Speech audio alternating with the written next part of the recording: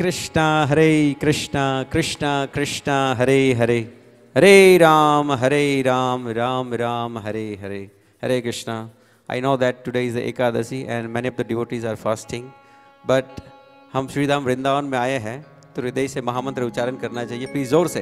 हरे कृष्णा हरे कृष्णा कृष्णा कृष्णा हरे हरे हरे राम हरे राम राम राम हरे हरे हरे कृष्णा सुस्वागत है।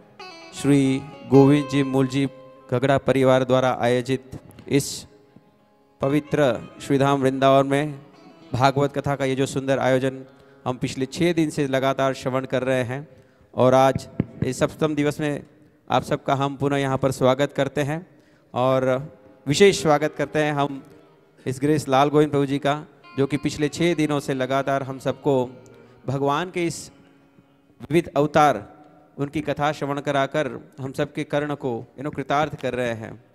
तो बड़ा सौभाग्य है हम सब भक्तों का कि एक तो श्रीधाम वृंदावन में होना और दूसरा यहाँ पर रहते हुए यू नो कथा प्रेमी भक्तों के मुख से भागवत कथा श्रवण करना।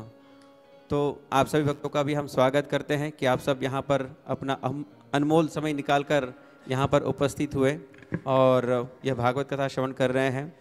तो आज इस कथा का सप्तम दिवस है और मैं निवेदन करना चाहता हूँ हमारे बीच में हिनल प्रभु तथा धवल प्रभु है हमारे इस घगरा परिवार के यू नो सुपुत्र।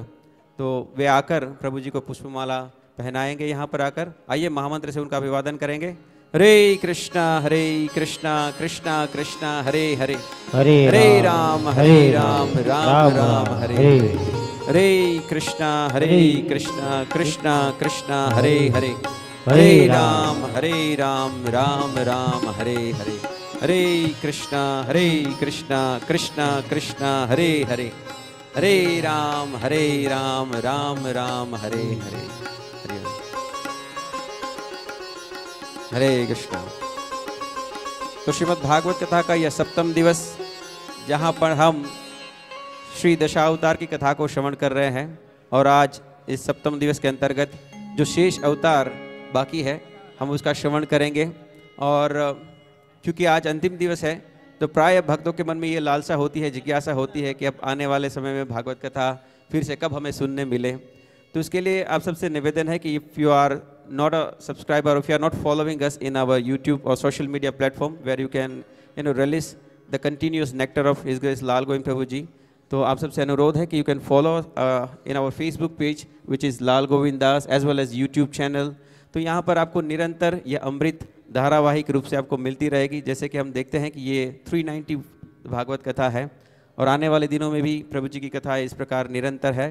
तो आप सबसे निवेदन है कि आप इस हमारे social media platform YouTube channel जिसका नाम है Lal Govind Das as well as Facebook page जिसका नाम है अगेन लाल गोविंद दास, इसको आप अवश्य फॉलो करें शेयर करें और आप सब इसका लाभ ले सकते हैं।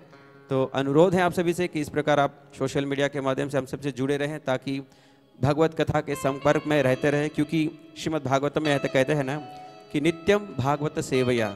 हम सबको आज ये सात दिन का अवसर मिला जहाँ पर हमने भागवत कथा श्रवण की।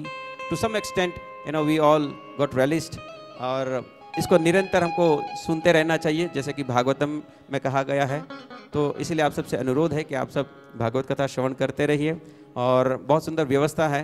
यू नो सोशल मीडिया के माध्यम से आज हम संपर्क में रह सकते हैं, श्रवण कर सकते हैं।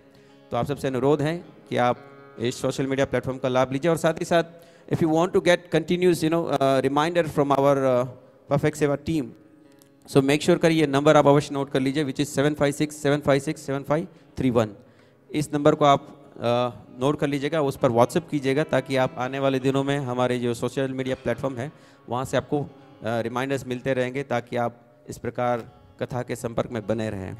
सो इसी आशा के साथ एक और निवेदन है आप सभी के कि भागवत कथा श्रवण करते हुए जैसे प्रभु जी यू नो प्राय हम सबको अलर्ट करते रहते हैं कि यू नो मेक श्योर करें कि हम सो ना जाए पहले तो कथा में। और साथ ही साथ कोई और भी डिस्टर्बेंस हमें कथा से यू नो दूर ना करें। इसीलिए मेक श्योर करें कि हम अपने मोबाइल फ़ोन को डिवाइस को स्विच ऑफ़ या साइलेंट मोड में रखें ताकि अ, किसी भी प्रकार का व्यवधान ना हो भागवत कथा के बीच में। तो इसी निवेदन के साथ में हम अ, इसी आशा के साथ निवेदन करना चाहते हैं हिज ग्रेस श्रीमान लाल गोविंद प्रभु जी से कि वे इस सप्तम दिवस की कथा को हम सबको श्रवण कराए। धन्यवाद। हरे कृष्णा।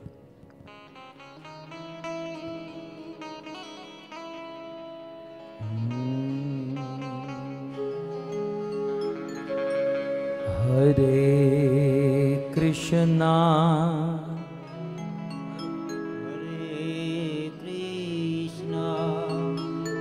कृष्णा कृष्णा। हरे हरे। हरे राम हरे राम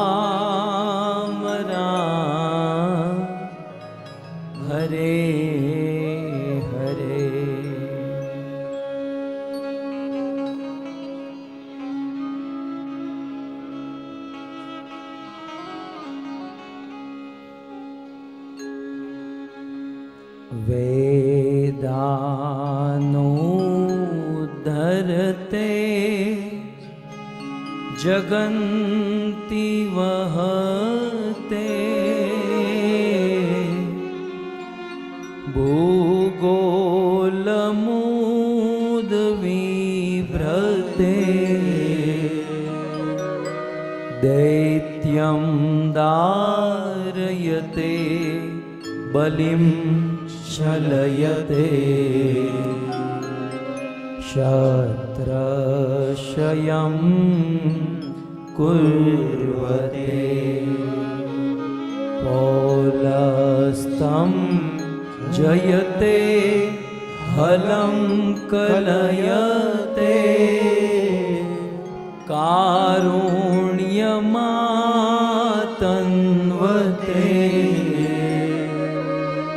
क्लेच्छान्मूर्च्छयते दशा दशि कृष्णाय तृष्णायतो व्यं नमः।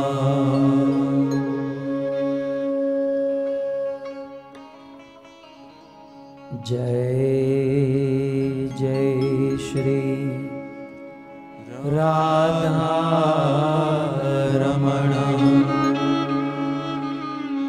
जय जय नवल किशोर। जय गोपी चित चोर प्रभो। जय जय माखन चोर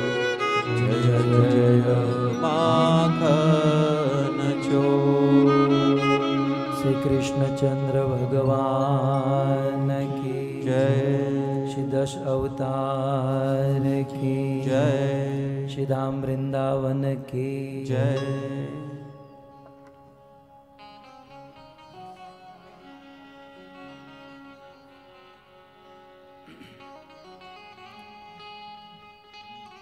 उपस्थित।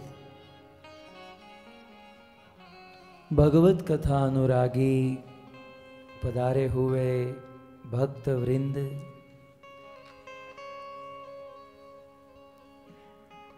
इस सभा को परम सुशोभित करने वाले भागवत कथा रसिक वरिष्ठ भक्तगण, दूर दूर से, देश विदेश से आधुनिक उपकरणों के माध्यम से, जैसे कि Dharma Sandesh channel, Aastha channel, YouTube, Facebook आदि के माध्यम से इस कथा का श्रवण करने वाले समस्त श्रोतागण एवं यह सुंदर भगवत कथा का आयोजन करने वाले प्रिय सखी माता, पल्लवी एवं अन्य समस्त पितरों की स्मृति में गोविंद जी, मूल जी, गगड़ा परिवार, जिनमें प्रमुख हैं श्री प्राणनाथ कृष्ण प्रभु, चंद्रिका माता, अजीत भाई, पुष्पा बहन राशेश्वर प्रभु, कमलेश भाई, संगीता बहन, मनु, मयूर भाई बीजल बहन, इंदु माता, हंसा माता, प्रतिभा माता, साथ ही साथ लंदन भक्ति वेदांत मैनर से आए हुए श्री प्राणनाथ प्रभु, हमारे केनिया से गुड़ाकेश प्रभु कह रहे थे, बहुत सुंदर प्रचार करते हैं श्री उमापति प्रभु के साथ। मैं नाम नहीं जानता हूँ। गोविंद प्रेम प्रभु, आप सभी भक्तों का श्रीमद् भागवत कथा के सप्तम एवं अंतिम दिवस में पुनः एक बार हार्दिक स्वागत एवं आप सबके चरणों में लाल गोविंद दास का प्रणाम। मेरा वारा आने दो? राधे श्याम।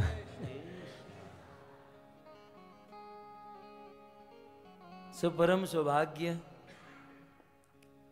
प्रेम राज्य श्री वृंदावन। और वृंदावन की इस पावन धरा पर भगवत प्रेम प्राप्त, भगवत प्रेम प्रदान करने वाली यह सुंदर भागवत कथा। कई बार लोग कहते हैं, कुछ नादान लोग पूछते हैं, ये भागवत क्या है? इसका उत्तर देते देते जीवन बीत जाएगा। लेकिन संक्षिप्त में यदि कहा जाए तो भागवत समस्त वेद, पुराण और इतिहास का पका हुआ फल है। श्रीमद भागवत समस्त वेद, पुराण शास्त्रों का सार है। ये वो ग्रंथ है जिसको लिखने के बाद महामुनि श्री वेदव्यास मुनि ने अपनी कलम को छोड़ दिया। वैसे अनेक अन्य अनेकों पुराण लिखे, लेकिन व्यास जी का मन नहीं भरा। वो अन्य पुराण, उसके बाद और एक पुराण, और एक पुराण, और एक पुराण, लिखते गए लिखते गए, लेकिन जब भागवत लिख दिया, व्यास मुनि संतुष्ट हो गए।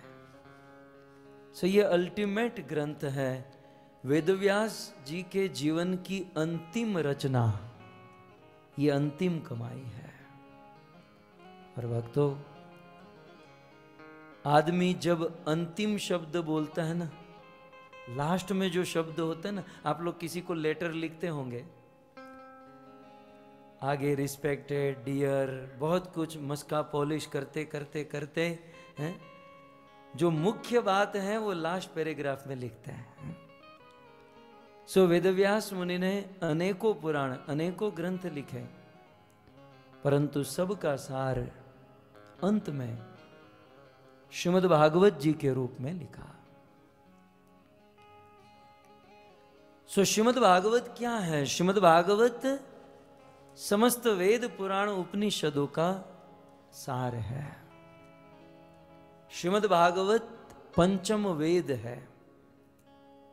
इतिहासम पुराणम पंचम वेदानाम इति वेदम। पांचवा वेद है। श्रीमद भागवत काल भय और मृत्यु से मुक्त करने वाला ग्रंथ है। श्रीमद भागवत प्रेम और रस का सागर है। श्रीमद भागवत भक्ति, ज्ञान और वैराग्य का मूल है। श्रीमद भागवत मृत्यु को मंगलमय बनाने वाला ग्रंथ है। श्रीमद भागवत, मन को शांति और समाज में क्रांति लाने वाला ग्रंथ है। श्रीमद् भागवत, जो स्वयं भगवान श्री कृष्ण का वांगमयी स्वरूप है, साक्षात स्वयं भगवान श्री कृष्ण का एक अवतार है श्रीमद् भागवत। पद्म पुराण के अनुसार तो कृष्ण ही उद्धव जी के सामने भागवत के रूप में कन्वर्ट हो गए। कृष्ण ही भागवत के रूप में परिणित हो गए। श्रीमद भागवत जी में हम देखते ना, सफ़ेद पृष्ठ और काले रंग के श्लोक। हमारे ब्रज के रसिक संत कहा करते हैं, ये जो भागवत की पुस्तिका में काला रंग के जो श्लोक हैं, वो कृष्ण है और सफ़ेद पृष्ठ जो है वो राधा है। भागवत क्या है? राधा कृष्ण का मिलित स्वरूप है। श्रीमद भागवत। व्यास मुनि ने तो यहाँ तक कह दिया, पादो यदीयो प्रथमतु द्वितीय, तृतीय, तुरियो कथितो यदुरु। नाभिस्तथा पंचम एव षष्ठो भुजा तरंगो युगलो तथानियो कंठस्तु रामम नवमो यदीयो मुखारविंद दशमम प्रफुल्लम, एकादशो यस्य ललाट पट्टम शिरोतु द्वादश एव भाति। ही भागवत के प्रथम दो स्कंद श्याम सुंदर भगवान श्री कृष्ण के दो चरण हैं। भागवत का तीसरा और चौथा स्कंद भगवान श्री कृष्ण के दोनों है। भागवत का पांचवा छठा स्कंद भगवान श्री कृष्ण के कटी प्रदेश के भाग, सातवां और आठवां प्रभु के दोनों हाथ है। भागवत का नौवा स्कंद कृष्ण का कंठ है।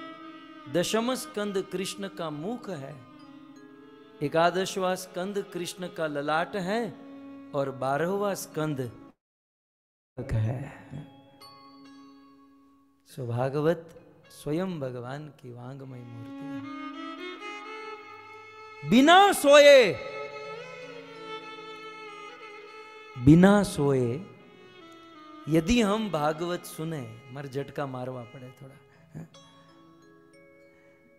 बिना सोए यदि हम भागवत सुने ना तो मानो वैसा ही अनुभव होता है, जैसे हम भगवान के गोद में बैठे हैं, भगवान के साथ बैठे हैं। सो ऐसा पवित्र दिव्य भागवत हम सब श्रवण कर रहे हैं। और गगड़ा परिवार का कितना बड़ा सौभाग्य है। और इनके सौभाग्य से हमारा भी सौभाग्य है कि एक तो सबसे पवित्र उत्तम भागवत कथा और ऊपर से इस भागवत कथा का श्रवण कीर्तन सबसे उत्तम स्थान पर श्रीधाम वृंदावन में। और सोने में भी सुगंध मिल जाए। श्रीमद भागवत सबसे उत्तम और वो भी वृंदावन में। और वृंदावन में भी कथा सुनते हुए आज एकादशी और एकादशी में भी कौन सी एकादशी? सफला एकादशी। मतलब जब कथा नक्की की, राशेश्वर प्रभु, कि हमने ये नक्की किया था, एकादशी आने वाली है, कोई नक्की, कुछ नहीं। तदेव लग्नम सुदिनम, तदेव भागवत में कौन सा मुहूर्त? कौन सा ग्रह, कौन सा नक्षत्र? भक्तों की जो अनुकूलता शुरू कर देते हैं। लेकिन विचार करो, योगानुयोग, श्रीमद भागवत का सप्तम दिन और सफला एकादशी, मानो भगवान हमें इशारा कर रहे हैं कि घगड़ा परिवार का ये जो भागवत कथा का आयोजन है, आज सफल हुआ। सफला एकादशी के दिन आज सफल हुआ। आज पवित्र एकादशी। एकादशी की हम वैष्णव समाज में बड़ी महिमा है। यूँ तो सनातन धर्म में एकादशी का एक अद्वितीय स्थान है। परंतु खास करके हम हरि भक्तों में, वैष्णवों में तीन या चार निष्ठा जो है ना, बहुत महत्वपूर्ण मानी गई है। भगवान राम, भगवान श्री कृष्ण, भगवान विष्णु के भक्तों को सबसे पहली निष्ठा है नाम निष्ठा, हरि नाम निष्ठा। दूसरी निष्ठा है धाम निष्ठा।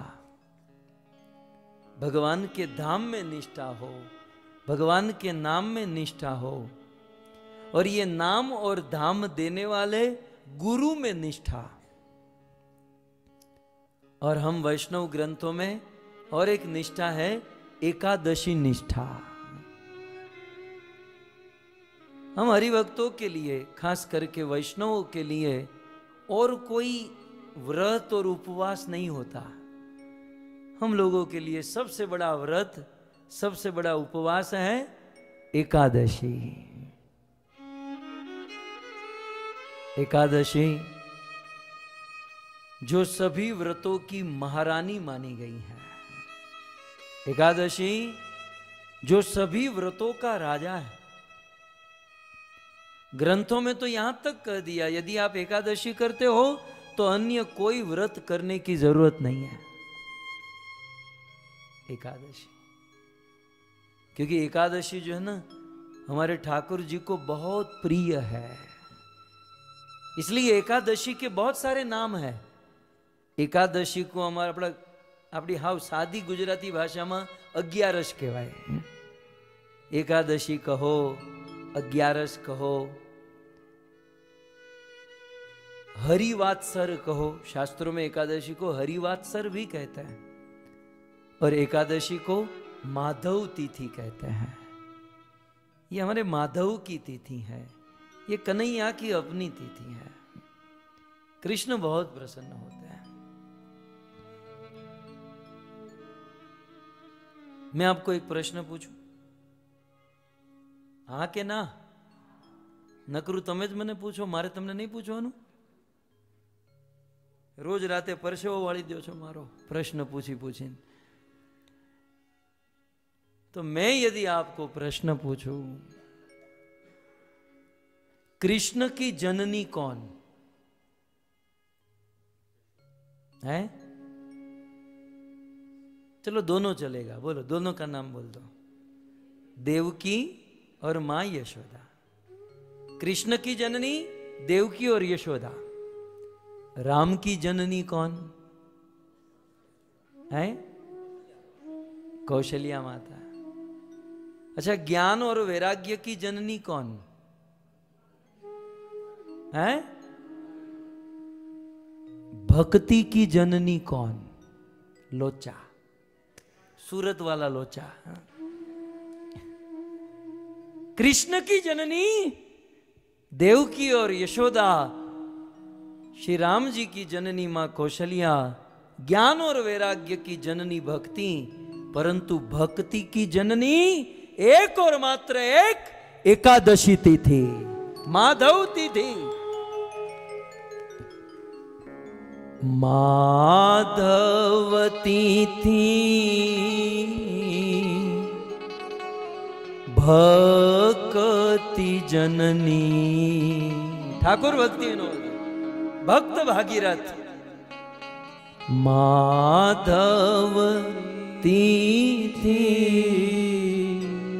भक्ति जननी જતને પાલન કરી. જતને પાલન કરી. મારા મેહુલ જો એને તૈયાર હોતા એને તો ઉપાડી જ લીધું. પણ અજીતભાઈએ બહુ કીર્તન કર્યા હોય એટલે હું પ્રોગ્રામ બંધ રાખું. અજીતભાઈ પહેલા કેવું તો આ બધાને ન બોલાવે हमारे यजमान ही कीर्तन करते हैं तो પછી આ બધાને બોલાવવાની શી જરૂર હતી ખેર માધવ તિથિ ભક્તિ જનની जतन पालन करी ठाकुर भक्तिनोद कहते हैं भक्ति की जननी भक्ति को जन्म देने वाली तिथि है माधव तिथि आजकल कुछ लोग बहुत व्रत रहते हैं। कोई सोमवार रहता है, कोई मंगलवार रहता है, कोई बुधवार, कोई गुरुवार, कोई शुक्रवार, कोई शनिवार, कोई रविवार। एक भी वार किसी ने छोड़ा नहीं है। पता नहीं प्रेम से वार रहते हैं कि भय के मारे रहते हैं। कई बार हम हम धोती कुर्ते वालों को पूछते हैं कि, हम खास कर गुजराती लोग को पूछे कि महाराज शनिवार दाढ़ी कराई है? શનિવારે ન કપાય ન કપાય પાપ લાગે હે? કેમ હનુમાનજીનો દિવસ એટલે હનુમાન તમારી દાઢીઓમાં हाथ नाकवा बैठो છે હે? मतलब हनुमान को और कोई काम धंधा ही नहीं है वहां बैठे बैठे आपकी दाढ़ी चेक करेगा आज इसने दाढ़ी करवाई दो उसे एक सिर पे हनुमान को और कोई काम धंधा नहीं है शनिवार नख न कपाई हैं? तो क्या वो लोग बस हमारे ऊपर यही देखने बैठते होंगे कि ये नाखून शनिवार को काट रहा है હું અંદરની વાત કહું દાઢી શનિવારે જ કરાય રવિવારે રજા હોય અને માર્કેટમાં એન્ટ્રી પાડવાની હોય તો યાર शनिवारे જ कराए कहने का अर्थ ये है कि कुछ हम्म, कहलाने वाले लोगों ने समाज को बहुत डरा कर रखा है। बहुत डरा कर रखा है।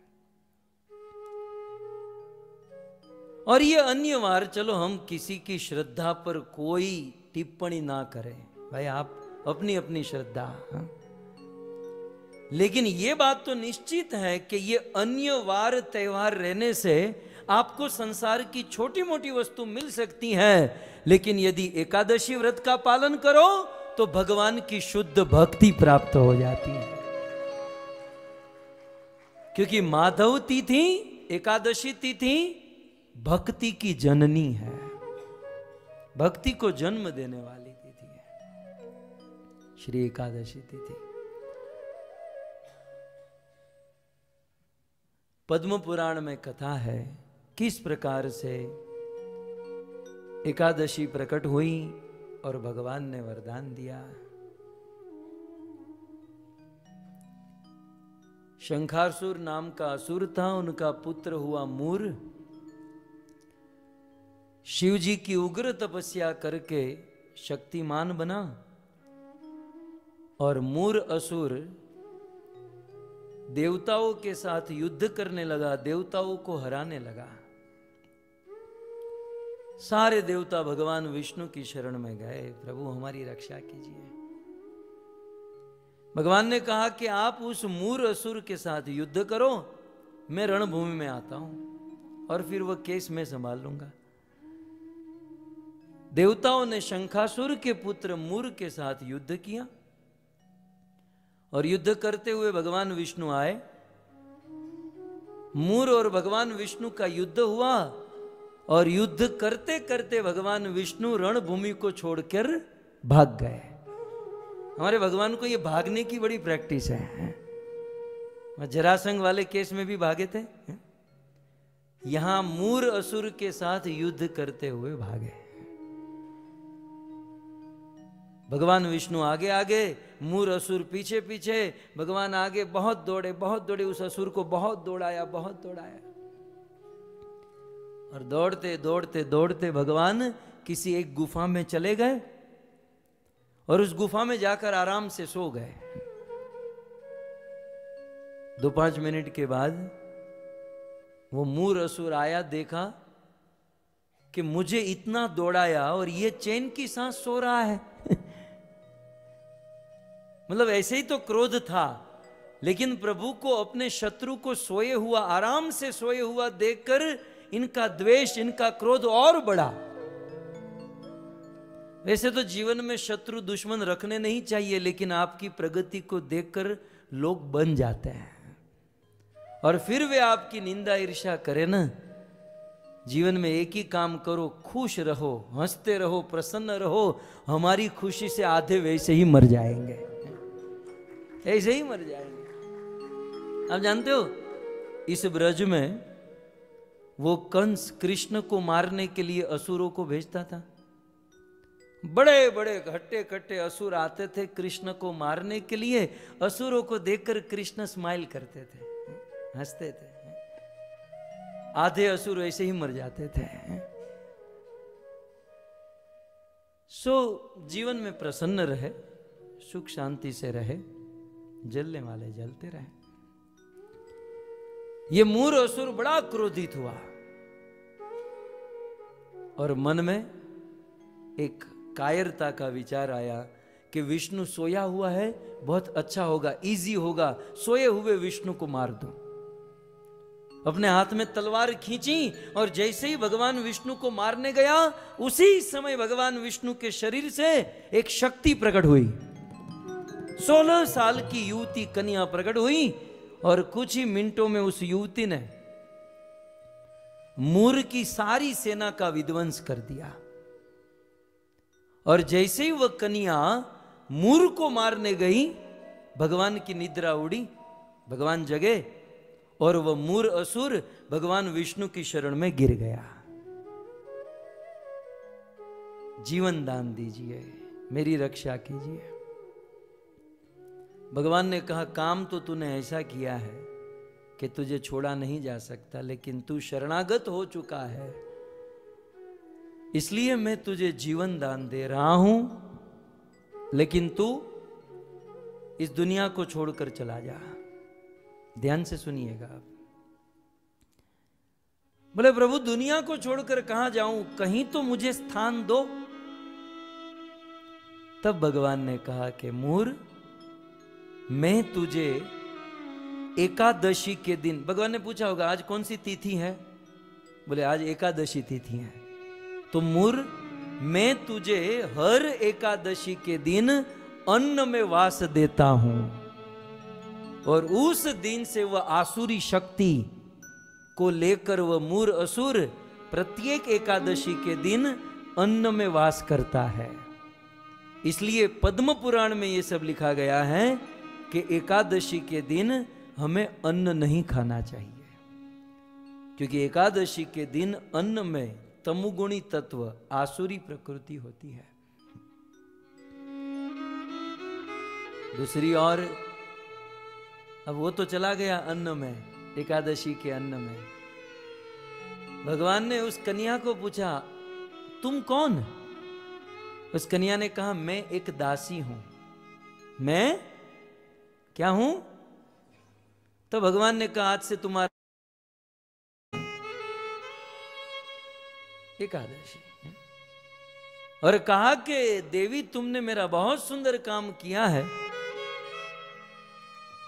इसलिए मैं तुम्हें वरदान देता हूँ। इस दुनिया में सबसे अधिक कठिन क्या है? इस दुनिया में सबसे कठिन कार्य जो है ना, वो भगवान कृष्ण की भक्ति है। आप कहोगे, कठिन कहाँ बहुत इजी है। हम तो कर रहे हैं। एक बात कहूँ, हम जो कर रहे हैं, वो भक्ति नहीं है, वो भक्ति का नाटक है। ना, आप तो प्योर डिवोटी हैं, आप तो प्योर डिवोटी मैं मेरे जैसों की बात कर रहा हूँ। हम जो भक्ति कर रहे हैं, वो क्या है? वो तो पापा पगली कर रहे हैं। अभी तो शुरुआत भी ठीक से नहीं हुई है।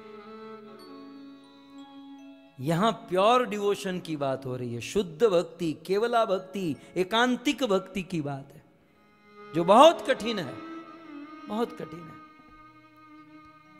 लेकिन है एकादशी आपने मुझे बहुत हम्म, सहयोग किया मैं आप पर बहुत प्रसन्न हूँ इसलिए मैं आपको वरदान देता हूँ कि जो व्यक्ति तुम्हारी इस तिथि एकादशी तिथि, एकादशी व्रत का पालन करेगा, उसे बिना मेहनत किए मेरी शुद्ध भक्ति प्राप्त हो जाएगी। शुद्ध भक्ति लभ्य हो जाएगी। कई बार कुछ लोग पूछते हैं ना, एकादशी क्यों? इसलिए। हम और आपो को भक्ति करना बड़ा कठिन होता है, मुश्किल होता है। कुछ लोग कहते हैं ना, हमसे भक्ति नहीं हो पा रही है। कोई बात नहीं, एकादशी व्रत करो, भक्ति इजी हो जाएगी। क्योंकि एकादशी तिथि भक्ति की जननी है। और भी बहुत सारी कथाएँ एकादशी को लेकर है। सूर्य वंश में एक राजा हुए, राजा रुकमांगत कौन से राजा? रुकमांगत उसके राज्य में बहुत सुंदर बगीचा था और उन फूलों की सुगंध स्वर्ग में जाती थी। एक बार स्वर्ग की अप्सरा उर्वशी अपनी सखियों के साथ विचरण करते करते उस सुगंध को लेते लेते लेते राजा रुक्मांगद के राज्य में आई और बगीचे में आई, सुंदर सा फूल देखा, फूल को तोड़कर स्वर्ग में चली गई। दूसरे दिन आई, फूल तोड़कर स्वर्ग में, तीसरे दिन फूल तोड़कर तो रोज का हो गया। माली ने राजा को कंप्लेंट की, भाई, कोई फूल तोड़ रहा है? राजा ने कहा, कोई बात जो भी है, देव इच्छा। एक बार क्या हुआ? ये लोग रात के समय में आते थे, जब मानव समाज सोया हुआ होता है। एक बार उर्वशी अपनी सखियों के साथ उस रुक्मांगद के राज्य में फूल तोड़ रही थी और तोड़कर जब वापस जा रहे थे तो उर्वश, उर्वशी की साड़ी बैंगन के पौधे के कांटे में फंस गई। बैंगन समझ में आता है ना? परम दिवसे खाधु तो भड़थू हम्म? भड़थू रोटला खाया था ना वो बैंगन स्कंद पुराण में लिखा है कि बैंगन जो है ना वो राजसिक रजोगुणी प्रभाव ज्यादा होता है इसलिए जिसको सत्व गुण में आगे बढ़ना है ना उसे बैंगन थोड़े कम खाने चाहिए સાવ ન ખાવાય એવું તો હું કહું જ નહીં ને કારણ કે આપણે ખાઈએ છે આ ઠંડીમાં ભડથું રોટલા વગર थोड़ी ચાલે लेकिन कम थोड़ा कम हो तो अच्छा है स्कंद पुराण में स्कंद पुराण में तो यहां तक लिखा है कि जिसको मुक्ति प्राप्त करनी है उसे शराब नहीं पीनी चाहिए जुआ नहीं खेलना चाहिए मांस नहीं खाना चाहिए और बैंगन नहीं खाना चाहिए એમાં રીંગણું નાખ્યું तो तो बैंगन के पौधे के कांटे में स्वर्ग की अप्सरा उर्वशी की साड़ी फंस गई। ये कथा कहाँ पर है? पद्म पुराण में। अब जैसे ही साड़ी फंसी तो सारा पुण्य क्षीण हो गया। बैंगन के पौधे के कांटा, वो कांटा स्वर्ग की अप्सरा का, देवी का सारा पुण्य क्षीण कर दिया। वो बैंगन जब खाएँगे तब क्या होगा? सारी अप्सराएँ चली गई और उर्वशी यहाँ धरती पर फंस गई। बड़ी चिंता करने लगी, अब सुबह होगी, ये मनुष्य लोग आएँगे और न जाने मनुष्य मेरे साथ क्या क्या करेंगे। ये मनुष्यों का डर देवताओं को लगता है। देवता बहुत डरता है। पहले एक जमाना हुआ करता था गाँव में कि माताएँ कहती थी, वो पीपल के पेड़ के नीचे मत जाना, वहाँ भूत होता है, भूत। जमाना बदला, आजकल भूत लोग अपने बच्चों को कहते वहाँ मत जाना, वहाँ आदमी होता है, आदमी आजकल के भूत भी आदमियों से डर रहे हैं। इसलिए सब भूत चले गए। सो इस देवी को मनुष्य का डर लगा, बोले, सुबह होगी, न जाने मनुष्य क्या करेंगे? और सुबह सुबह राजा रुकमांगद उसी बगीचे में जॉगिंग करने के लिए एक्सरसाइज के लिए आए होंगे। उस दिन उनका ही आना हुआ। दूर से राजा रुकमांगद आ रहे हैं, उर्वशी के मन में चिंता बढ़ रही है। लेकिन भक्तो, महान आदमी तो महान होता है। रुकमांगद जैसे ही बगीचे में पहुँचे और इस देवी को देखा तो सबसे पहला संबोधन निकला कि, हे माँ, इतना सुनते ही उर्वशी को शांति हुई कि पृथ्वी में ऐसे अच्छे लोग भी रहते हैं। अगर पहले के राजा महाराजाओं को अपने मन पर कंट्रोल हुआ करता था आप जानते हैं, जब महाराज दुष्यंत वन में मृगिया करने मृगिया करने गए और उनको प्यास लगी तो कण्व ऋषि के आश्रम में पहुँचे। कोई जल पिला दो। कण्व ऋषि घर पर नहीं थे, एक एक कन्या थी घर पर, और वो आई और दुष्यंत को जल पिलाया। तो राजा दुष्यंत ने कहा, उस देवी को, उस कन्या को देखा, बहुत सुंदर कन्या थी तो प्रसन्न हो गए। बोले, देवी, तुम मुझे बहुत अच्छी लगती हो, मेरे से शादी करोगी? अब राजा थे, राजा को तो क्या है? तुम हो कौन? बोले, मैं महर्षि कण्व की कन्या हूँ। कण्व ऋषि की बेटी हूँ अब देखो, राजाओं का कॉन्फिडेंस बोले, मैं क्षत्रिय राजा दुष्यंत और तुम ब्राह्मण की कन्या। मुझे मेरे खून पर विश्वास है। मुझे मेरे मन पर विश्वास है कि मेरा मन किसी पराई स्त्री पर, अन्य स्त्री पर जा नहीं सकता। और मैं क्षत्रिय राजा हूँ, मेरा मन किसी ब्राह्मण कन्या पर जा ही नहीं सकता। सच सच बताओ, तुम कौन हो? तुम कण्व की बेटी हो ही नहीं सकती। तब उस कन्या ने कहा, अरे नहीं, मैं तो बाबा के साथ जब से समझदार हूँ, तब से यहीं रहती हूँ। बोले, नहीं, तुम बताओ कौन? तब तक कण्व ऋषि आए और उस कन्या ने कहा कि पिताजी, सच कहो, क्या मैं आपकी बेटी नहीं? तब भेद खुला। कण्व ऋषि ने कहा कि बेटा तू मेरी बेटी नहीं है, क्षत्रिय ऐसे विश्वामित्र की कन्या है।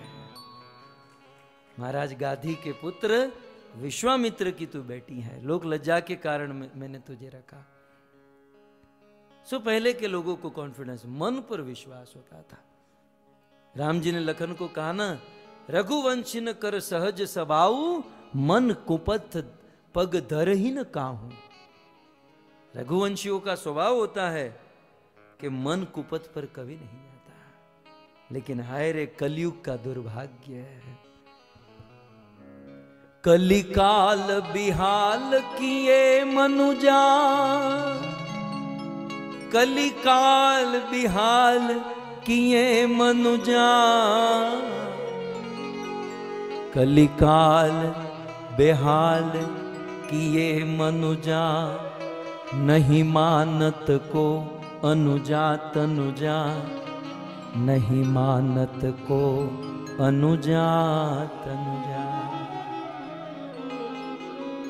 कलयुग ने जीवों का कितना पतन कर दिया कि एक और पहले के राजा किसी अन्य जाति, अन्य ज्ञाति के ऊपर, अन्य स्त्री के ऊपर बुरी दृष्टि नहीं डालते थे। और आज कलयुग में आदमी किसी के ऊपर भी बुरी दृष्टि डाल देता है। अरे, अपनी बेटी की उम्र वाली हो, फिर भी बुरी दृष्टि डाल देता है। अनुजा, तनुजा, ये कागभूषण जी बहुत ऊँची बात कर गए हैं। सो ये कलयुग है। धन्य है वो। राजा रुकमांगद है। राजा रुकमांगद ने संबोधन दिया कि माँ, आप कौन हो? मैंने पहले तो कभी देखा नहीं। तो सारी बात बताई कि मैं स्वर्ग से रोज आती थी और ये बैंगन के कांटे में मेरी साड़ी फंसी। तो राजा ने कहा, मैं कुछ कर सकता हूँ? बोले, आप अपना पुण्य मुझे दे दो ताकि मैं स्वर्ग में जा सकूँ। राजा ने कहा, मेरे पास पुण्य होता तो मैं यहाँ क्या करता? मैं ही स्वर्ग में नहीं चला जाता।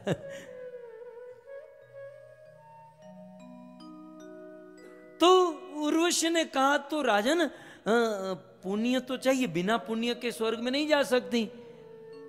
और सबसे ज़्यादा पुण्य एकादशी व्रत का होता है। आपके राज्य में कोई एकादशी रहता है? कल ही एकादशी थी। कोई रहता है एकादशी? रुकमांगत कहते हैं, ये एकादशी किस चिड़िया का नाम है? मतलब ये तो जीवन में पहली बार सुना था, एकादशी क्या होती है। कोई एकादशी बोले कल ही एकादशी थी महाराज कोई नहीं रहा बोले एकादशी यहाँ कुछ होता ही नहीं है हमने कभी सुना ही नहीं है अच्छा अब देखो ध्यान से उर्वशी ने कहा अनजाने में कल कोई उपवास रहा हो ऐसा चलो एकादशी तो पालन नहीं करते लेकिन किसी की तबीयत खराब है या जैसे तैसे कल अन्न न खाया हो उपवास किया हो ऐसा कोई आदमी मिल जाए ना तब भी फल मिलेगा, तब भी पुण्य मिलेगा। राजा ने कहा यह मैं कर सकता हूँ। अपने मंत्री को बुलाया और भेजा के जाओ पूरे गाँव में, पूरे राज्य में खोजो कि कल के दिन किसी ने अन्न न खाया हो, भोजन न किया ऐसा वर्णन है कि राजा रुकमांगद का मंत्री विचरण करते करते एक जगह पर पहुँचा। एक स्त्री रो रही थी, क्रंदन कर रही थी। मंत्री ने कहा, बहन वहाँ वो रो रही है, यहाँ तू रो रही है। तेरे रोने का कारण क्या है? बोले, कल से मुझे कुछ खाने को नहीं मिला। मंत्री नाचने लगा। वो कहती है कि, यार, मैं दुखी हूँ, तू नाच रहा है। बोले, मैं तुझे ही खोज रहा था। क्यों तूने कुछ कल नहीं खाया? ये पद्म पुराण में बहुत डिटेल में ये सब व्यास जी लिखते हैं। क्यों तूने कल कुछ नहीं खाया? बोले, मैं जहाँ जिस दुकान में नौकरी करती थी ना तो गलती से मेरे हाथ से वो बोतल गिर गई, फूट गई तो दुकानदार क्रोधित हो गया और मुझे दंड दिया कि एक दिन का भोजन नहीं मिलेगा। उस दिन एकादशी थी। लेकिन वहाँ पर चाणक्य पंडित ने अपनी कलम चलाई। इस दुनिया में सबसे ज़्यादा कष्ट क्या है? चाणक्य पंडित कहते हैं कष्टाधि कष्टम सततम प्रवासी ततोधि कष्टम परगेहवासी ततोधि कष्टम धनहीन सेवा ततोधि कष्टम कृपणस्य सेवा सबसे ज़्यादा कष्ट है यात्रा में विचरण करना। कष्टाधि कष्टम सततम प्रवासी, प्रवास करना, यात्रा करना ये कष्ट है। मतलब यात्रा इज़ इक्वल टू कष्ट। बरोबर? अब वृंदावन यात्रा में आए हो आप और यहाँ आकर कहो, अरे रे, यहाँ तो बहुत ठंड है, ये खाना, वो रहना। तो भाई इसी के लिए तो आए हैं हम्म? यात्रा का अर्थ ही तो होता है कष्ट भोगतना। अपनी स्वेच्छा से कष्ट भोगतना तो इसलिए तो आए इतनी अच्छी नींद आती है और लाल गोविंद दास जगा देता है कष्ट हो रहा है इसीलिए तो आए हैं આપણે ત્યાં ડોંગરેજી મહારાજ કહેતા યાત્રા એટલે શું યાત્રા એટલે તપસ્યા વધારવાની માત્રા હું ને તમે શું સમજીએ યાત્રા એટલે ખમણ પૂરીને પાત્રા હા?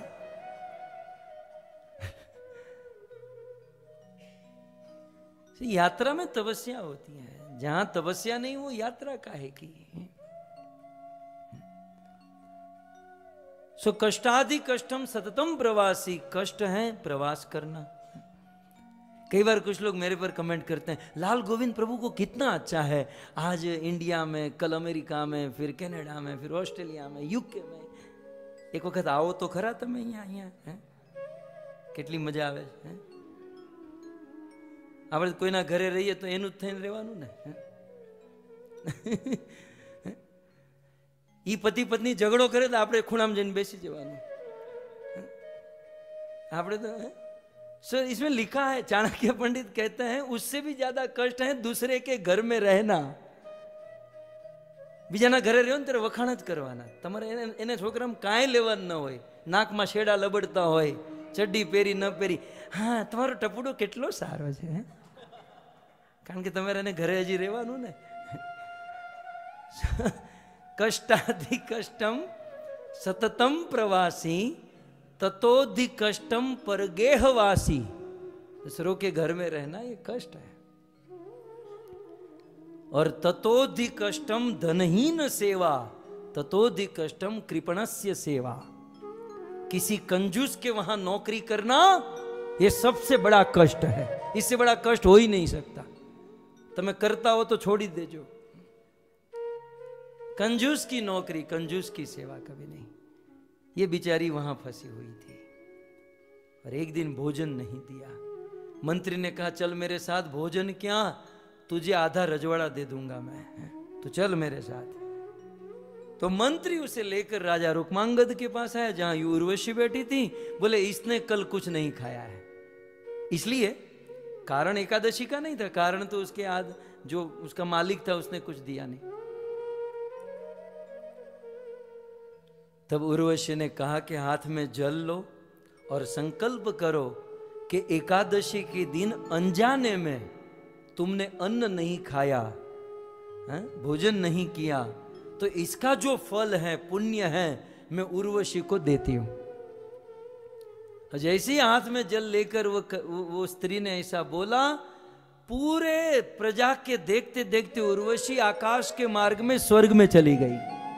एक एकादशी के पुण्य के प्रभाव से वह अप्सरा उर्वशी स्वर्ग में गई। और अब तो प्रजा को कुछ बोलना ही नहीं था तो देख ही लिया था। किसी और ने एकादशी की उसका फल दिया तो यहाँ। रुकमांगद के राज्य में सब एकादशी रहने लगे। सो कुल मिलाकर हमारे वेदों में, शास्त्रों में ऐसी बहुत सारी कथाएँ हैं। एकादशी व्रत का पालन करें। सभी व्रतों का राजा एकादशी है। एकादशी जो स्वयं भगवान को, कृष्ण को, राम को, विष्णु को प्रसन्न करती है। और एकादशी हमारे आध्यात्मिक उन्नति के लिए तो है ही नो डाउट हम हरिभक्त तो आध्यात्मिक उन्नति के लिए एकादशी करते हैं, लेकिन थोड़ा सा आयुर्वेद के अनुसार भी देखे ना, साइंटिफिकली भी देखे ना तो पंद्रह दिन में एक बार भूखे रहने से हम निरोग होते हैं। हमारी आयुष्य बढ़ती है, शरीर स्वस्थ रहता है, शरीर की शुद्धि होती है। हम लोग है ना एक हफ़्ते में संडे या सैटरडे, संडे दो दिन की छुट्टी रखते हैं। लेकिन हमारे पेट को कभी छुट्टी ही नहीं। बेचारा फिर जवाब दे देगा उसे अच्छा है एटलीस्ट पंद्रह दिन में एक बार छुट्टी दे तो दोनों काम हो जाएँगे। शरीर भी स्वस्थ रहेगा और भक्ति भी प्राप्त हो जाएगी। और पहले के जमाने में तो ये सब कठिन था। एकादशी रहना माने बहुत कठिन था। आजकल एकादशी रहना, ये कठिन कहाँ, ये तो फेस्टिवल हो गया है। आप ही देखो ना, कल ने हम पिछले छह दिन से क्या खा रहे थे, आज क्या खाया? गाजर का हलवा पनीर की सब्ज़ी, पनीर का सलाड क्या खिचड़ी? आजकल तो लोगों बुद्धिमान लोगों का प्रमाण, एकादशी पिज्जा। एकादशी पास्ता, एकादशी डोसा तो सब एकादशी का हो गया। कठिन नहीं है एकादशी। और एकादशी की महिमा भागवत जी में तो है ही। भागवत में तो पूरा इतिहास एकादशी का महाराज अम्बरीश। एक वर्ष तक एकादशी किए थे, इसी ब्रज वृंदावन में, मथुरा में। पद्म पुराण में तो अनेकों कथा एकादशी की। गरुड़ पुराण महाभारत हाँ, स्कंद पुराण अनेकों पुराणों में एकादशी की महिमा है। यहाँ तक कह दिया कि एकादशी के दिन यदि कोई अन्न खाता है तो भ्रातृहा अपने भाई को मारने का जो पाप है अपनी माता को मारने का जो पाप है गुरु को मारने का जो पाप है वो पाप एकादशी के दिन अन्न खाने से लगता है। महाभारत जैसे ग्रंथों में तो यहाँ तक कह दिया कि एकादशी के दिन अन्न खाना ये गाय के मांस खाने के बराबर है। गो मांस के बराबर।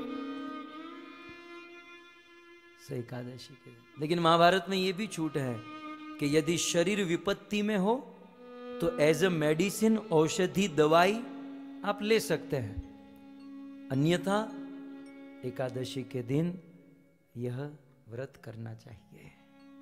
सो आज हम सबका परम सौभाग्य है कि सफला एकादशी श्रीमद भागवत का अंतिम दिन है।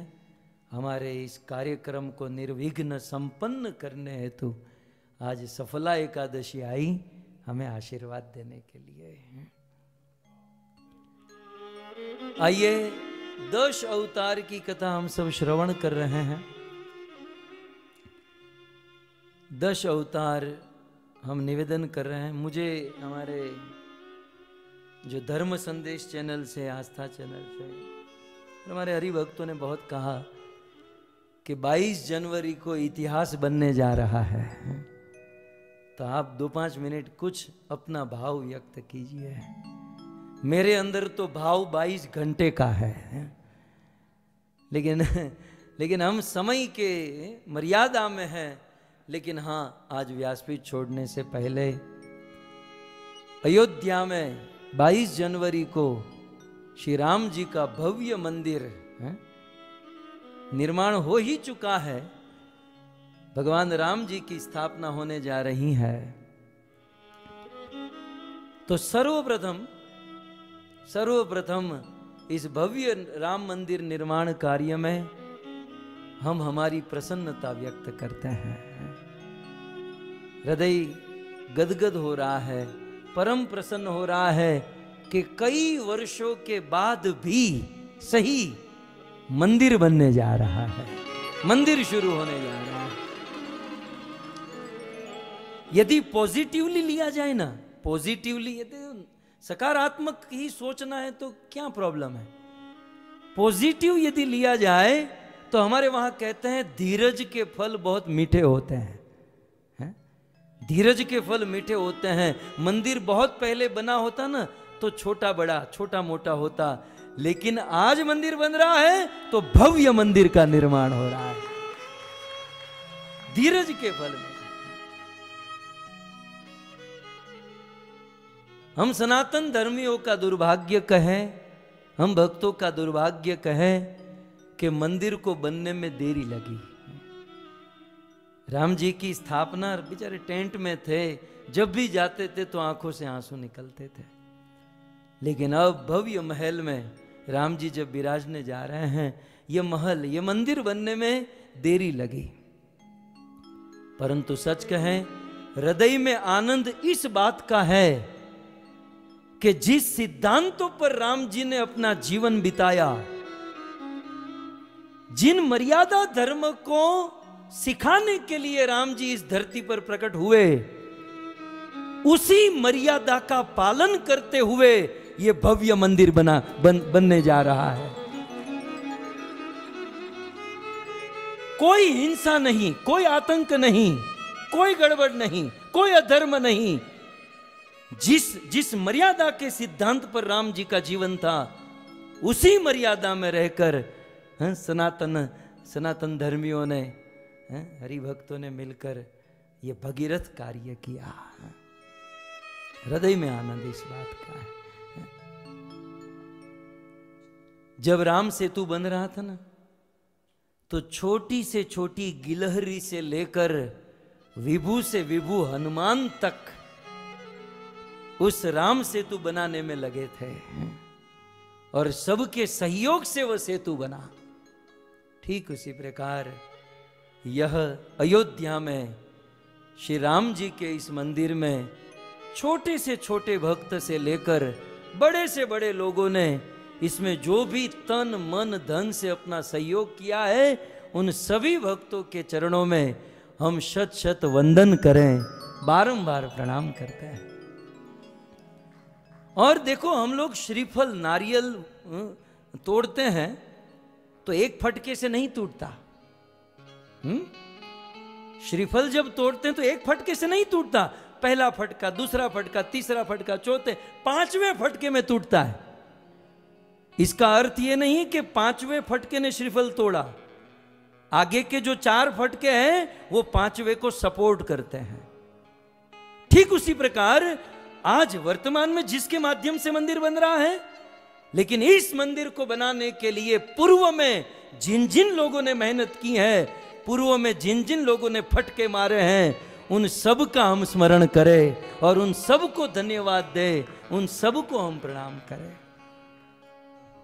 जय सिया राम जय सियाराम। जय सिया राम जय सिया राम देखो श्री राम नहीं बोलना है सिया राम जय सिया राम जय सिया राम क्योंकि यह राम जी का जो मंदिर बन रहा है हमारी सीता से ज़्यादा प्रसन्न कौन होगा?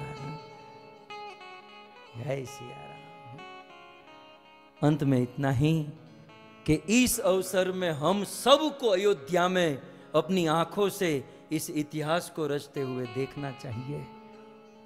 लेकिन व्यवस्था को ध्यान में रखते हुए प्रैक्टिकल, हमें, हम सबको प्रैक्टिकल बनना है। व्यवस्था को ध्यान में रखते हुए प्रैक्टिकल पॉसिबल नहीं है कि हम सब 22 जनवरी को वहाँ पर पहुँचे। इसलिए हम सब लोग 22 जनवरी को अपने अपने घर में इस उत्सव को मनाए हैं। भक्तों त्रेता युग के राम को तो केवल चौदह साल का वनवास था, कलयुग के राम को सत्तर साल का वनवास रहा है। जब चौदह साल के बाद राम जी आए तो सारी अयोध्या ने अपने घर पर घर पर दीपक जलाए। सारी अयोध्या ने अपने घर पर दीप जलाए और इसलिए दीपावली का उत्सव बना। तो आज हमारे भारतवर्ष में, हमारे देश में, अयोध्या में जब राम जी वापस आ रहे हैं, राम जी के लिए भव्य भवन निर्माण हो चुका है तो हम सब 22 जनवरी को अपने अपने घर पर दीपक जलाए और इस दीपावली का उत्सव मनाए।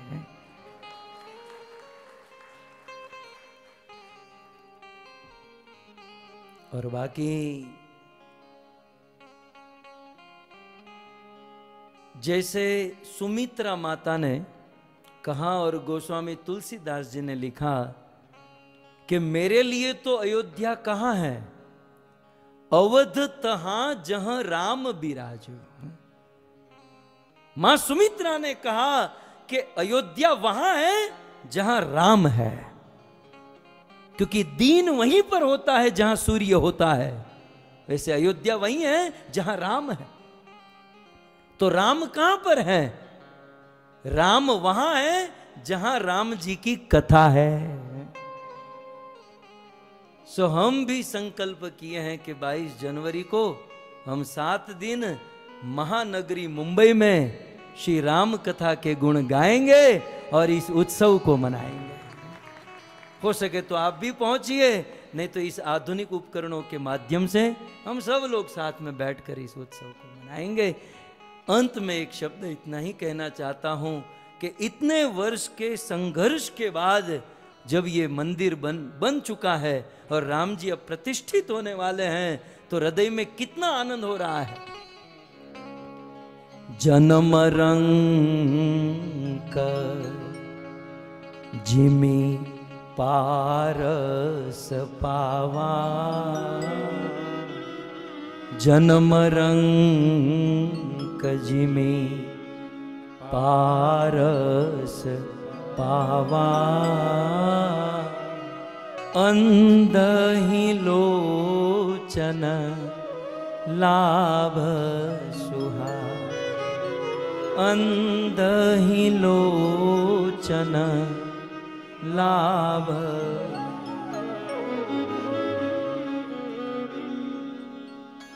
चौदह वर्ष वनवास में विचरण करने के बाद जब राम जी अयोध्या में वापस लौटे और राम जी का दर्शन करके अवध की प्रजा को जो आनंद हुआ, आज वही आनंद है। राम जी के इस अयोध्या मंदिर में स्थापित होने पर होने जा रहा है। क्या आनंद था? जन्म रंक जिमी पारस पावा। जन्म से कोई रंक है, जन्म से कोई दरिद्र है। दरिद्रता का कितना कष्ट होता है, दरिद्रता का कितना दुख होता है, वो तो दरिद्र ही जानता है। गोस्वामी जी ने लिखा है, गरीबी बहुत बड़ा दुख होती है। वो तो घायल की गति घायल जाने हम लोग तो केवल चर्चा कर सकते हैं कि गरीबी क्या, ये क्या। जिसने गरीबी भोगती है, वो जानता है। जन्म से जो दरिद्र है अच्छा भोजन नहीं मिला, अच्छे वस्त्र नहीं मिले अच्छा घर नहीं मिला, अच्छी फैसिलिटी नहीं मिली, ऐसे जन्म से कोई रंक दरिद्र व्यक्ति को अचानक पारसमणि मिल जाए, अचानक स्पर्शमणि मिल जाए और वो जितना सुखी होता है और जन्म से कोई अंधा है, जिसने कभी दुनिया को देखा नहीं।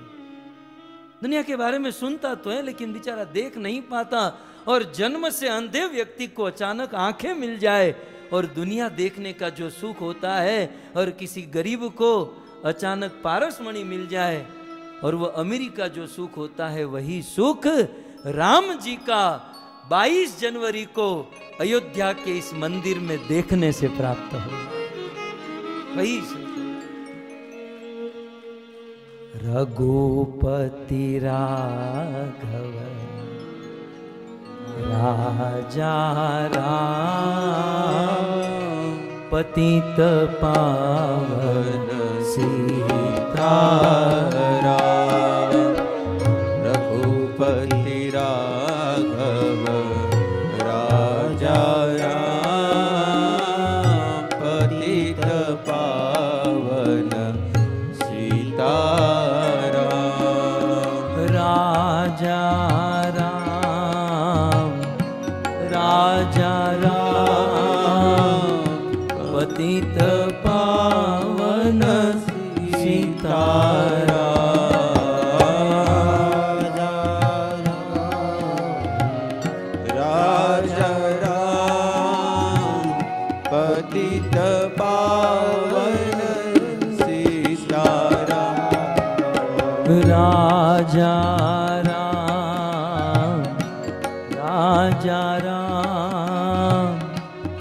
ए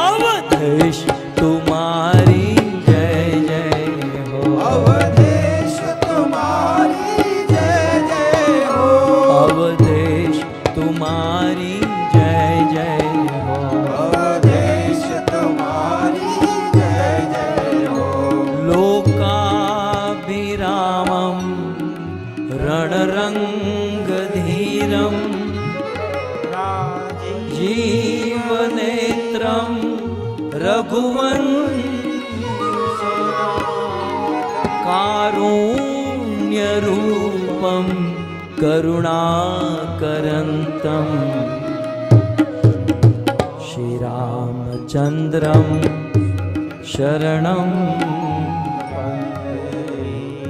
राजा राम तुम्हारी जय जय हो। राजा राम तुम्हारी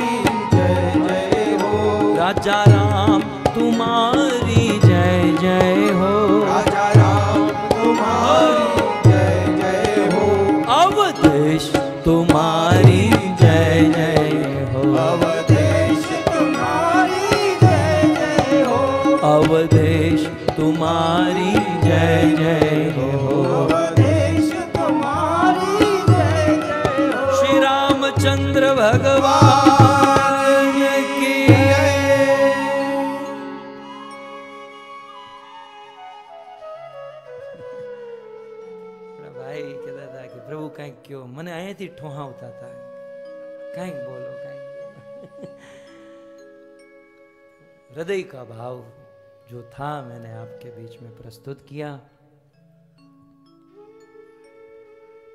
आइए अब मैदान में उतरते हैं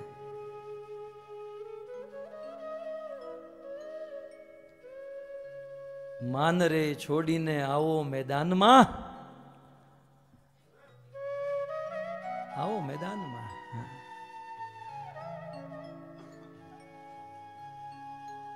दस अवतार की कथा हम सब श्रवण कर रहे हैं।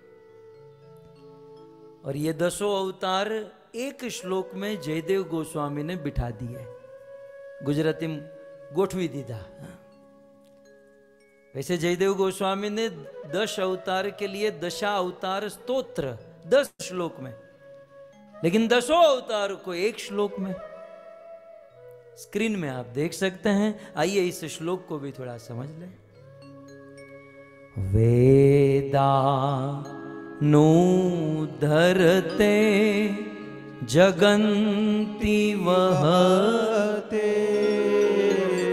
भूगोलमूद विभ्रते। दैत्यं दारयते बलिं छलयते शत्रशयं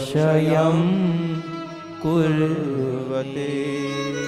पौलस्तं जयते हलं कलय कारुण्यमातन्वते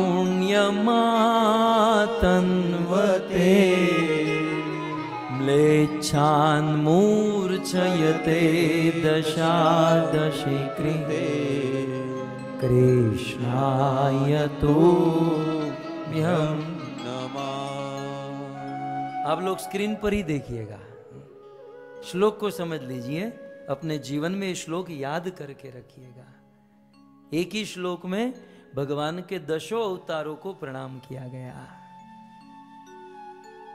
वेदान उद्धरते। एक, प्रथम अवतार वेदान उद्धरते, वेदों का उद्धार करने के लिए हुआ। कौन सा? मत्स्य अवतार। दूसरा, जगंती वहते, भूगोल विभ्रते। जगत को उठाते हुए मतलब पृथ्वी को धारण करके पृथ्वी का उद्धार किए। कौन सा अवतार? वराह अवतार। फिर दूसरी लाइन में दैत्यम दारयते। दैत्यम देत्यो का वध कर दिया। हिरण्याश का वध कर दिया। तीसरा अवतार कौन?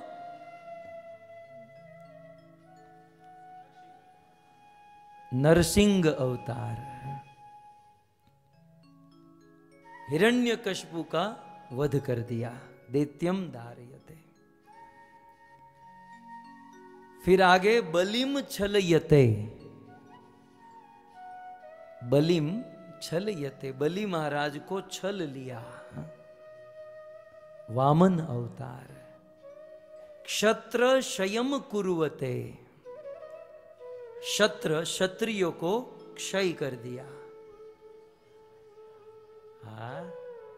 एक्सपर्ट हो गए थोड़ी देर बोलोगे यहाँ आके कुछ माताएँ कहते हैं, बुलाना मत, हम किसी का चांस ही नहीं आने देंगे।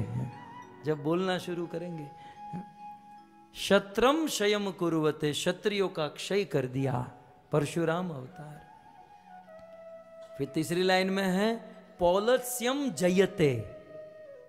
पौलत्स्यम पुलत्स्य ऋषि के वंश में जन्म लेने वाले रावण के ऊपर जय प्राप्त किया किसने? राम जी श्री राम हलम कलयते। हल को जिसने धारण किया, कौन? बलराम। कारुण्यम आतनवते। करुणा बरसाई करुणा बरसाई और शांति परम धर्म की स्थापना की। कौन सा अवतार? बुद्ध अवतार, जो आज हम सुनेंगे। और फिर दसवा है, म्लेच्छान मूर्छयते। म्लेच्छों को मारने वाले दसवा अवतार, कल की अवतार। पता नहीं है कल की और बनने चला कल की। कलयुग में कलयुग में कई सारे लोग कहते हैं, मैं कल की अवतार हूँ। कल की पता है तुझे क्या होने वाले पता नहीं कल की, और बनने चला कल की अवतार। सुमलेच्छान मूर्छते। कल की कहते हैं दशा दशी कृते, ये दसों अवतार जिसने धारण किए, कृष्णाय तुभ्यम नमः। ऐसे भगवान श्री कृष्ण को हम बारंबार प्रणाम करते हैं। सो अब तक हमने आठ अवतारों के विषय में सुना। आइए, कलयुग में होने वाले दो अवतार, जो दश अवतार में कहे गए, नौवा अवतार है बुद्ध अवतार। बुद्ध अवतार को थोड़ा सा समझना होगा। आइए जयदेव गोस्वामी की कलम से ही समझे। स्क्रीन पर आप लोग देखिए, श्री जयदेव गोस्वामी कहते हैं निंदसी यज्ञ विदे रह श्रुति जातम। सदय हृदय दर्शित पशुगा निंदसी यज्ञविधेरहं श्रुतिजातं सदय हृदय दर्शित पशुघातम्। केशवद्रीता बुध शरीरा जय जगदीश हरे। जय जगदीश हरे। जय जगदीश हरे। जय केशवधीता बुध शरीरा। जय जगदीश हरे। जय जगदीश हरे। जय जगदीश हरे।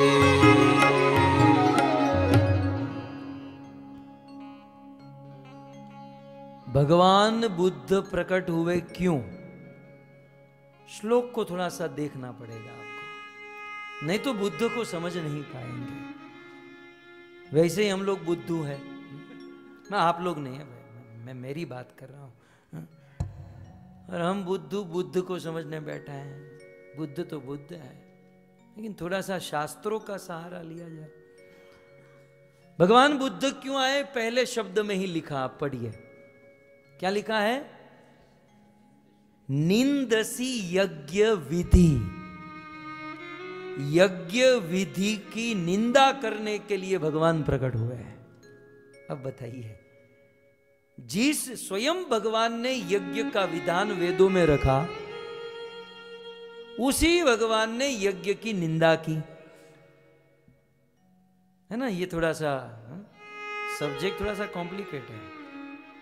इसलिए कुछ लोग भगवान बुद्ध को तो मानते हैं, लेकिन बुद्ध के विचारों को, बुद्ध के उद्देश्य को नहीं मानने के कारण एक सर्टन लेवल तक अटके हुए हैं। सो भगवान बुद्ध प्रकट हुए निंदसी यज्ञ विधे। विधे माने विधि, यज्ञ की विधि। और फिर एक शब्द है संस्कृत जयदेव गोस्वामी के अह ओ, अफसोस। है ना? निंदसी यज्ञ विधे अह वो एक्चुअली वो अफसोस वाला शब्द है। अह अह सो भगवान बुद्ध जब प्रकट हुए, उनको बड़ा अफसोस हुआ कि कलयुग के प्रारंभ में, अभी तो कलयुग शुरू हुआ है। कलयुग की शुरुआत में लोग वेदों को पढ़ते थे। लेकिन वेदों को पढ़कर वेदों का मिस यूज़ करने लगे। बोले, वेदों में लिखा है यज्ञ करना और यज्ञ में मनुष्य की बलि देना, पशुओं की बलि देना। पशुओं की बलि देकर खुद नॉनवेज खाते थे। खुद मांस खाते थे। सो स्वयं मांसाहार भी करने लगे और वेदों के नाम पर। भगवान ने देखा ओ ये यज्ञ में पशुओं की बलि दी जाती थी। कब? सतयुग में। नो डाउट यज्ञ में बलि देनी चाहिए, दी जाती थी त्रेता युग में। और उन युगों में, सतयुग त्रेता में, जब यज्ञ में पशु की बलि दी जाती थी तो वह पशु देवता का रूप धारण करके स्वर्ग में चला जाता था। क्योंकि यज्ञ करने वाले ब्राह्मण पवित्र थे, ब्राह्मणों के मंत्र पवित्र थे, यजमान के उद्देश्य पवित्र थे, पवित्र घी, पवित्र सामग्री थी। पवित्र अग्नि थी, आज कहाँ पवित्रता है? और यदि आज किसी भी प्रकार की पवित्रता नहीं है, हम उसी बातों को हम फॉलो करेंगे तो बेचारा जो पशु की बलि देनी है, वो देवता बनना चाहिए, वहाँ पशु बेचारा वैसे ही कट जाएगा। इसलिए शास्त्रों में कहा गया अश्वमेघम गवालंभम कलो पंच वर्जयेत सीधा कह दिया, कलयुग में पाँच चीज़ वर्जित है, उनमें से एक है अश्वमेध यज्ञ। मतलब यज्ञों में बलि देना। ये कलयुग में पॉसिबल नहीं है। लेकिन फिर भी कुछ लोग वेदों का नाम लेकर, वेदों में लिखा है और पशुओं की बलि देते जा रहे थे और आतंक मचा दिए थे। अब श्लोक की तीसरी लाइन में देख सकते हैं। दूसरी लाइन में, सदय हृदय दर्शित पशु घातम। इस प्रकार से कलयुग के प्रारंभ में पशु घातम, पशुओं का घात हो रहा था, पशुओं को मार रहे थे। और पशुओं को मरते हुए देखकर सदय हृदय उनके हृदय में, भगवान बुद्ध के हृदय में दया आ गई। और केशव धृत बुद्ध शरीर और बुद्ध अवतार लेकर निंदसी यज्ञ विधे। अपने ही द्वारा बनाई हुई यज्ञ विधि की निंदा की है। भगवान बुद्ध आए और लोगों को कहते थे, ये पशुओं की बलि मत जीवों की हिंसा मत करो। तो लोग कहते थे, अरे लेकिन वेदों में भगवान बुद्ध को हृदय में पत्थर रखकर कहना पड़ा छोड़ो ये वेद गलत है। वेद असत्य है वेदों को मानना छोड़ो। मैं कहता हूँ पशु हिंसा मत करो। तो उन लो, जो लोग वेदों के नाम से पशु हिंसा कर रहे थे उन लोगों को रोकने के लिए भगवान बुद्ध ने वेदों की निंदा कर दी। और कह दिया, वेदों की कोई ज़रूरत नहीं है। लेकिन इसका अर्थ यह तो नहीं है ना कि वेदों की ज़रूरत नहीं है। वो तो एक स्पेशल सिचुएशन में भगवान बुद्ध ने कहा था। लेकिन समाज के कुछ लोग भगवान बुद्ध की उस बात को पकड़ लिए और आज भी वेदों को नहीं मानते हैं। अहिंसा को मानते हैं, शांति परम धर्म मानते हैं, वेद नहीं मानते। ये सारी बात आप एक एग्ज़ाम्पल से समझ जाओगे। जैसे, माँ अपने बेटे को दूध पिलाती है। चलो बेटा, दूध पी लो, चलो दूध पी लो, चलो दूध पी लो। हा? अब दूध में कैल्शियम है, बहुत सारे गुण है तो माँ तो पिलाती है दूध। एक दिन बेटा बीमार अब बेटे को दूध की आदत लग गई और बेटा को बुखार आ गया। डॉक्टर ने कहा कि एक सप्ताह, एक वीक इसको दूध मत पिलाना। अब बेटा कहता है कि मुझे दूध चाहिए। माँ कहती है, नहीं, दूध नहीं पीना मुझे दूध चाहिए, मुझे दूध चाहिए। अब बहुत ज़बरदस्त, अब इसको बुखार आया है, बीमार है। तब माँ को कहना पड़ा कि बेटा, ये दूध गंदा होता है। ये दूध गंदा होता है, दूध नहीं पीना चाहिए। तब बेटा समझा, चलो, दूध नहीं पिएगा। लेकिन वह दूध गंदा होता है वो एक स्पेशल समय के लिए है। जब बेटा का रोग ठीक हो जाए, बीमारी ठीक हो जाए, फिर तो दूध अच्छा है ना? तो जब तक पशु हिंसा, जीव हिंसा हो रही थी, तब तक भगवान बुद्ध का यह सिद्धांत था कि वेद गलत है। लेकिन जब सिचुएशन कंट्रोल में आ गई, एक सभ्य समाज निर्माण हो गया, तब तो वेदों की ज़रूरत है। शायद आप लोग समझ रहे हैं। सही इस प्रकार से भगवान बुद्ध गया में, हमारे भारतवर्ष में गया तीर्थ है। गया तीर्थ में अंजना के पुत्र के रूप में भगवान बुद्ध का जन्म हुआ और अपने आचरण से समाज में ये अहिंसा और शांति का धर्म फैलाया। ये भगवान बुद्ध है। सो भगवान बुद्ध को फॉलो करते हुए उनके मर्म को समझना होगा? कई बार जो दिखता है वो होता नहीं है। भगवान बुद्ध ने जो कहा, उसके मर्म को हमें समझना है। माँ ने कहा कि दूध गंदा होता है मतलब स्पेशल स्पेशल सिचुएशन में वो गंदा होता है। ये बात सो इस प्रकार से भगवान बुद्ध का अवतार और दसवां अवतार हुआ कि होने वाला है।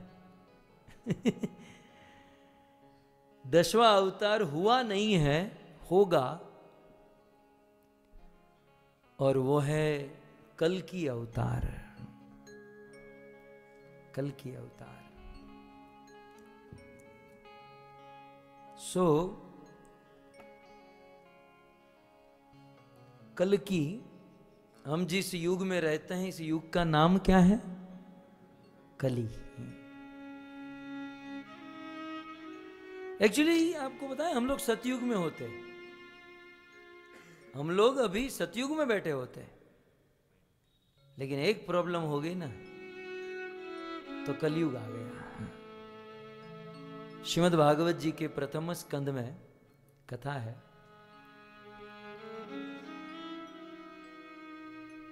जब भगवान श्री कृष्ण स्वधाम चले गए, और यह पता चलते ही पांडव भी स्वधाम चले गए।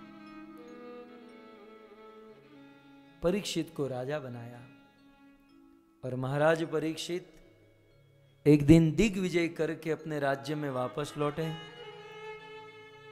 तो उन्होंने देखा, एक चौंकाने वाला दृश्य देखा। और वह दृश्य क्या था, सुजी भागवत में कहते हैं धर्म पदे केन चरण विच्छा यामुष लभ्य गाम समाश्रु वदनाम इव विवत्सा इव मातरम।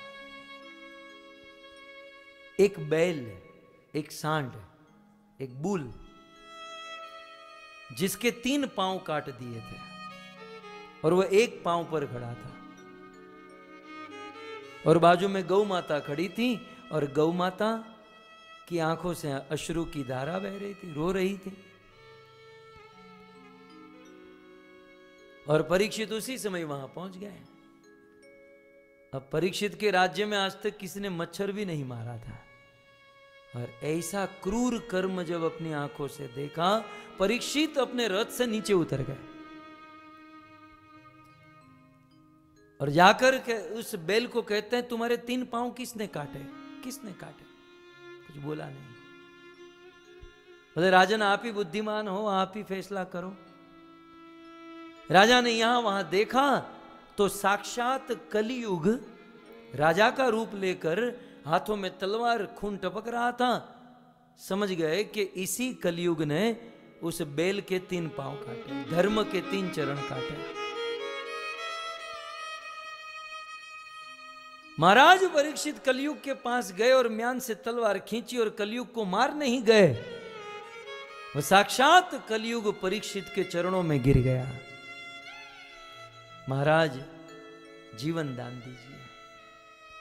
परीक्षित महाराज कहते हैं, जहाँ तक मेरा राज्य है ना, मेरे राज्य को छोड़ के अभी इसी वक्त चला जा। कलयुग ने कहा, परीक्षित, आपका राज्य तो पूरी दुनिया में है, पूरी धरती आपकी है। इस धरती पर कहीं तो स्थान दो। परीक्षित ने चार जगह पर स्थान दिया। जानना चाहोगे? पक्का? बुरा नहीं लगेगा ना? मानोगे ना?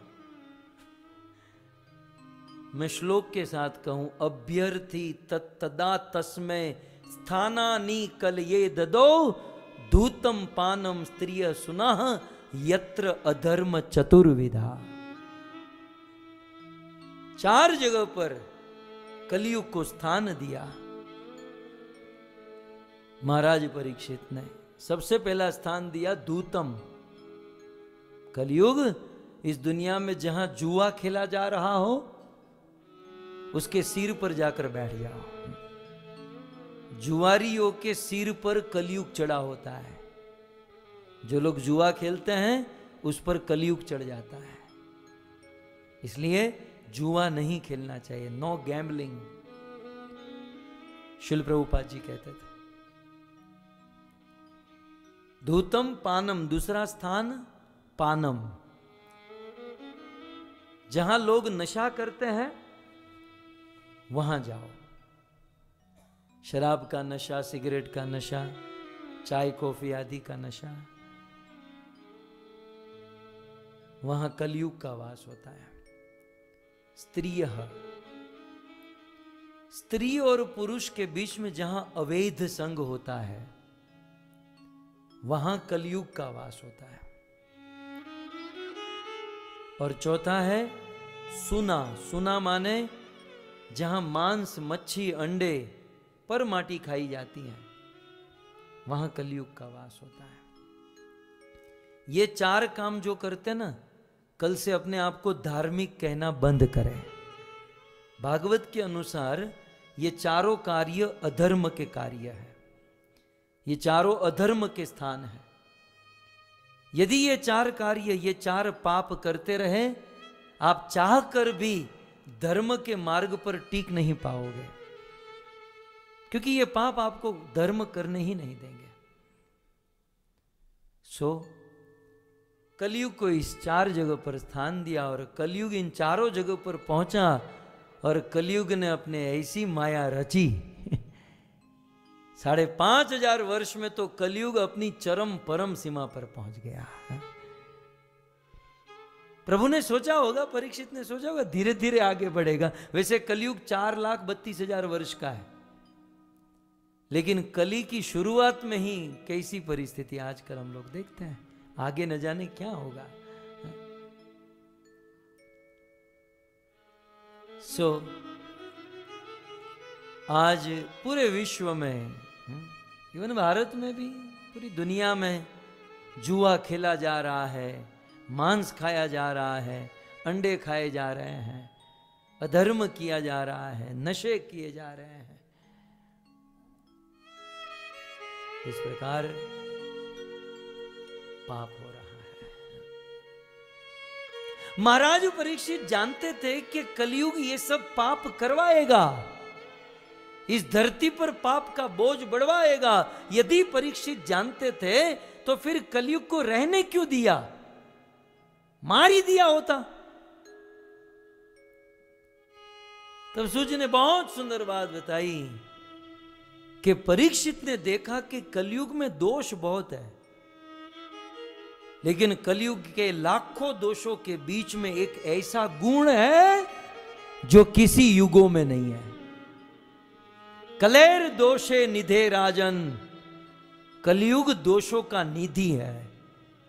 कलयुग दोषों का समुद्र है। जैसे समुद्र में पानी ही पानी होता है, वैसे कलयुग में दोष ही दोष है। क्या कहा? थोड़ा श्लोक समझिए। कलेर दोषे निधे राजन। कलयुग दोषों का सागर है। तो फिर ये कहना, फलाने भक्त में तो ये दोष है, फलाने में ये दोष है। अरे भाई, दोषों का समुद्र ही तो है। कोई समुद्र के बीच में खड़ा रहकर करे ओहो हो यहाँ तो बहुत पानी है। तो तू पानी के बीच में तो आया है। इसमें आश्चर्य क्या है?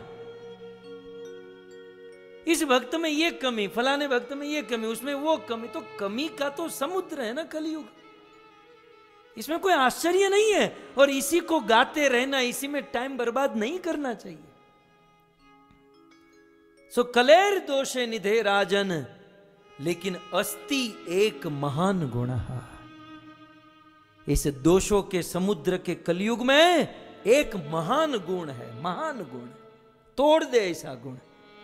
जो न सतयुग में है, न द्वापर में न त्रेता में वो महान गुण कौन सा? कहते हैं सतयुग में जिस भगवान को प्राप्त करने के लिए लाखों लाखों वर्ष तक ध्यान किया जाता था, फिर भी वो भगवान नहीं मिलते थे। त्रेता में जिस ईश्वर को प्राप्त करने के लिए हज़ारों यज्ञ करने पड़ते थे, तब भी भगवान दुर्लभ थे। और द्वापर युग में लाखों करोड़ों रुपये खर्च करके जो परिचर्या करनी पड़ती थी, फिर भी जो भगवान नहीं मिलते थे, वो भगवान कलयुग में मात्र हरिनाम लेने से प्राप्त हो जाएँगे। कीर्तनात् एव कृष्णस्य मुक्त संग परम ब्रजेत ये गुण है कलयुग का, है?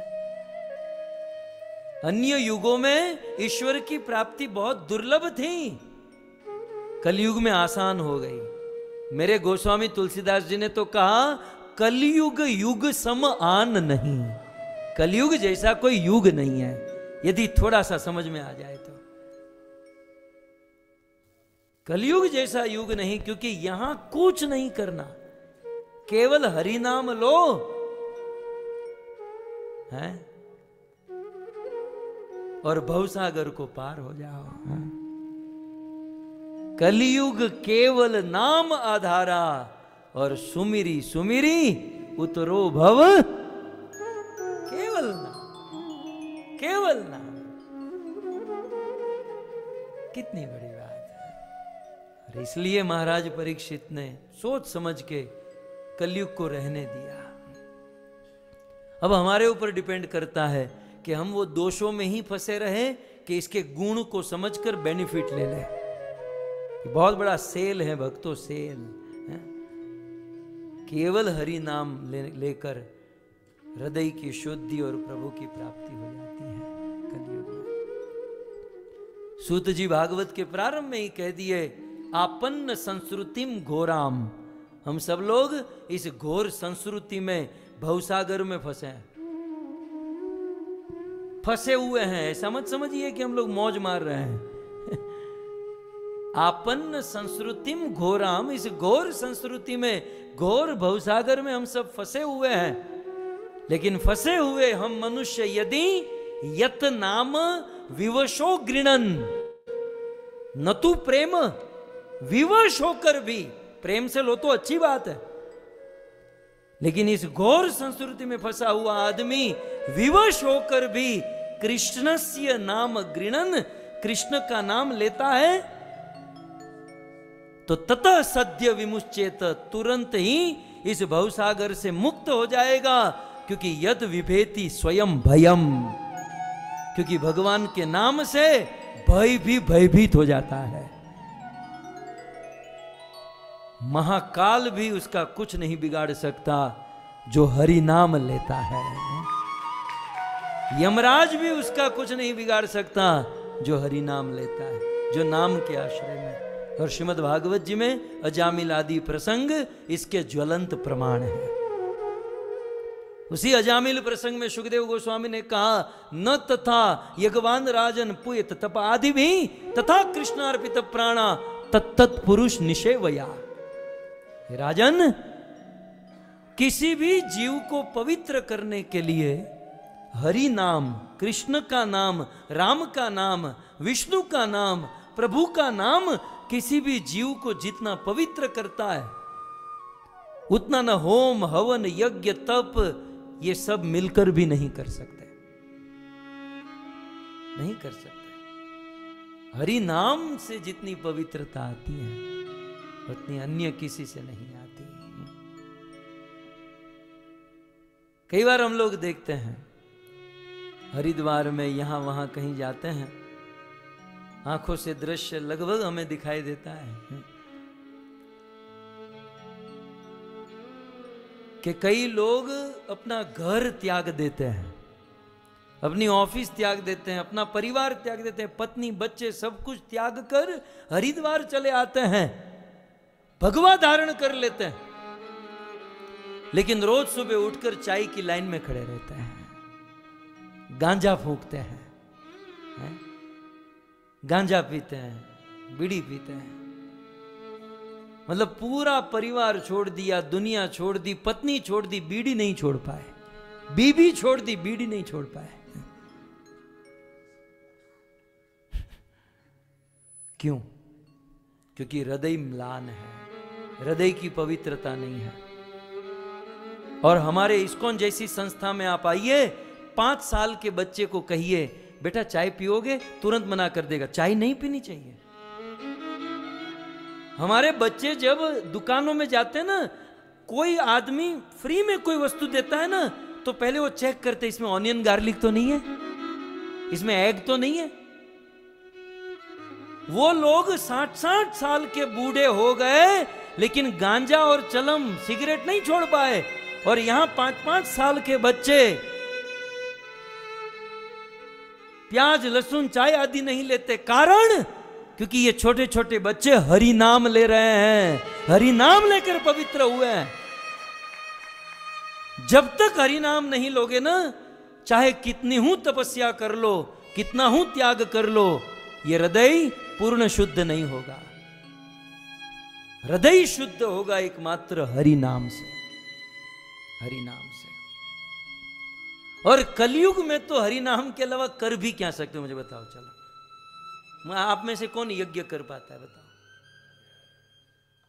जब नया घर बनाते हैं ना तो मोटा उपाड़े पंडित जी को फ़ोन करते हैं कि वास्तु मुहूर्त करना है, यज्ञ करना है। पंडित जी जब ये यज्ञ का लिस्ट देते हैं ना तो फ़ोन में ही पसीना आ जाता है। इतना इतना लाना पड़ेगा? और फिर जब यज्ञ में बैठते हैं तो आधे घंटे में तो बेचारा, कहाँ यज्ञ हमसे हो सकता है? कोई यज्ञ हो हवन कुछ नहीं हरि नाम हो सकता है। शिवा सिद्धर स्वामी, चिच्चोर प्रभु, भवार्थ दीपिका, तपंतु तापे प्रपतंतु पर्वता दटंतु तीर्थानी पठंतु चागमान यजंतु यज्ञ विवृदंतु वादे, हरि विना नैव मृतिम तरंती तपंतु तापे अपने शरीर को कितना भी तपा दीजिए। प्रपतंतु पर्वता, पर्वत से गिरिए। दटंतु तीर्थानी, सारे तीर्थ कर लीजिए। यजंतु यज्ञ, सारे यज्ञ कर लीजिए। विवृदंतु वादे, सारा वाद वेद पढ़ लीजिए। लेकिन जब तक हरि नाम नहीं लोगे तब तक उद्धार नहीं हो सकता मुक्ति नहीं हो सकती हरि विना नेव मृतिम तरंती हरि नाम की महिमा अद्भुत અદ્ભુત ગરુડ પુરાણમાં આંટો મારવો છે આમ મર્યા પછી મારો એની પેલા જીતે જી માર લેતા મરને કે બાદ ક્યાં તો ગરુડ પુરાણ જીતે જીતે સુન લીજીએ ગરુડ पुराण में लिखा है गरुड़ पुराण। क्या लिखा है? क्या लिखा? है मैं भूल गया।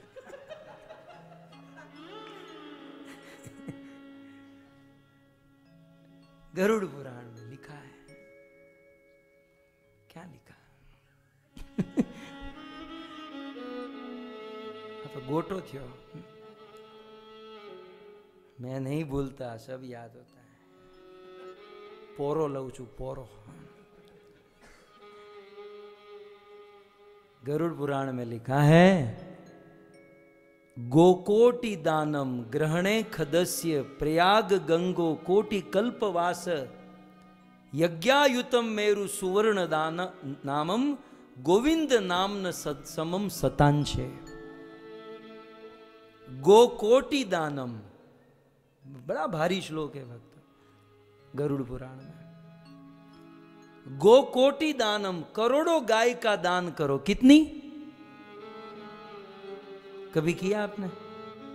हमारे वहाँ शादी होती ना, पेलू पेलू, मंगलियू वरताय रे, पेले मंगल।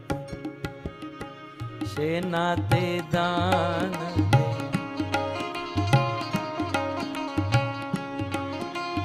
हमारे तो हमारे वहाँ है ना वो दान देते हैं पहले मंगल ये, अ, सोना ना दान फिर चांदी का दान फिर एक आता है गाय का दान हम्म? मोटा पड़े गाते कितने भाव से हैं ગાયો ના દાન દેવાય અને ઓલી સો રૂપિયાની ગાય આવે ને ઓલી નાની ઝીણી કે ગઈ सौ रुपये की आती है ना वो लोहे की वो गाय रखे वो गाते हैं गायो ना दान देवाय अरे तारू दान है ये ये इतनी गाय दान दे के हम तो पेपर में छपवाते हैं खैर लेकिन कहते हैं गरुड़ पुराण में गो कोटि करोड़ों गाय अब इसलिए कहना पड़ता है ओरिजिनल वो चलने फिरने वाली करोड़ों गाय का दान और वो भी ग्रहण के दिन गोकोटि दानम ग्रहणे खदस्य। वैसे गायों के दान की अपनी अपनी महिमा होती है, लेकिन ग्रहण के दिन तो कोटि गुना बढ़ जाती है सो आप जोड़ते जाइए, हम, आप सरवाला करते जाइए। गोकोटि दानम ग्रहणे खदस्य। करोड़ों गाय का दान ग्रहण के दिन करो, और जितना फल मिलता है, उतना होल्ड करो। फिर आगे कहते हैं, प्रयाग गंगो कोटि कल्पवास। तीर्थराज प्रयाग के तट पर कोटि कल्प तक वास करो और जितना पुण्य फल मिलता है, वो भी जमा करो। कितना जमा हुआ आपसे? करोड़ों गाय का दान जमा कर लिया। और प्रयाग में कोटि कल्प रहकर जो फल मिला, वो जमा कर लिया। और फिर आगे कहते हैं, यज्ञायुतम मेरु सुवर्ण दानम रोज सुबह उठकर सुमेरु पर्वत जितना सोने का दान करो और ये सब जमा कर लोगे, इतना इतना फल भी कृष्ण के नाम के सोवे हिस्से की भी बराबरी नहीं कर पाएगा। गोविंद नाम न समम सतांशे। तो फिर छोड़ो ना मगजमारी सीधे शुरू करता है हरे कृष्णा हरे कृष्णा कृष्णा हरे हरे हरे राम हरे राम राम राम हरे हरे તમને આમ તો દાન દઈને ઊંઘ નથી આવતી છોડો ના ઉજાગરા यही सीधा शुरू करो हरि नाम हरि नाम गोस्वामी जी लिखते हैं चहु जुग चहु श्रुतु नाम प्रभाव केवल कलयुग नहीं, चारों वेद, चारों श्रुति, चारों युगों में। सतयुग में भी ध्यान करने के बाद नाम तो चाहिए था। सतयुग में ध्रुव महाराज, ध्यान किए, लेकिन नाम तो लिए ना, ओम नमो भगवते वासुदेवाय। तो सतयुग में भी नाम का प्रभाव, त्रेता में भी नाम का प्रभाव, द्वापर में भी नाम का प्रभाव, लेकिन कलयुग में तो नाम के अलावा और कोई ऑप्शन ही नहीं है। केवल नाम। हरि नाम। सो so, और नाम पूछा गया कहो कहाँ लगी नाम बड़ाई? नाम की महिमा कितनी है? गोस्वामी जी कहते हैं नाम की महिमा? राम न सक ही नाम गुण गाई। अरे स्वयं भगवान भी अपने नाम की महिमा नहीं बता सकते। क्योंकि हरि से बड़ा तो પછી લ્યો ને હરે કૃષ્ણ હરે કૃષ્ણ કૃષ્ણ હરે હરે હરે રામ राम हरे राम राम राम हरे हरे हरि से बड़ा हरि का नाम जब राम जी समुद्र पर सेतु बंधवा रहे थे ना सबने प्रयास किया हनुमान, और भी सारे वानर रींच भालू बड़े बड़े पर्वत पत्थर ला ला कर नल नील वानर को देते थे, और नल नील वानर राम नाम लिखते थे, समुद्र में डालते थे। और राम नाम का क्या प्रभाव? बड़े बड़े पत्थर पर्वत समुद्र में तैरने लगे। बड़ा उद्यम चल रहा था। राम जी ने सोचा, बेचारे, सब मेहनत कर रहे हैं, मैं भी मेहनत करूँ। मैं खड़े खड़े क्या, कुछ तो टाइम पास कुछ तो करना पड़ेगा। राम जी ने सोचा, अपन भी थोड़ी मेहनत करते हैं। राम जी ने एक पत्थर उठाया, बोले, ये सबको डिस्टर्ब नहीं करना है, थोड़े दूर जाकर। किसी ने कहा, ओ प्रभु, वो राम नाम तो लिखवा लो। मैं खुद राम हूँ। राम नाम लिखाने की तुम लोगों को ज़रूरत है। मैं तो खुद राम हूँ, मुझे क्या ज़रूरत है? राम जी बड़े कॉन्फिडेंस में, बिना राम नाम लिखे पत्थर डाला, डूब गया। राम जी को टेंशन होने लगा आजू बाजू में देखने लगे, कल सुबह न्यूज़पेपर में आएगा। देखा तो पीछे हनुमान जी खड़े थे। ये हनुमान तो किसी को बोलना मत है, यार ये इज़्ज़त का फालूदा हो जाएगा। हनुमान जी ने इतना ही कहा कि प्रभु, आप जिसको डुबाना चाहो, उसे कौन तार सकता है? और आपका नाम जिसको तारना चाहे, उसको कौन डुबा सकता है? हरि से बड़ा हरि का नाम है। आप इतिहास के पत्ते पलटने की छूट है भक्तों। हरि ने कितनों को तारा, हरि नाम ने कितनों को तारा। अब गिन लीजिएगा। हरि ने गिन चुन कर कितनों को, राम जी ने कितनों को तारा। गिन चुन कर लेकिन हरि नाम ने लाखों को तार दिया। लाखों को तार और पचास वर्ष पूर्व मेरे परम गुरुदेव ऐसी भक्ति वेदांत स्वामी शिल प्रभुपाद इस वृंदावन में रहते थे और इस वृंदावन में रहकर श्रीमद भगवत गीता और श्रीमद् भागवत को इंग्लिश भाषा में ट्रांसलेट किए और अपने गुरु की आज्ञा को शिरोधार्य करके भारत से अमेरिका गए। कार्गो जहाज़ में बैठकर, एक महीने की दुर्गम यात्रा में बैठकर, कई हार्ट अटैक आए, सबको झेलते हुए सत्तर साल के संत अमेरिका बोस्टन बंदरगाह में उतरे। उन दिनों अमेरिका की स्थिति कैसी? सब लोग शराब के नशे में एलएसडी के नशे में, हैं? ये शराब पीकर नशा कम पड़ रहा था तो इंजेक्शन से इंजेक्ट करते थे। और चौबीसों घंटे नशे में। और शिल प्रभुपाद जी ऐसी परिस्थिति में पहुँचे और एक वृक्ष के नीचे बैठकर हाथ में करता लेकर भगवान का नाम गाने लगे। हरि नाम गाने लगे। वस्तु शक्ति का प्रभाव होता है भक्त। ये वस्तु शक्ति जो ना, अग्नि जो है ना, अग्नि, वो कहीं भी जले, वो ताप देती ही है। धीरे धीरे प्रभुपाद जी इस महामंत्र को गाने लगे और धीरे धीरे सब लोग आकर्षित होने लगे। पहले तो समझ में नहीं आ रहा था, लेकिन नाम तो अपना काम करता है। वो लोग शराब के नशे में झूलते हुए, झूमते हुए महामंत्र को सुनते थे और महामंत्र की ध्वनि, ये वाइब्रेशन इतने प्योर है, इतने पवित्र है कि कोई भी कैसे भी सुनता है, बोलता है तो धीरे धीरे वो चित्त को, हृदय को शुद्ध कर ही देता है।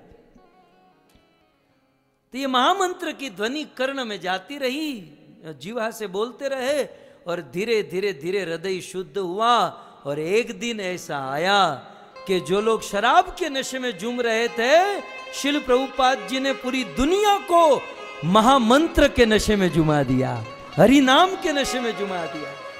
हरे कृष्णा हरे कृष्णा। कृष्णा कृष्णा हरे हरे। हरे राम हरे हरे राम। राम। राम राम। सही इस प्रकार से इस कलयुग में महामंत्र है। सो इस कलयुग में महामंत्र का सहारा लेकर हरि नाम को आश्रित होकर जीव अपना कल्याण कर लेता है। पवित्र हो जाता है। परंतु इतनी इतनी महिमा सुनने के बाद भी, इतने इतने साधु संत महात्माओं के द्वारा कहने पर भी,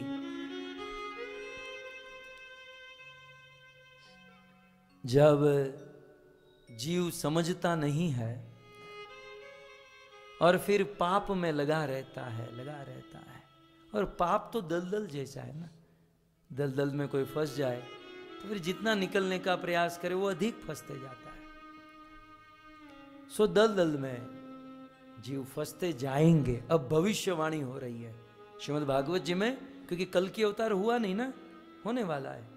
तो सुखदेव जी ने भविष्यवाणी की कि जो लोग हरि नाम का आश्रय लेंगे, वो तो तर जाएँगे आप लोगों की तरह। आपने लिया है आश्रय? यदि नहीं लिया है तो कथा के बाद यहाँ व्यासपीठ के पास आ जाइएगा। आप सबके लिए हमारे पास हरि नाम माला है। और जिसको संकल्प लेना है, वो यहाँ आकर ले सकता है। फ्री में है। नहीं तो पहले ये टेंशन होता है कि अब कुछ फंड फड़ा का बात डोनेशन की कोई बात होगी? नहीं नहीं।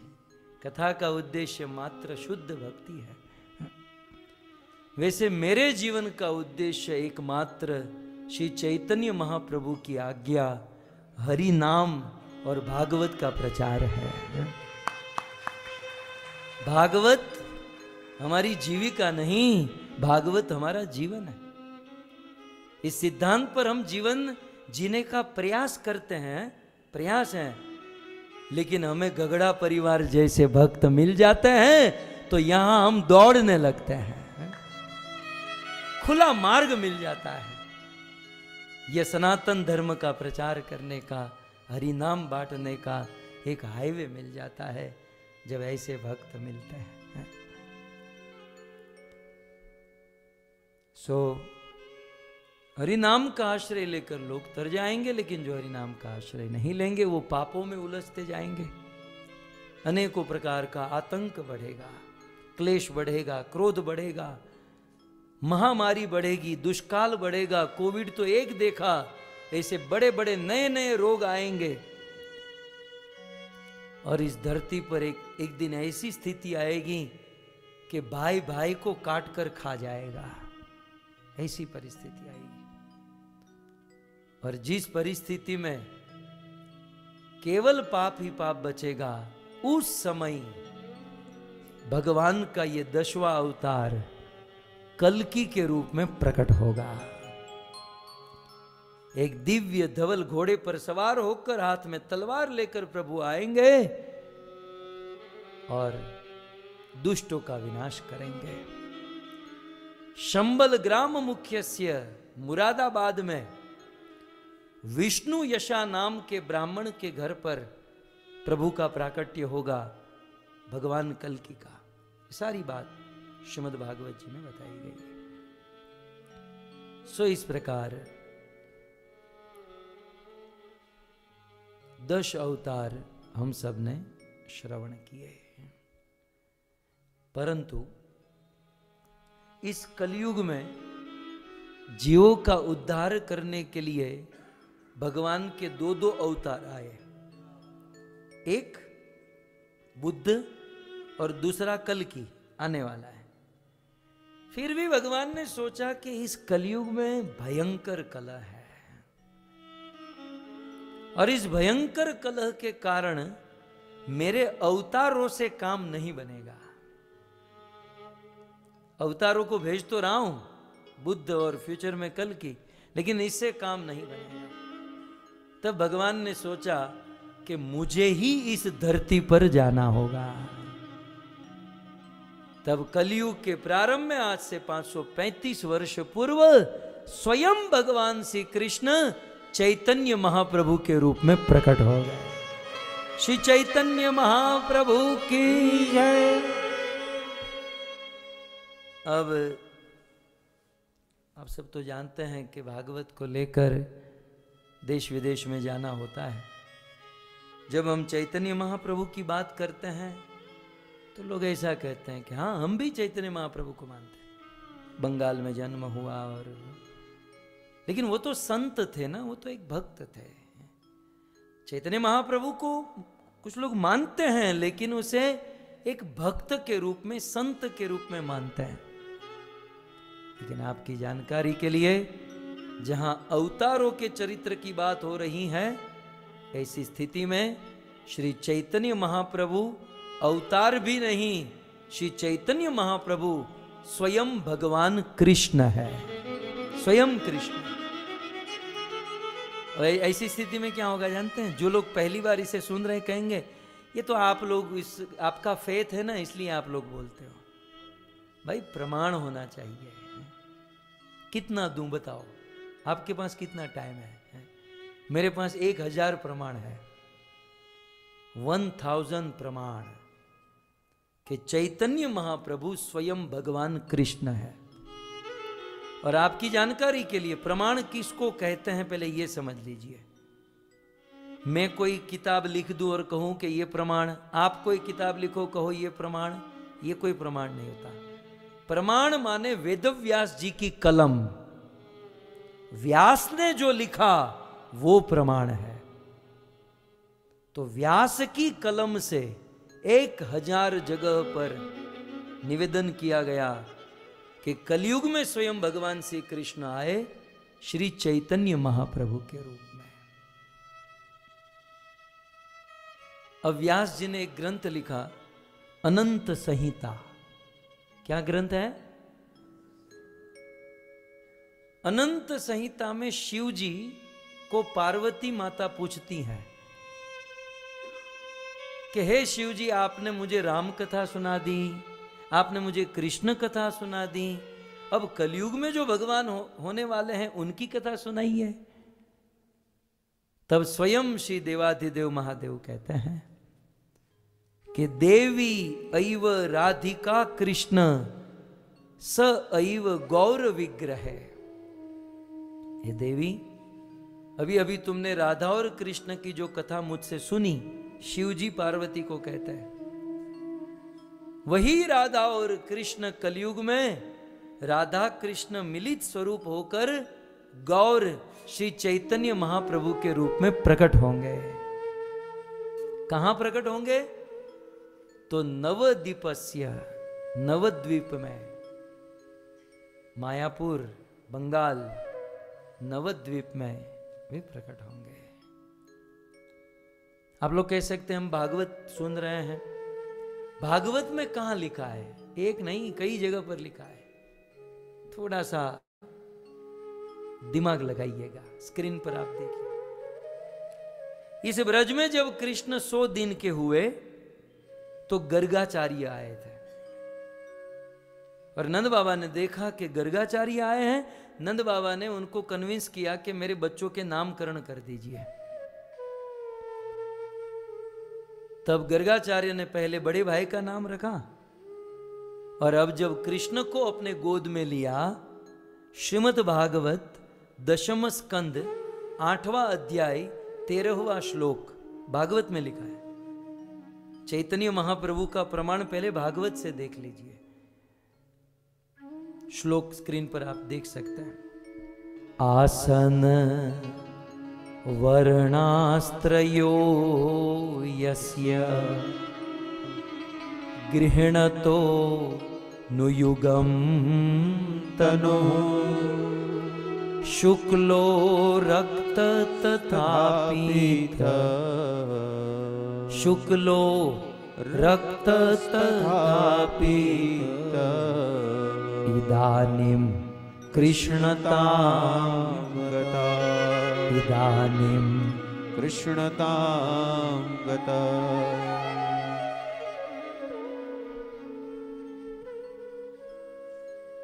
श्री गर्गाचार्य कृष्ण को अपने हाथ में लेकर ये श्लोक बोले। थोड़ा सा समझिए। आसन वर्णास्त्रो यस्य। हे नंद बाबा, आपका ये लड़का हर युग में प्रकट होता है। और आसन वर्ण और वर्ण को स्वीकार करता है, रंग को स्वीकार। मतलब ये अलग अलग युग में इसके शरीर का रंग अलग अलग होता है।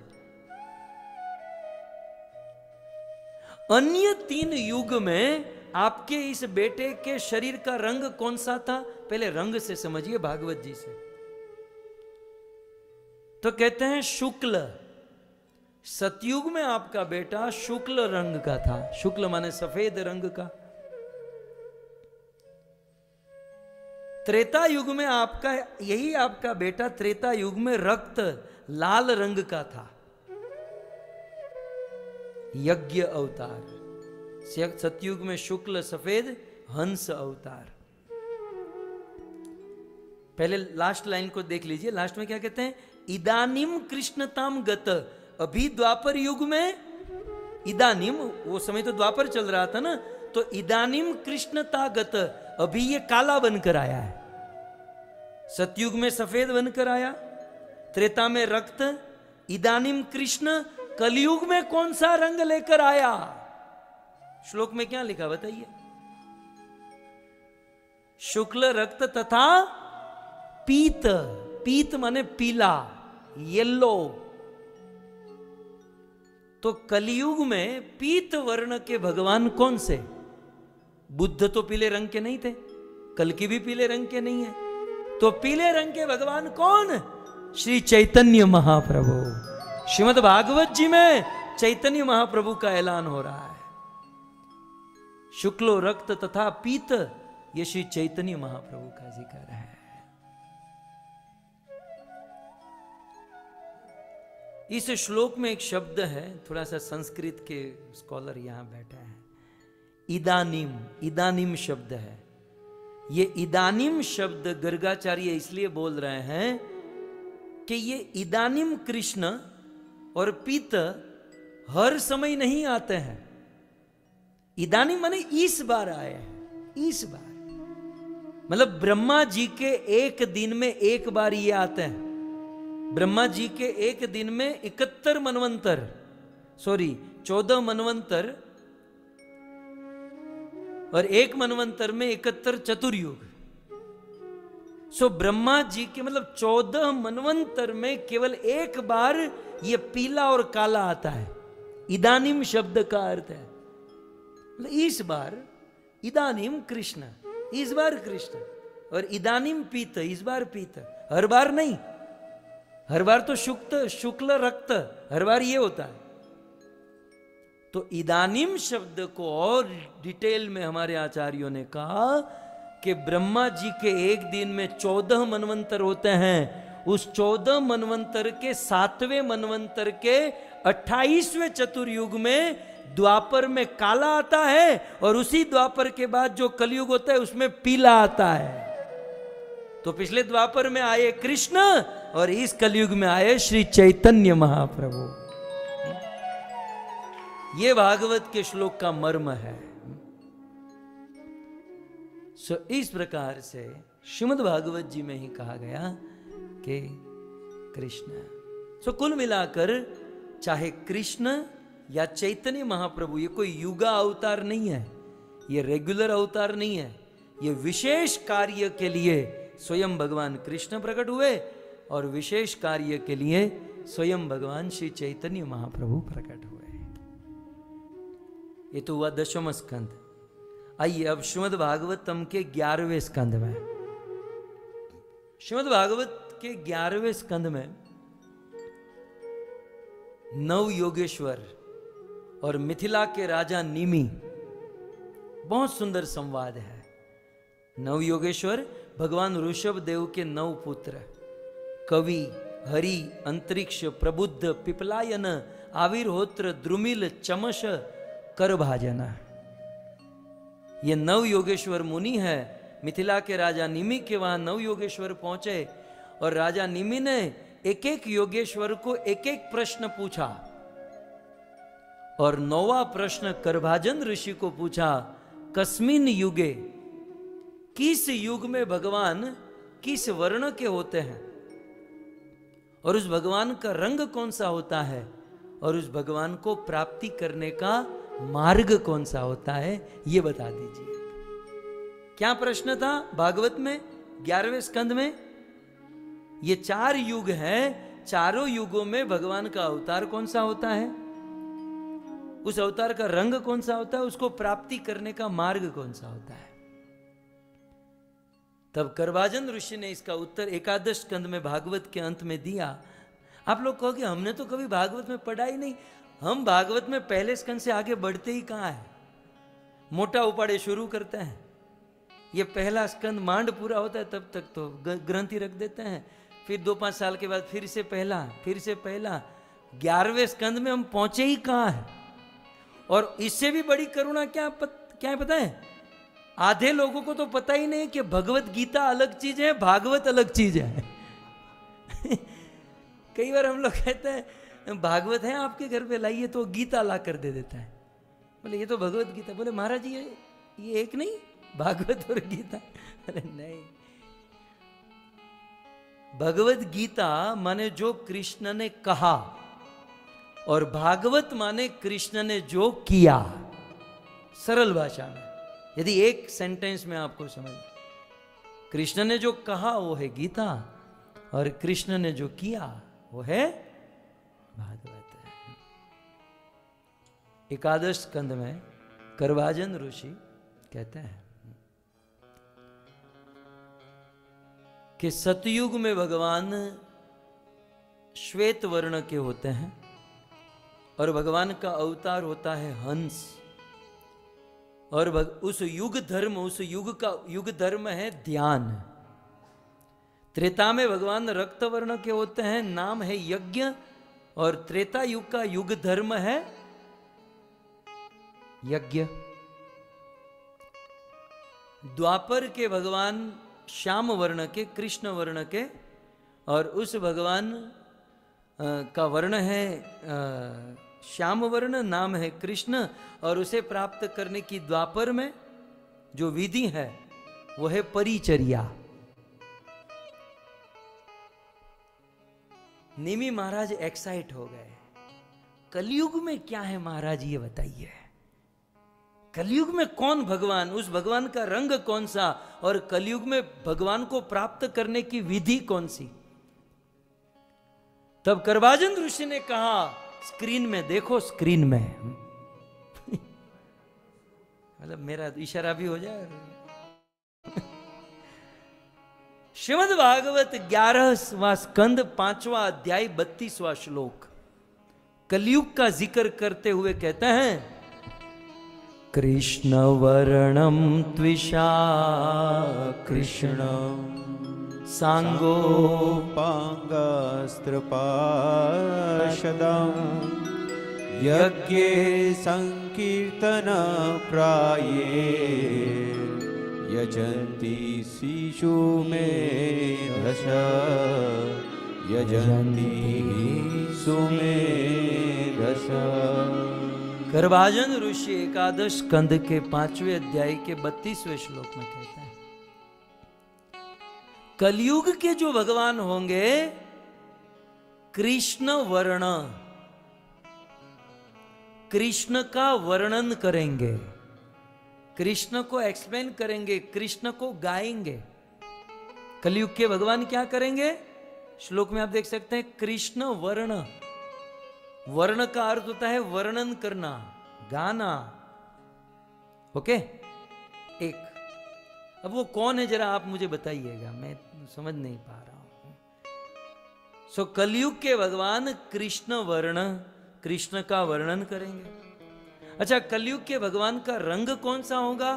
तो त्विषा त्विषा माने रंग, कलर। कौन सा होगा? अकृष्ण। कृष्ण माने काला और अकृष्ण माने काला का ऑपोजिट गोरा। तो कलयुग के भगवान कैसे होंगे? गोरे। तो कलयुग के जो भगवान है वो कृष्ण वर्ण कृष्ण का वर्णन करेंगे और उनकी अंग कांति गौर वर्ण की होंगी। अच्छा शस्त्र कौन सा होगा उनके पास? राम के पास धनुष कृष्ण के पास सुदर्शन ये जो कलयुग में है उसके पास शस्त्र कौन सा होगा? तो कहते हैं, संग उप अंग पार्षदम। उनके साथ उसके पार्षद ही उसके शस्त्र का काम करेंगे। उनके साथ जो उनके पार्षद होंगे, नित्यानंद प्रभु, अद्वैत आचार्य, श्रीवास, गदाधर, उनके पार्षद उनके शस्त्र का काम करेंगे। अच्छा उस भगवान को प्राप्त करने की विधि क्या है? युग धर्म क्या है कलयुग का? बोले, यज्ञ। तीसरी लाइन में शायद दिख रहा है, यज्ञ। बोले, यज्ञ कौन सा? क्लेरिफिकेशन करो। तो कहते हैं, संकीर्तन। संकीर्तन यज्ञ। इस कलयुग में कलयुग का युग धर्म क्या है? संकीर्तन करना। यज्ञ संकीर्तन प्राय यजंती ही सुमेधस। कलयुग में जो बुद्धिमान व्यक्ति होगा, वो संकीर्तन के द्वारा श्री चैतन्य महाप्रभु की शिक्षाओं को लेकर धर्म का पालन करेगा, भक्ति करेगा और मृत्यु के बाद भगवान के धाम को प्राप्त कर लेगा। ये बुद्धिमान माना जाएगा। सो इस प्रकार से श्रीमद भागवत जी में श्री चैतन्य महाप्रभु श्री चैतन्य महाप्रभु ने ही कृष्ण को गाया, कृष्ण वर्ण। श्री चैतन्य महाप्रभु ही त्विषा अकृष्णम, गौर वर्ण के थे। और संग उप अंग पार्षद के साथ आए थे। तो श्रीमद भागवत जी में चैतन्य महाप्रभु का ज़िक्र चलो भागवत इतना फ़ेमस आपकी दृष्टि से ग्रंथ न हो, महाभारत ग्रंथ कितना फ़ेमस है? हम लोग महाभारत में विष्णु सहस्त्र नाम का पाठ करते हैं राइट तो विष्णु सहस्त्र नाम जो है श्लोक फॉर्म में है। इसको नाम में आप लोग शायद बोलते हैं। तो विष्णु सहस्त्र नाम का एक श्लोक स्क्रीन पर आप देख सकते हैं। सुवर्ण वर्ण हेमांगो वरांग चंदनांगदी संन्यास कृत शांत निष्ठा शांति परायण। ये क्या है? ये विष्णु सहस्त्र नाम है। विष्णु के एक हज़ार नाम है ये। अच्छा विष्णु के एक हज़ार नाम थोड़ा सा विचार करो। विष्णु को एक हज़ार नाम में से ये सब नाम है। तो पहला नाम है सुवर्ण वर्ण सुंदर वर्ण का जो वर्णन करते हैं, यहाँ वर्ण का पहला जो वर्ण है, उसका अर्थ है वर्णमाला, वर्ड, शब्द। सुंदर शब्द का वर्णन करते हैं। तो भगवान विष्णु का कौन सा ऐसा अवतार जो सुंदर शब्द ऐसे कृष्ण का वर्णन करता है, कृष्ण का कीर्तन करता है, श्री चैतन्य महाप्रभु। ये थोड़ा हार्ड लगेगा आपको, समझने में टाइम लगेगा, लेकिन आगे जो है ना, ये तो बिल्कुल क्लियर है। भगवान विष्णु का एक नाम यहाँ लिखा, हेमांग। विष्णु सहस्त्र नाम में, इस श्लोक में, भगवान विष्णु को क्या कहा गया? हेमांग। संधि विच्छेद करे तो क्या होगा? हेम अंग। हेम माने सोना और अंग माने शरीर। सोने के रंग जैसा जिसका पीला शरीर है, उसे कहते हैं हेमांग। अब बताइए, भगवान विष्णु के इतने सारे अवतारों में कौन सा स्वरूप ऐसा है जिसके शरीर का रंग पीले वर्ण का है? एक और मात्र एक, श्री चैतन्य महाप्रभु। विष्णु सहस्त्र नाम में भी श्री चैतन्य महाप्रभु का ज़िक्र हुआ। बाकी सब छोड़ दीजिए। एक चीज़ को देख लीजिए इस श्लोक में, संन्यासकृत। तीसरी लाइन में लिखा है, विष्णु सहस्त्र नाम में, संन्यासकृत। भगवान विष्णु ने संन्यास लिया।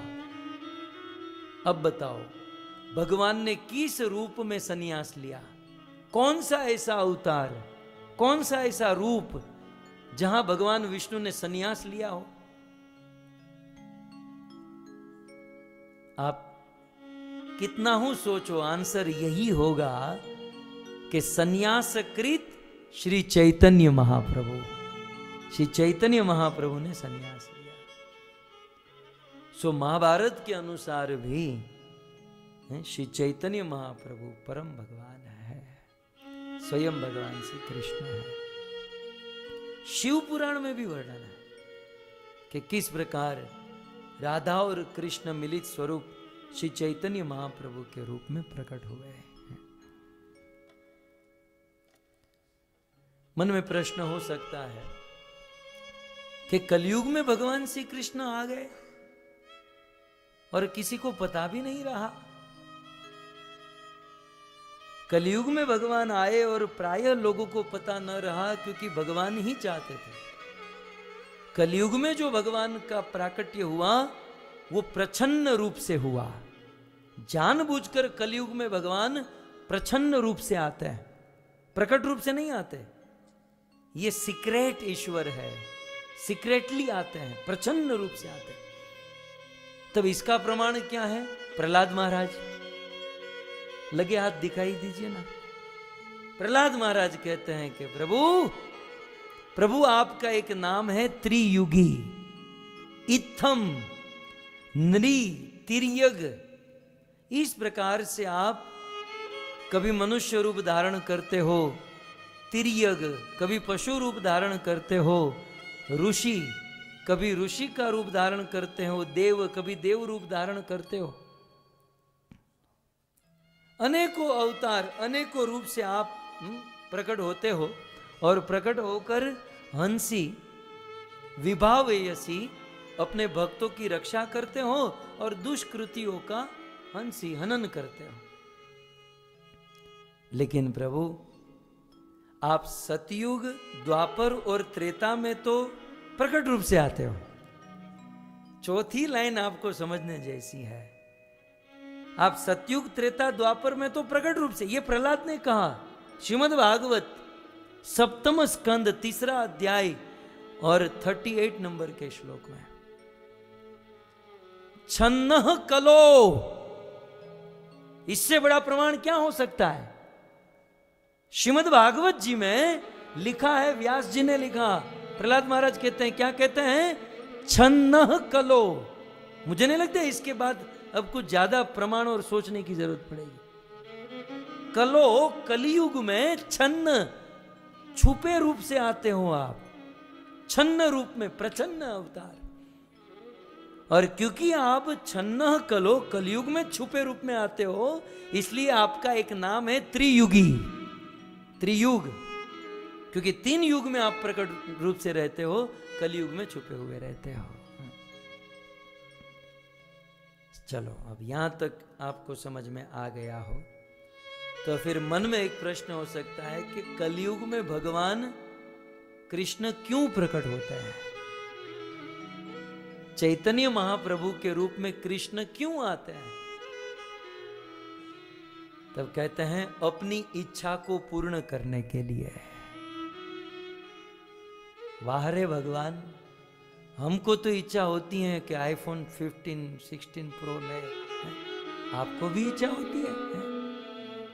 हम तो भाई चलो माया में फंसे हुए जी। उपनिषद में लिखा ना कि आप्त कामस्य का स्प्रिहा जो आप्त काम मुक्त काम है उसको काहे की कामना? उसको काहे की इच्छा? ऐसे तो भगवान को कोई बाहरी की इच्छा नहीं होती। लेकिन हमारे भगवान रसराज है। हमारे भगवान रसिक शेखर है। रसिक शिरोमणि है। उसे रस चाहिए और हमारे भगवान श्री कृष्ण जब ब्रज वृंदावन में आए न, इस ब्रज वृंदावन में लीला करके गए, भगवान ने सभी रसों का आस्वादन किया, लेकिन एक रस से वंचित रह गए। हमारे कन्हैया सारे रसों को आनंद किया, आनंद आनंद किया और करवाया। लेकिन हमारे कन्हैया को एक रस अधूरा रह गया। आप कहोगे, कन्हैया को एक रस अधूरा रह गया? कौन सा? गन्ना रस? केरी का रस? भाई, तुम्हारे केरी नो रस नो है? वो हमारे को भी अधूरा रह गया। कथा में, आम रस। कृष्ण को कौन सा रस अधूरा रह गया? थोड़ा सा सूक्ष्म बुद्धि से આમાં નાનું મગજ કામ કરતું હોય તો જ મેળા આવશે. કોણ સારસ અધૂરા રહી ગયા? કઈ છન રાધા પ્રેમ, કઈ છન મધુરીમાં, કઈ છન સુખે छन सुखे ती हो भो और ये तीन वांछित धन ब्रजे नाहई पूरण, की करीबो ना पाइल ओ और क्या हुआ? सुनिए, ध्यान से सुनिए। जब कृष्ण इस धरती पर प्रकट हुए, तब कृष्ण ने देखा कि मुझे प्रेम करने वाले बहुत सारे लोग हैं। और उसमें सबसे पहला नंबर तो राधा रानी का है। राधा राधा है। तो मैं राधा का ही नाम लू, लेकिन इंक्लूड सारे डिवोटी को आप समझ लीजिएगा। कृष्ण देखते हैं कि ये राधा मेरे लिए अपना सब कुछ छोड़कर आ जाती हैं, इतना रिस्क ले लेती हैं, रात दिन उसके मन में केवल श्याम सुंदर को सुख करना, प्रसन्न करना, यही कामना। अच्छी बात है। तो फिर मैं भी उससे प्रेम करता हूँ। अब राधा कृष्ण से प्रेम करती है, कृष्ण राधा से प्रेम करते हैं। कृष्ण ने क्या देखा? ध्यान से सुनिएगा। नानू मगज, नानू? कृष्ण ने क्या देखा? कि मैं राधा से प्रेम करता हूँ, राधा मुझसे प्रेम करती है। लेकिन राधा को मुझसे प्रेम करके जो आनंद मिल रहा है, वो मुझको राधा से प्रेम करने में आनंद नहीं मिल रहा है। समझ आ रहा है? ये राधा मेरी सेवा करके जो आनंद आनंद हो रही है, ये राधा मेरी सेवा करके जो खुश खुश हो रही है, सला मैं तो घाटे में रह गया। मतलब खुश तो ये लोग हैं। कई क्षण राधा प्रेम, ये राधा के प्रेम की ये क्या महिमा है? कि ये मेरे प्रेम करके, मेरी सेवा करके इतना सुख। कृष्ण के मन में हो गया, भगवान बनने में घाटा है। Loss loss loss. भगवान बनने में लॉस कृष्ण को होने लगा कि मैं भगवान हूँ लेकिन वो मेरी सेवा कर रही है, मुझे सेवा लेने में उतना आनंद नहीं है, जितना उसको सेवा करने में आनंद है। एग्ज़ाम्पल दू? दू? दे देता हूँ। ठंडी की मौसम है। बहुत अच्छा आजकल तो ये हीटर की व्यवस्था, गीजर की व्यवस्था एक जमाना हुआ करता था कि ठंड में पानी को गर्म करने के लिए हम लोग मटके में रखते थे। और फिर वो मटका चूल्हे पर चढ़ाते थे। नीचे आग होती थी, मटके में पानी होता था। मेरे प्रश्न का जवाब दीजिए, ये जो क्रिया हम कर रहे हैं, इसका उद्देश्य क्या है? पानी को गर्म करना, ठीक है? मटके में पानी भरा है, नीचे आग लगी है, क्यों आग लगाई गई? पानी को गर्म करना। लेकिन देखा गया है कि उद्देश्य है पानी को गर्म करना, लेकिन पहले मटका गर्म होता है, फिर पानी गर्म होता है। मटका जो है ना, वो डिवोटी है, पानी जो है ना, वो भगवान है। उद्देश्य है पानी गर्म करना, उद्देश्य है भगवान को प्रसन्न करना। लेकिन सिस्टम कुछ ऐसी है कि उद्देश्य भगवान को प्रसन्न करना, लेकिन हो जाते हैं भक्त प्रसन्न। भगवान बाद में होते हैं। समझाणु? जावा दो। एक और लोकल दृष्टांत दे दो। હવે तुम समझाए जैसे। कार में हम लोग बैठते हैं? कार में सफ़र करते हैं राइट भारत में तो जब कार में बैठते हैं, ड्राइवर गाड़ी चलाता है राइट ग्रीष्म की गर्मी है वो कार का मालिक पीछे बैठा है, आगर, आगे ड्राइवर कार चला रहा है। और पीछे बैठा हुआ मालिक कहते हैं ड्राइवर, बहुत गर्मी हो रही है एयर कंडीशन शुरू कर दो। तो ड्राइवर एसी शुरू करता है। ड्राइवर ने एसी शुरू किया किसके लिए? किसके लिए? लेकिन पहले किसको हवा आएगी? मालिक ने तो परसेव वाली वाश, आवे वाश। मालिक तो लॉस मत जाए। बेनिफिट ड्राइवर को हुआ ना? ये आपको समझ में आया होगा। तो बेनिफिट ड्राइवर को हुआ। मालिक को तो पीछे। तो कृष्ण ने देखा कि मेरे इतने सारे भक्त और भक्त शिरोमणि राधा मुझे प्रेम करती हैं। उसका प्रेम, उसकी सेवा लेने में मुझे उतना सुख नहीं, जितना उसको करने में सुख है। ये तो भगवान बन के घाटा तो भगवान के मन में इच्छा हुई कि मुझे भी वो सुख चाहिए। वो सुख लेने के लिए क्या करना पड़ेगा? मुझे भी भक्त बनना पड़ेगा। और इसीलिए कृष्ण भक्त बनकर चैतन्य महाप्रभु के रूप में प्रकट हुए। कई छन राधा प्रेमा और कई छन मधुरी और कृष्ण को क्या लोभ हुआ जानते हैं? कृष्ण की कितनी महिमा, मेरे बाके बिहारी लाल, तू इतना ना करियो श्रृंगार। नज़र तो है लग जाए। बाके बिहारी कितना सजता है। कृष्ण सज धज कर निकलते हैं ना, कृष्ण के सखा कहते हैं कि सारे, यहाँ तो गालियों से ही बात होती है। सेंटेंस में एक गाली ना हो तो सेंटेंस कंप्लीट ही नहीं माना जाता। कृष्ण के सखा कहते हैं कि सारे सारे तू लड़का बना है तो इतने लोगों के नाक में दम करके रखा है। न न गायों को ठीक से भोजन करने देता है, न ब्रज की लता पताओं को ठीक से चैन से जीने देता है। तू लड़का बना है तो इतने लोगों के नाक में दम करके रखा है, यदि लड़की बना होता, है? तो कट जाते गला करोड़न के।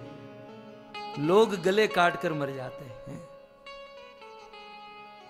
कृष्ण कृष्ण, सुंदर।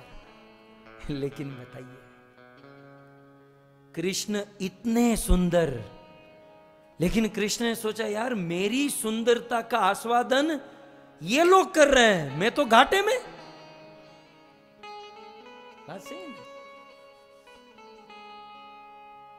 कोई सुंदर देखो जो सुंदर है वो तो सुंदर ही है सुंदर लड़की हो हाँ या कोई सुंदर लड़का हो है वो तो अपनी सुंदरता का आनंद नहीं ले सकता ना उसको जो देखता है वो आनंद लेता है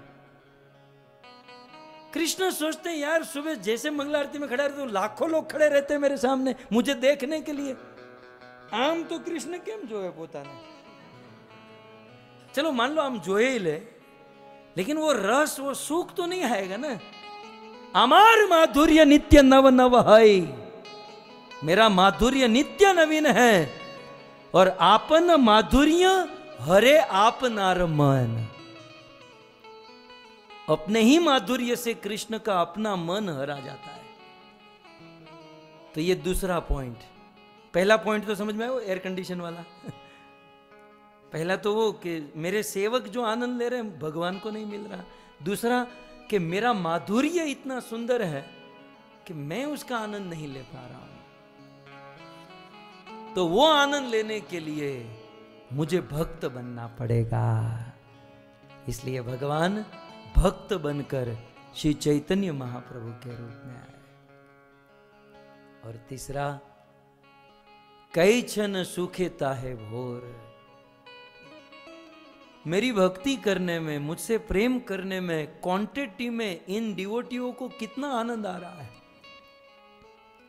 उस उस उस आनंद की फीलिंग्स क्या है पहले क्वांटिटी की बात हुई अब वो वो, वो फीलिंग्स की बात हुई अब अब कोई रसगुल्ला खा के आया ડાયાબિટીસ વાળાને તો ખાલી જોવાનું જ ને દર્શન જ કરવાના કારણ કે રસગુલ્લું જોવે ત્યાં ડાયાબિટીસ ચડી જતી હોય ખાઈ તો કઈ રીતે શકે तो फिर पूछा कि अ, क्या खा के आए रसगुल्ला कैसा था अ, सफेद कलर का था पोचा पोचा बहुत पोचा पोचा था આપણે ત્યાં હતા પણ એ પોચા નહોતા કોકને માથે માર્યું હોય તો ઢોકળું થઈ જાય એવા હતા तो लेकिन पोचा पोचा था मीठा था कितना एक्सप्लेन करेंगे बताइए कितना एक्सप्लेन हो सकता है लेकिन जिसने खाया है और खाकर जिसने अनुभव किया है, वो पूरा पूरा तो नहीं बता सकता। थोड़ा बहुत बोल सकता है। सो मेरी भक्ति करके, मुझसे प्रेम करके जो सुख, जो फीलिंग्स होती हैं, वो कैसी होती होगी? कृष्ण को ये जानने की इच्छा हुई, बोले इसको जानने के लिए तो डिवोटी बनना पड़ेगा, भक्त बनना पड़ेगा। तो भगवान ने वैकुंठ में बैठकर निर्णय लिया, छोड़ो, भगवान बनकर घाटा में रहा, अब मैं भक्त बनकर जाऊँगा। लेकिन भक्त बनने के लिए यार, भक्त का भाव चाहिए, मैं तो ईश्वर। किसी भक्त का भाव लेकर जाना पड़ेगा, किसका भाव लूँ, किसका भाव लूँ? जो सबसे बड़ा भक्त होगा, उसी का भाव लेकर जाऊँगा। तो बोले, मेरा सबसे बड़ा भक्त कौन? श्रीमती राधा रानी। तब भगवान ने राधा शरीर कृष्ण का और भाव राधा का। किसी ने कहा कि ये कलयुग में आए ना तो चोरी करना तो नहीं छोड़े। इसकी आदत चोरी करने की तो गई नहीं। कलयुग में आए तो माखन भले ना चुराए, लेकिन राधा रानी का भाव चुरा लिए। सो राधा का भाव लिया, इसलिए श्याम वर्ण के कृष्ण गौर वर्ण के हो गए गौरांग महाप्रभु। श्री चैतन्य महाप्रभु। सही इस प्रकार से महाप्रभु यह अपनी इच्छा पूर्ण करने के लिए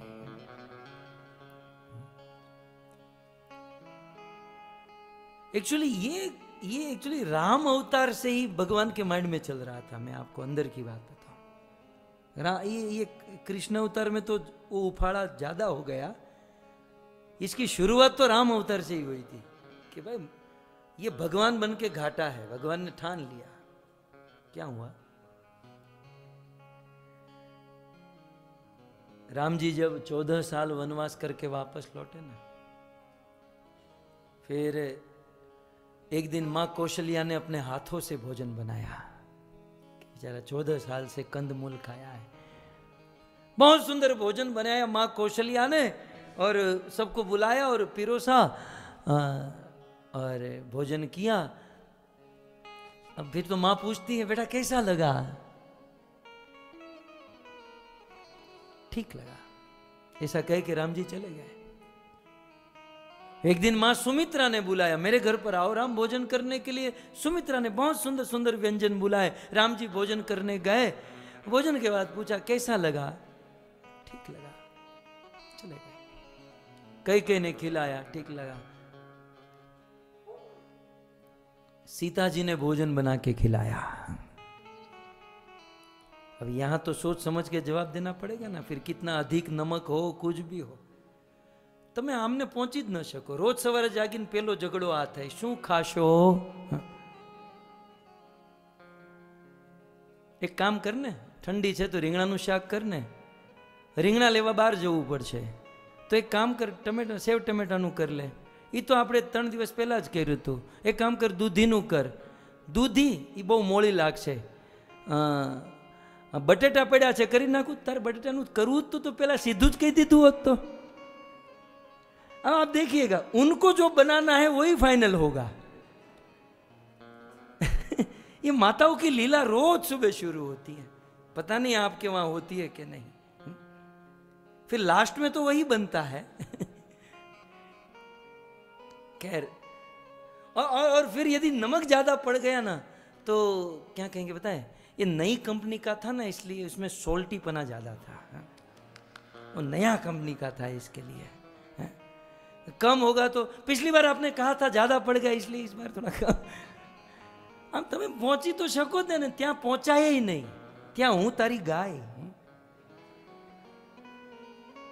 तो जीवन में दो कुछ कुछ स्थान ऐसा होता है जहाँ हारना ही ठीक होता है। सीता जी ने भोजन बनाया। पिरोसा, कैसा लगा?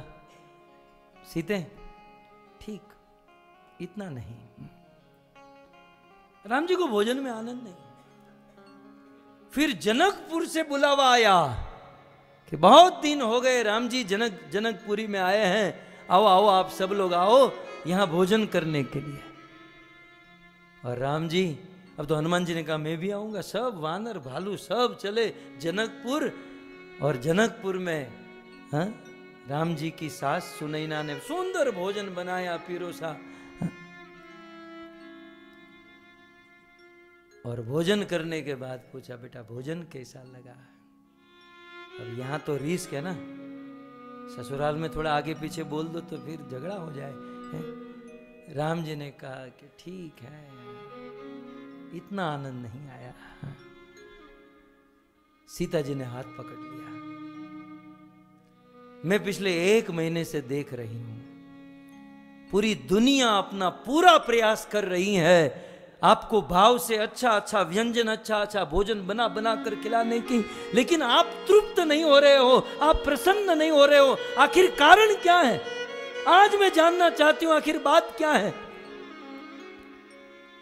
तब अनंत समय से दबा हुआ भाव आज राम जी का बाहर आया और सीता को कहा कि, सीते, आपको खोजते खोजते हम पंपा सरोवर के तट पर गए थे और वहाँ पर उस भीलनी ने, उस शबरी ने झूठे बेर खिलाए थे। उस बेर में जो मुझे सुख और जो आनंद मिला, वो आज तक कहीं नहीं मिला। प्रसंग में राम जी ने देखा कि शबरी राम को बेर खिला रही है। शबरी जी राम को बेर खिला रही हैं। राम जी बेटे, लक्ष्मण का तो कुछ और ही है, वो तो आप फिर कभी देख लेंगे। लेकिन राम जी क्या देख रहे हैं कि बेर राम जी खा रहे हैं और आनंद शबरी को आ रहा है। आप विचार तो करो, राम जी गहरी सोच में पड़ गए। वो बेचारी बूढ़ी हो गई, भूखी इतने सालों से, और वो मुझे खिलाई जा रही है। खा मैं रहा हूँ। आनंद उसको आ रहा है। इसका अर्थ यह है कि मेरी सेवा में कुछ तो है। मुझे ये बेर खाने में, सेवा को लेने में जितना आनंद नहीं है, उतना उसको सेवा करने में आनंद आ रहा है। उस समय से राम जी ने सोचा कि कहीं तो गड़बड़ है। ये भगवान बनने में घाटा है। समय मिले, योग बने तो मैं भी शबरी की तरह भक्त बनकर धरती पर आऊँगा, स्वयं भक्ति करूँगा और अपनी भक्ति का सुख प्राप्त करूँगा। और इसीलिए श्री चैतन्य महाप्रभु के रूप में स्वयं भगवान श्री कृष्ण और महाप्रभु के रूप में आकर क्या किया? अनर्पित चरिम चिरात करुणावतीर्ण कलो। अनंत युगों से अनंत अनंत काल से जो अपनी प्रेम भक्ति का दान नहीं किया था। अब तक केवल विनाश, अब तक केवल लोगों को मारा। रावण आया मारा, कुंभ, कर्ण, हिरण्य कशबू हिरण्याक्ष, कंस आदि असुरों को मारा। लेकिन अब भगवान ने सोचा, मारना बड़ी चीज़ नहीं है, सुधारना बड़ी चीज़ है। अब जब कलयुग में प्रभु आए ना तो पापी तापी जीवों को अपने गले लगाकर अपनी प्रेम भक्ति, शुद्ध भक्ति का दान श्री चैतन्य महाप्रभु ने किया। हम और आप आज जो भी थोड़ी बहुत भक्ति कर रहे हैं ना, वो चैतन्य महाप्रभु की कृपा है। अकारण करुणा करके गए हैं, ये भक्ति सिखा कर गए आपनी आचरित प्रभु जीवेर सिखाए। तो ऐसे श्री चैतन्य महाप्रभु, इस युग धर्म का, संकीर्तन धर्म का आंदोलन किए और अपने आचरण से स्वयं कीर्तन किए, स्वयं हरि नाम लिए। मुकुंद माधव, गोविंद बो मुकुंद माधव। केशव माधव हरि हरि बो। केशव माधव हरि हरि बोल नाम हरि का प्राण न प्यारा। राम हरि गाइए। प्राण प्यारा। संत जनों सहारा। संत जनों का परम सहारा भक्त जनों का परम सहारा भक्त जनों का परम सहारा नाम की महिमा है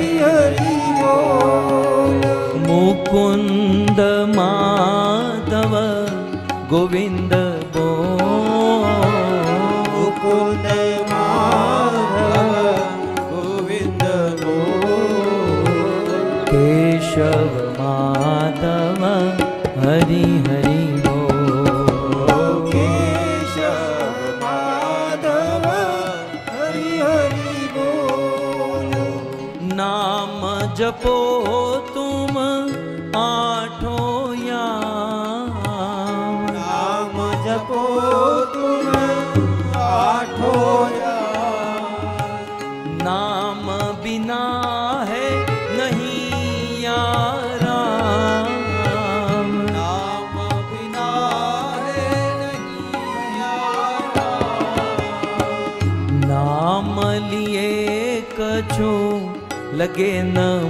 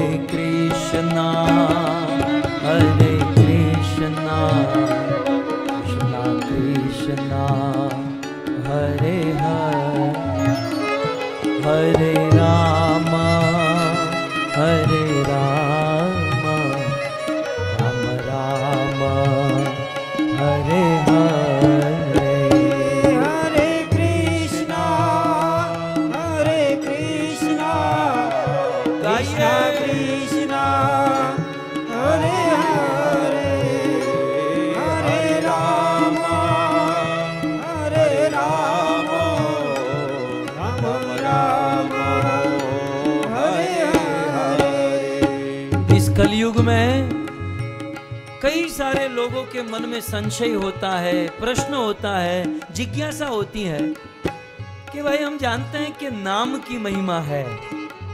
कलयुग में नाम लेना चाहिए। लेकिन कौन सा नाम लेना चाहिए?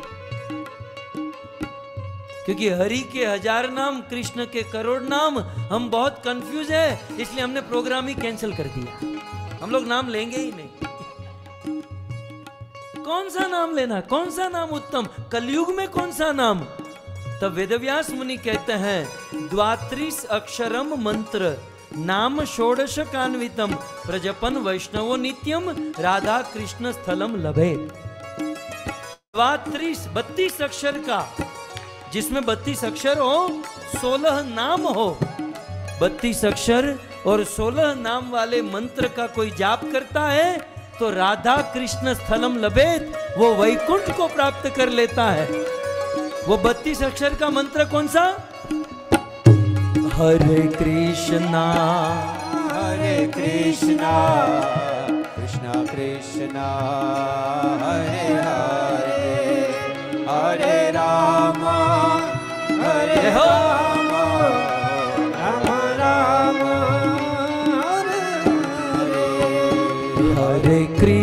कृष्णा हरे कृष्णा कृष्णा कृष्णा।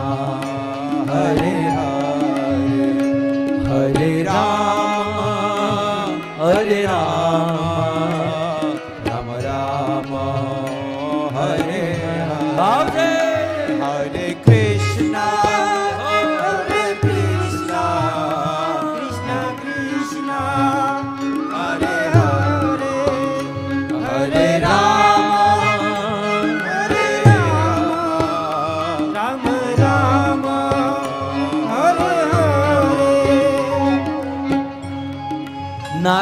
ने ब्रह्मा जी को पूछा, कली संतरण उपनिषद में? उपनिषद में नारद ने ब्रह्मा जी को पूछा कि पिताजी, कलयुग में हृदय की शुद्धि और प्रभु की प्राप्ति के लिए कौन से मंत्र का जाप करना चाहिए? ब्रह्मा जी नारद जी को कहते हैं, इति षोड़ शकाम नामन कली कलमश नाशनम न अत परत रोपाय सर्व वेदेशु दृश्यते। सभी वेदों को देखने के बाद कलयुग के दोषों को मुक्त करने वाला केवल एक ही मंत्र है, और वो है महामंत्र। हरे कृष्णा हरे कृष्णा कृष्णा कृष्णा, हरे हरे।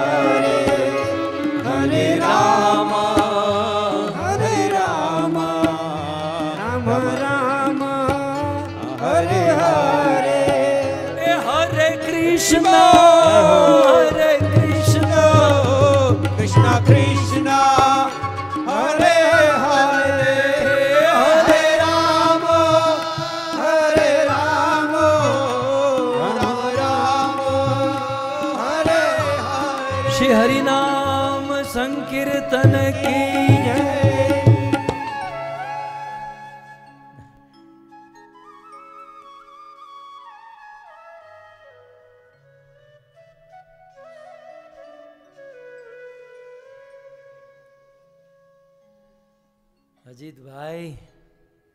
હે અજીત ભાઈ પૂરું કરવાનું મન નથી થતું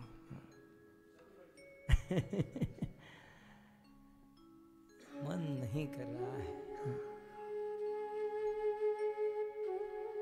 आप सबके मन में होता होगा कि ये कथा समाप्त न हो तो अच्छा है यजमान के मन में भी होता होगा कथा समाप्त न हो तो अच्छा है सुनने वाले के मन में भी होता होगा ये समाप्त न हो तो अच्छा है। आपके लाल गोविंद दास के भी हृदय में होता है कि ये कथा समाप्त न हो तो अच्छा है। लेकिन हम सब काल के प्रवाह में बंधे हुए हैं।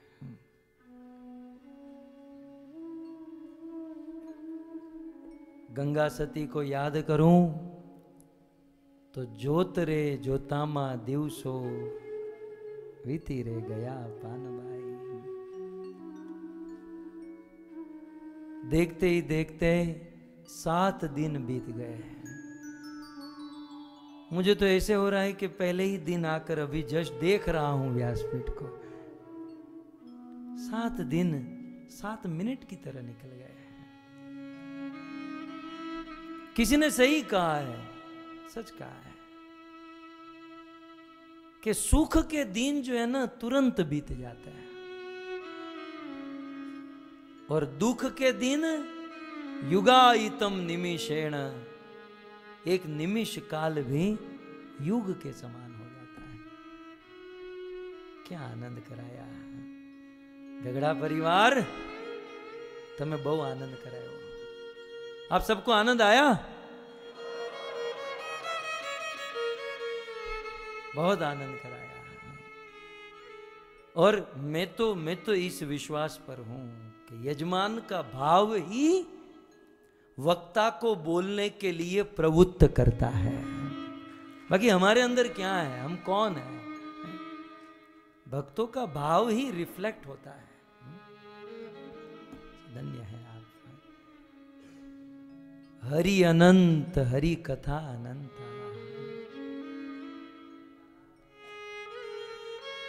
लिखने वाले लिखते रह गए, गाने वाले गाते रह गए, लेकिन आज तक इस कथा का कोई अंत नहीं कर पाया। कोई नहीं थका। परंतु कथा का सार। पूरी रामायण लिखने के बाद गोस्वामी तुलसीदास जी अंत में कहते हैं, यह कली कालन साधन दूजा। इस कलयुग में दूसरा और कोई साधन नहीं है।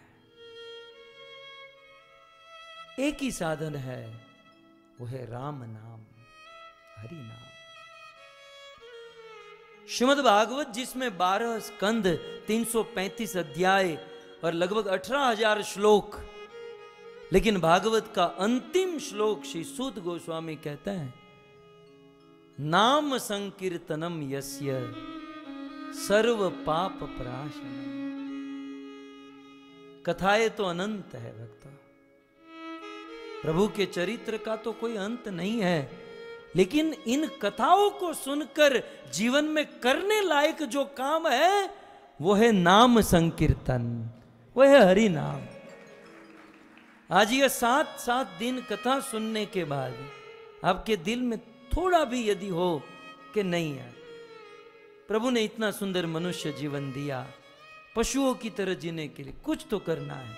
आपके मन में कुछ भी करने की इच्छा हो ना, आप हरि नाम जाप कीजिए, महामंत्र का जाप कीजिए। यही हमें साथ देगा मृत्यु के समय। बाकी इनमें से कोई नहीं है आपके साथ कोई नहीं होगा।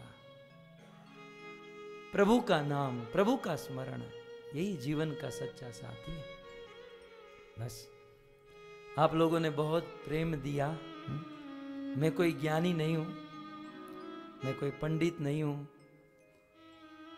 आप ही की तरह आपसे भी गया गुजरा एक साधारण आदमी। पूर्ण रूप से माया का प्रभाव है, भाव का अभाव है।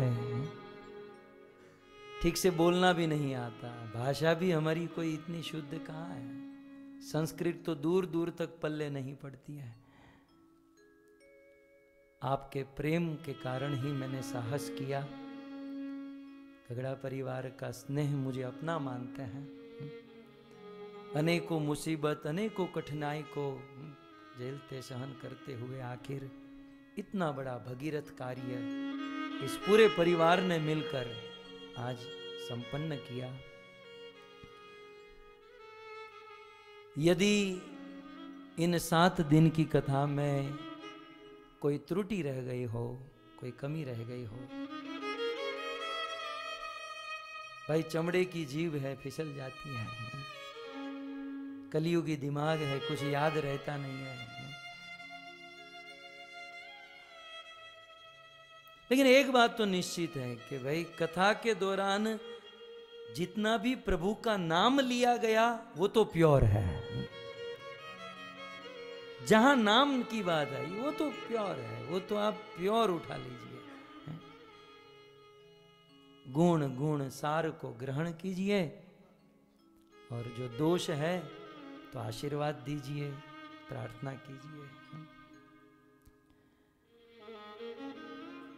हम सबको आशीर्वाद, अपनी छत्र छाया में रखने वाले प्राणनाथ कृष्ण प्रभु। धन्यवाद प्रभु। अब इस परिवार के वडील हो, लेकिन फिर भी इतने विनम्र होकर आप सबके साथ और मेरे साथ आपका प्रेम है।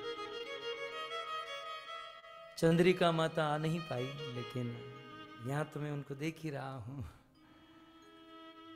अजीत भाई, धन्यवाद। पुष्पा बहन, राशेश्वर प्रभु, धन्यवाद। પરિવાર તો સાથમાં હી, પણ એન્જિન તો આજ ને આપણે તો રેલગાડીના ડબ્બા, હે?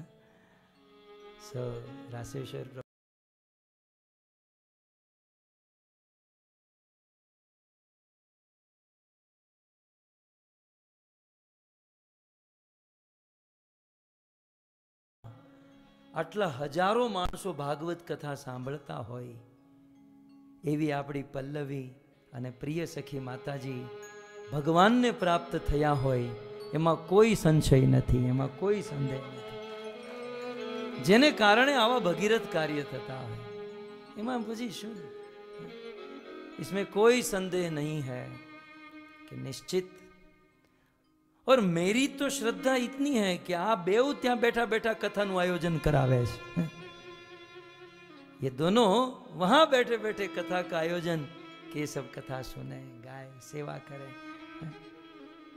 धन्यवाद आशीश्वर प्रभु। कमलेश भाई, संगीता बहन, मयूर भाई, बीजल बहन,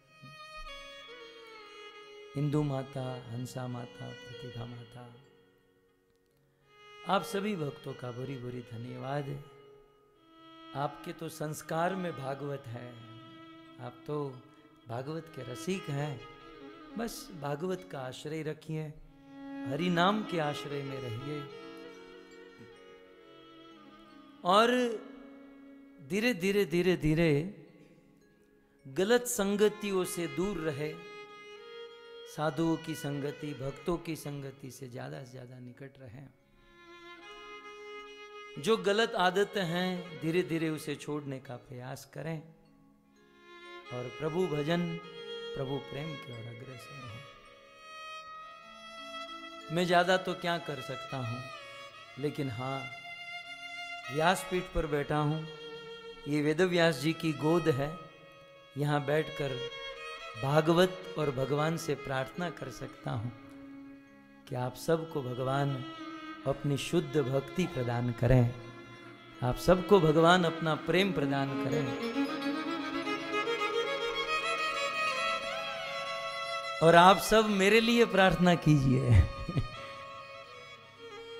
आप हमारे लिए प्रार्थना कीजिए कि हम भी गुरु महाराज, मैंने चिचोर प्रभु, मैंने तो मैंने तो अब राइटिंग में दे दिया है। कुछ लोग कहते हैं, कितनी भागवत की है? मैंने कहा, शुरू ही नहीं किया अभी तो मैंने। तो बोले तो ये क्या कर रहे हो? मैं भागवत कहाँ गा रहा हूँ? मैं मेरे गुरु को गा रहा हूँ। भागवत तो अभी कहाँ? भागवत में टप्पा ही नहीं पड़ता। हाँ? श्री राधा गोविंद गोस्वामी महाराज की। भागवत नहीं, हम तो गुरु को गा रहे हैं। गुरु जी ने निकट बैठकर जो पिलाया, जो सुनाया, जो लाड प्यार स्नेह दिया, और जो भी हम समझ पाए, वही हम बांट रहे हैं। सो फिर भी कुछ त्रुटि रह गई कुछ कमी गलती हो तो आप क्षमा कीजिएगा धन्यवाद पूरे गगड़ा परिवार का इस परिवार के निमंत्रण का मान रखकर जितने भी भक्त आए हैं हमारे लंदन भक्तिवेदांत मैनर से प्राणनाथ प्रभु आए हमारे नंद किशोर प्रभु हम्म, जबरदस्त सेवा में लगे हैं પ્રભુ આપણા હં? મારા દીકરા ફેન જેનો છે ક્યાં નામ હે મહેન્દ્રભાઈ મહેન્દ્રભાઈ એમના ધર્મપત્ની હે? गढ़वी भाई हम्म। और भी आप सभी भक्त हैं का बोरी बोरी धन्यवाद हमारे संगीत हाँ? मैं तो आधी कथा करता हूँ आधी तो ये लोग कराते हैं हाँ? आपने देखा नहीं मैं धीरे धीरे बोलता हूँ ये मुझे इतना चढ़ाते हैं मुझे धक्का मारते हैं फिर मैं आगे बढ़ता हूँ। सो धन्यवाद। ये भी सब भक्त ही है। गौरांग प्रभु बंगाल से आए हैं। मयूर भाई तबला में है। योगेश भाई, मनर दास। इनका नाम क्या है? हाँ? शक्ति प्रभु। सो धन्यवाद। अब ये सब तो लंदन से यूके से आए ना? लेकिन यहाँ यहाँ भारत में इन सारे भक्तों को बहुत अच्छे से इस कथा को ऑर्गेनाइज और सब मदद किए हेल्प किए हमारे सभी भक्त प्यारे भक्त सेवक हमारे मोहनदास मुंबई से हैं। इस कथा की जान कह सकते हैं हमारे अमित नारायण प्रभु। रात दिन मेहनत करते हैं और उसका एक ही भाव होता है कि कथा हो हैं, जिससे सबका लाभ होगा। यशोमती माता जी हमारे अनंत शक्ति प्रभु, हमारे मधुपति प्रभु, असीम कृष्ण प्रभु, उनकी धर्म पत्नी ये सब ये सब बहुत, ये सब दिखते नहीं है, लेकिन यही होते हैं जो कथा चलाते हैं। आप सभी भक्तों का और फिर इन सब के साथ जुड़ गए चित चोर प्रभु। सो धन्यवाद। मुझे बंद करने का मन नहीं हो रहा है, लेकिन कर ही देता हूँ। क्योंकि आज आप लोगों को भी, आप सब बैठे रहिए। हमने जो सात दिन सुना है ना, जिनके सहयोग से हमने ये लाभ लिया है तो आज हम इनको क्या दे सकते हैं गगड़ा परिवार को? लेकिन आज उनके जो भाव है पाँच दस मिनट बैठकर हम सुने और उनका आदर करें। तो आइए जय जयकार के साथ इस प्रेम राज्य श्रीधाम वृंदावन में 2024 की प्रथम कथा 390 390वीं कथा का विराम जय जयकार के साथ। ग्रंथराज श्रीमद् भागवतम महापुराण। की जय। श्री कृष्ण चंद्र भगवान की श्री दशावतार की परम पूज्य राधा गोविंद गोस्वामी महाराज की जगत गुरु शिल प्रभुपाद की जय। निताई गौर प्रेमानंद। हरि हरि हरि जय जय श्री राधे। जय जय श्री राधे जय जय श्री राधे। और सबसे महत्वपूर्ण पात्र जो हमको रोज प्रसाद खिलाते थे श्याम सुंदर प्रभु। उनका भी धन्यवाद। Hare Krishna Hare Krishna Krishna Krishna Hare Hare. Hare Ram Hare Ram Ram Ram Hare Hare. Hare Krishna. So very grateful to his grace Lal Govind Prabhu ji for continuously savouring एक दिस मिनट, एक मैं भूल जाता हूँ भाव में। और सबसे बड़ा धन्यवाद हम सब यहाँ बैठकर जितने भी भक्त बैठकर कथा इतने सुने सुने। लेकिन कितने डेढ़ मिलियन बोल रहे थे? कितना बोल रहे थे? हर रोज पंद्रह लाख लोग इस कथा को आस्था चैनल और धर्म संदेश चैनल के माध्यम से सुन रहे थे। और इसका श्रेय जाता है हमारे सुना जाए हमारे रमेश भाई यहाँ यहाँ यहाँ बैठे बैठे आधा वो कंट्रोल कर रहे थे मुझे। सो so, रमेश भाई ने बहुत सुंदर टेलीकास्ट यहाँ से सब कैप्चर किया और ये सबके सबके पास ये कथा पहुँचाई। सो थैंक यू रमेश भाई। हरे कृष्णा हरे कृष्णा कृष्ण कृष्ण हरे हरे। हरे राम हरे राम राम राम हरे हरे। हरे कृष्णा तो हृदय से धन्यवाद करते हैं श्रीमान लाल गोविंद जी का जिन्होंने पिछले सात दिन से लगातार हम सबको इस श्रीधाम वृंदावन की धरा में कृष्ण कथा के रस में डुबोए रखा और भगवान के इस विविध अवतारों की कथा श्रवण कराकर हम सबके भक्ति का पोषण किया। तो ऐसे श्रीमान लाल गोविंद प्रभु जी, जिन्होंने आज हमें श्री बुद्ध अवतार और साथ ही साथ कल की अवतार और बोनस में हमें श्री चैतन्य महाप्रभु के अवतार की कथा श्रवण करने को मिली और इतनी सुंदर हरिनाम की महिमा यू नो जो कि हम सबको ग्रहण करना चाहिए और कथा के शार में यही प्रभु जी ने प्रस्तुत किया कि हम सब ये जो भागवत कथा श्रवण करते हैं तो उसका सार यही है कि हम भगवान नाम को स्वीकार करें। तो ऐसी यह रसमयी कथा हम सबको यहाँ पर पिछले सात दिन से श्रवण करने मिली है, जिनका श्रेय एकमात्र श्रीमान लालगोविंद प्रभु जाता है। तो हृदय से उनका अभिवादन करते हैं, महामंत्र उच्चारण करते हैं। तो हृदय से प्लीज़ हरे कृष्णा हरे कृष्णा कृष्णा कृष्णा, हरे हरे हरे राम हरे राम राम राम, हरे हरे। हरे कृष्णा। एंड तत्पश्चात धन्यवाद करते हैं हमारे घगड़ा परिवार का कि जिन्होंने यह सुंदर आयोजन करके हम सबको यू नो यह श्री धाम वृंदावन में सात दिन यू नो व्यवस्था की इतनी अच्छी और हम सब भगवत कथा श्रवण करते रहे। प्रसाद जो है ना आरती के बाद ही शुरू होने वाला है। यस तो बाहर बाहर जाके केवल ठंडी मिलेगी प्रसाद नहीं मिलेगा। तो क्रम इस प्रकार से है कि अभी दस मिनट रुक जाइए। यस तो निवेदन है सभी भक्तों से कि हम सब यहाँ पर जो भक्तों ने सुंदर व्यवस्था की उनका धन्यवाद करके जाएँ। और उसके पश्चात यहाँ पर कुछ भक्त यहाँ पर आकर अपने भाव को प्रस्तुत करने वाले हैं, उनको श्रवण करेंगे। देन आफ्टर हम भागवत जी की आरती करेंगे और उसके पश्चात जो भक्त यहाँ पर हरिनाम जप के लिए यू नो संकल्प लेना चाहते हैं, उन्हें निवेदन करेंगे they will come and take vow of chanting Hare Krishna mahamantra so हृदय से अभिवादन करते हैं हमारे इस श्री गोविंद जी, मूल जी घगड़ा परिवार के समस्त यू नो परिवार को कि जिन्होंने सुंदर आयोजन किया और हम सबको धामवास का लाभ दिलाया। तो महामंत्र उच्चारण करते हैं, उनका भी अभिवादन करते हैं। हरे कृष्णा हरे कृष्णा कृष्णा कृष्णा, हरे हरे। हरे राम हरे राम राम राम, हरे हरे। साथ ही साथ उन श्रोताओं का भी जो कि दूर दूर से यहाँ पर आए हुए हैं, ये कथा श्रवण किए हैं और ये सुंदर लाभ प्राप्त किए ऐसे हमारे इस श्रीधाम वृंदावन में, हमारे गगड़ा परिवार के द्वारा आमंत्रित उन वैष्णव का भी धन्यवाद कि वे भी अपना बहुमूल्य समय निकालकर यहाँ पर उपस्थित रहे। और ये सुंदर कथा श्रवण की, उनको भी धन्यवाद। एंड विद दैट हमारे जो ऑनलाइन प्लेटफॉर्म के माध्यम से प्रभु जी ने जैसे बताया 1.5 million somewhat every single day you know took you know this nectar उनको भी धन्यवाद करते हैं। साथ ही साथ हमारे यूट्यूब चैनल फेसबुक चैनल के माध्यम से जिन्होंने यह कथा श्रवण की, उनके भी भी हम आभारी हैं कि आप सब ये कथा श्रवण करके अपने आप को धन्य किया। तो थैंक यू सो मच और साथ ही साथ जैसे यहाँ पर हमने श्रवण किया कि भागवत कथा श्रवण करने का लाभ है कि हम सब भगवान नाम को स्वीकार करें और कुछ संकल्प करते हुए जाए, यहाँ से कुछ सीख कर जाए, कुछ अपने जीवन में उतारने का प्रयास करें, जिससे कि इस, ये धाम, ये यात्रा हमको बार बार याद आती रहे। तो अब हम निवेदन करते हैं हमारे बीच में उपस्थित उन वैष्णव को जो कि अपने भाव को प्रस्तुत करना चाहते हैं। शुरुआत हमने की थी जब कथा प्रारंभ हुई थी तो हमारे इस ग्रेस प्राणनाथ कृष्ण प्रभु से उनके आशीर्वाद लेकर यह कथा प्रारंभ हुई थी।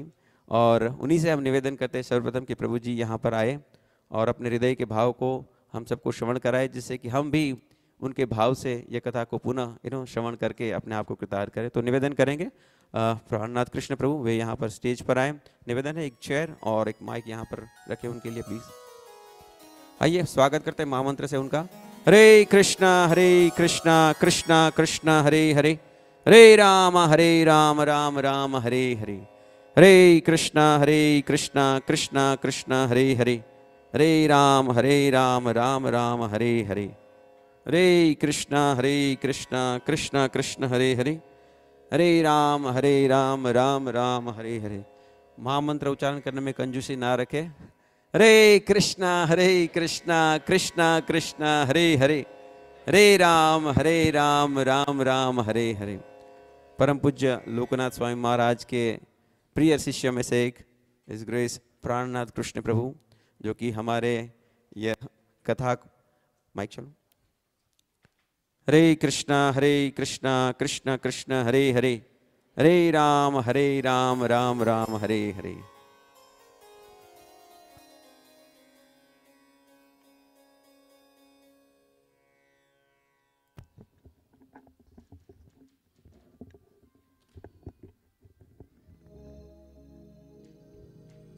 हरे कृष्णा हरे कृष्णा कृष्णा कृष्णा, हरे हरे हरे राम हरे राम राम राम, हरे हरे।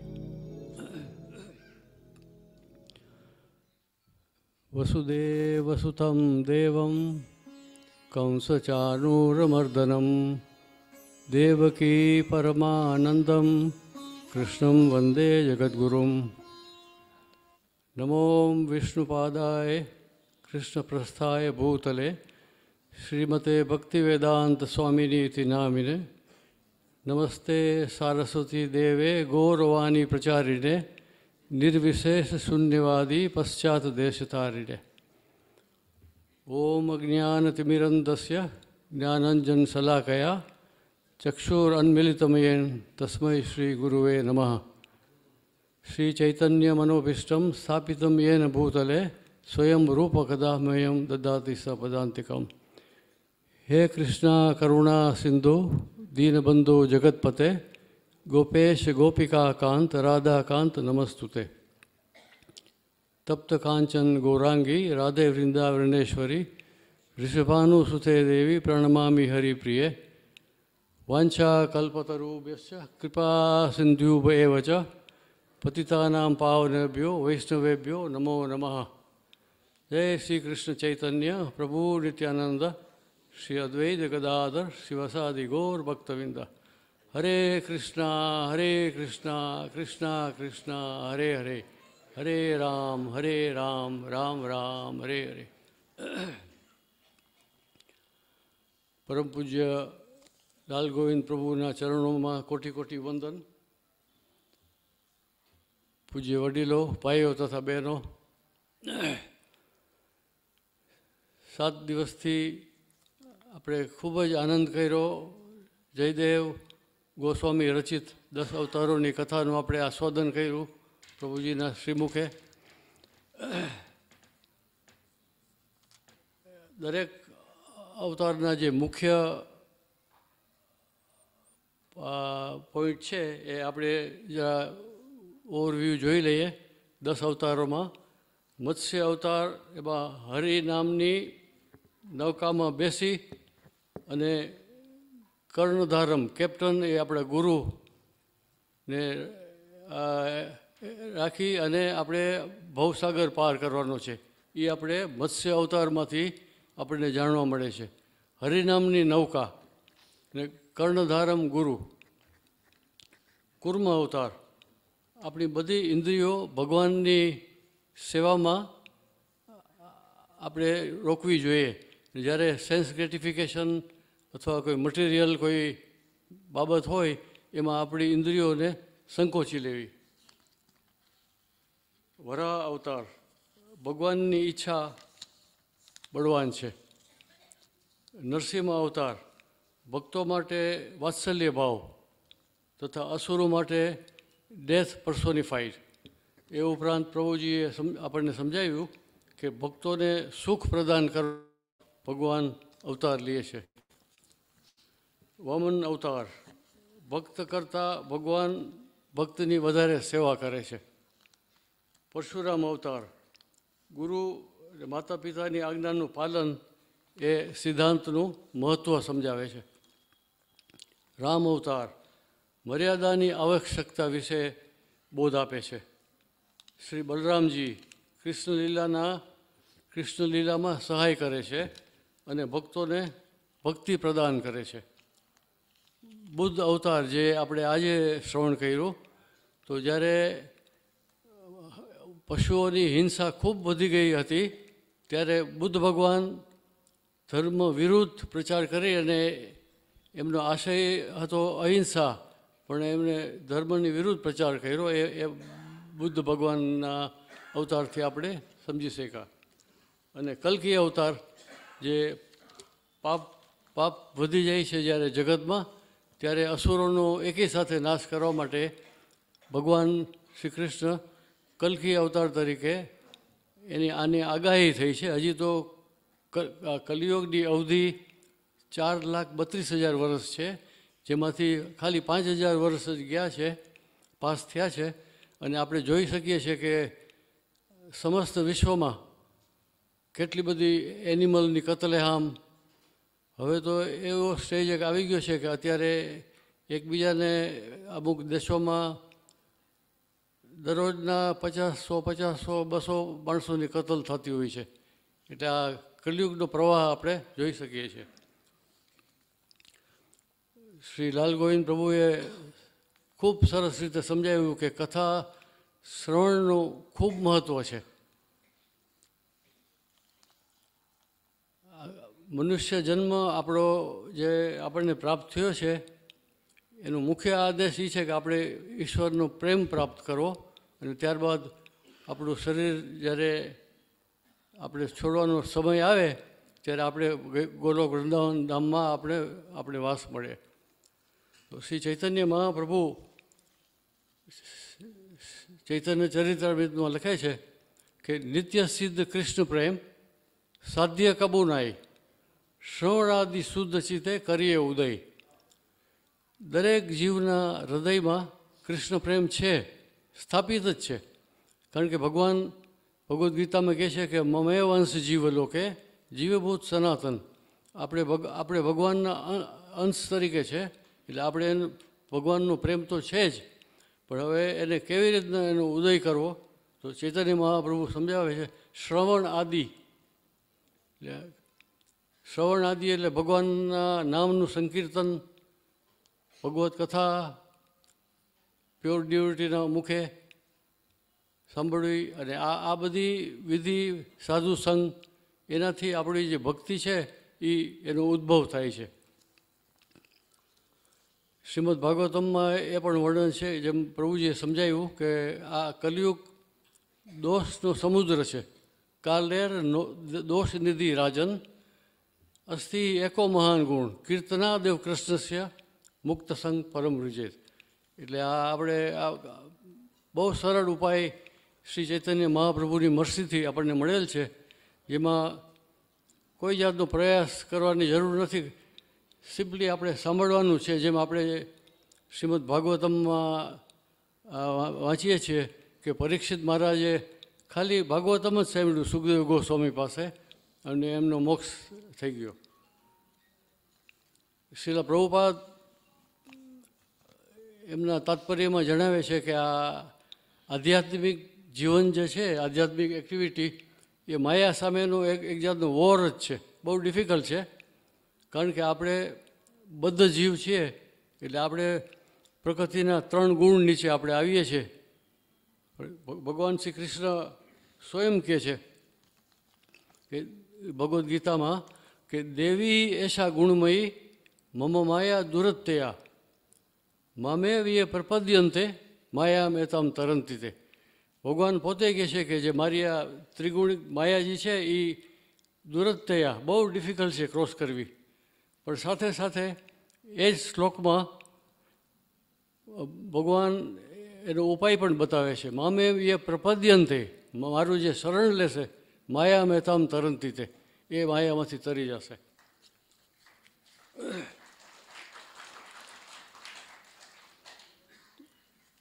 હવે આપણે બદ્ધજીવ માટે જેમ ભગવાન અર્જુનને સમજાવે છે એકચ્યુઅલી ખરેખર ભગવાન આપણા માટે મેસેજ આપે છે. અર્જુન તો માધ્યમ છે. અર્જુન અર્જુન અજ્ઞાની નહોતો. એ તો ભગવાનનો પાર્ષદ છે, એની સાથે જ હોય છે, એટલે આમ અજ્ઞાનનો કોઈ સવાલ જ નથી. પણ જે ભગવાન જે પ્રીચિંગ કરે છે અર્જુનને ભગવદ્ ગીતામાં, એ આપણા માટે છે. તો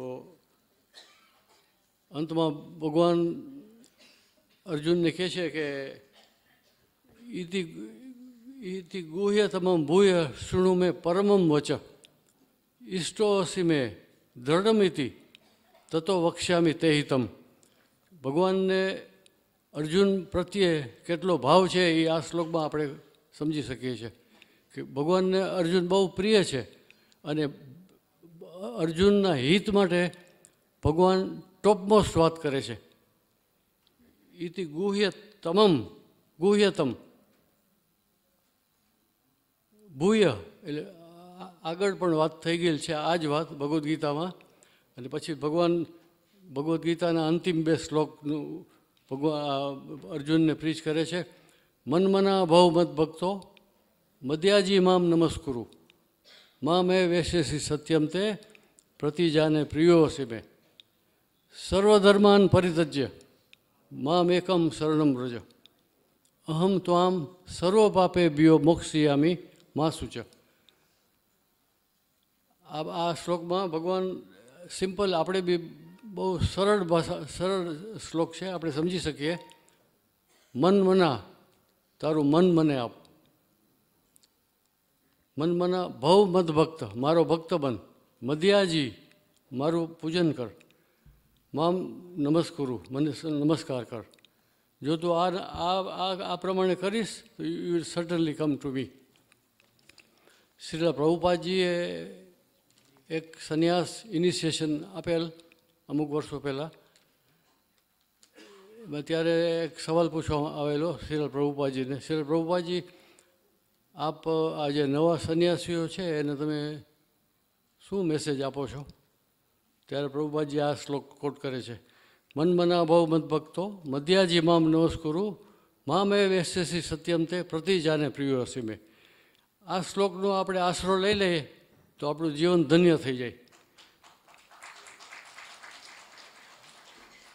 બાકી આ ભૌતિક જગત છે એટલે આપણે નાની મોટી મુશ્કેલી તો આવવાની જ છે. કોઈ જેમ દુઃખ ભગવાન પોતે જ સર્ટિફાઈ કરે છે આ ભગવદ્ ગીતામાં, દુઃખાલયમ અશાશ્વતમ.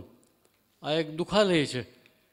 અને દુઃખમાં બી આપણે રહેવા તૈયાર હોઈએ તો પણ ન રહી શકીએ, કારણ કે એ અશાશ્વત છે. એટલે આ બધું ધ્યાનમાં આ બધું આપણને ક્યારે રિયલાઇઝેશન આવે? જ્યારે આપણે પ્રભુજીએ જણાવ્યું એ પ્રમાણે ભગવત ભગવત કથા સાંભળીએ, ભગવાનનું નામ લઈએ. આ બે જ વસ્તુ આપણી પાસે છે અને કલિયુગમાં જેમ પ્રભુજી હમણાં જ થોડો ટાઈમ પહેલાં સમજાવ્યું કે આપણી પાસે કયો ઉપાય છે બીજો કલિયુગમાં? એકે ઉપાય છે જ નહીં. હરિનામ સિવાય એકે ઉપાય છે જ નહીં. તો અંતમાં શ્રી ગોવિંદજી, મુલજી, ગગડા પરિવાર વતી સર્વ શ્રોતાજન સ્થાનિક અને વિદેશોમાં ઇન્ટરનેટ દ્વારા શ્રવણ કરેલ સર્વ ભક્તોનો ખૂબ ખૂબ આભાર માને છે આ આ કથાનું આયોજન કરવામાં શ્રી પંચતત્વ પ્રભુ, શ્રીમાન અમિત નારાયણ પ્રભુ, મોહન પ્રભુ તેમજ ડિલિશિયસ પ્રસાદમ માટે શ્રી સુંદર, શ્યામ સુંદર પ્રભુ તથા Aastha TV team, Govind TV team અને ભજન મંડળીનો હાર્દિક આભાર માને છે.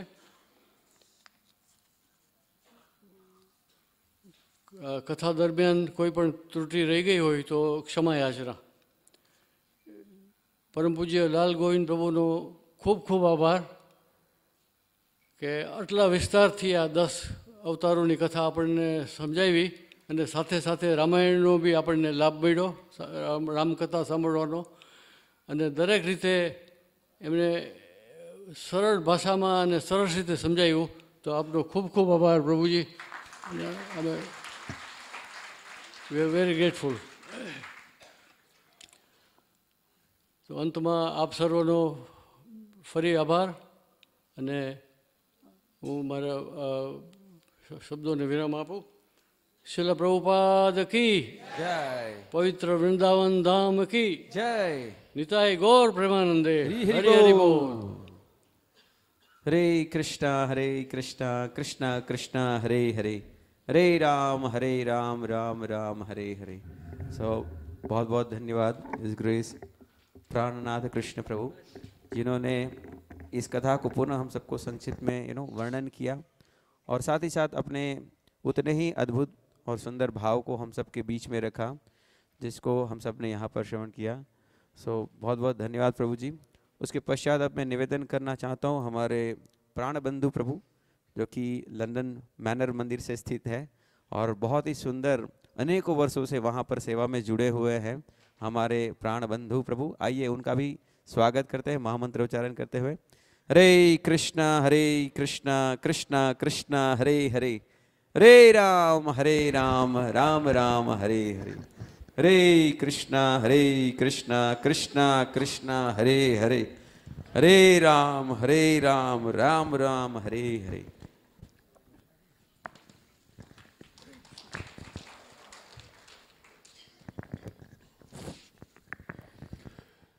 नमो विष्णुपदाय, कृष्णाप्रस्थाय, भूतले। श्रीमती भक्ति वेदांत स्वामिनिति नामिने नमस्ते सरस्वती देवी गौरवाणी प्रचारिणे निर्वस्य सशून्यवादी पश्चादेशतारिणे पंचाकल्पतरुभ्यश्च, कृपा सिन्धुभैव च, पतितानं पावनेभ्यो, वैष्णवेभ्यो नमो नमः।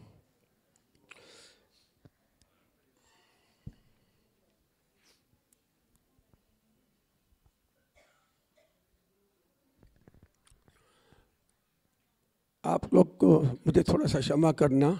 मेरी हिंदी वो खिचड़ी जैसा है, कच्ची खिचड़ी, सो थोड़ा क्षमा करना। हम्म।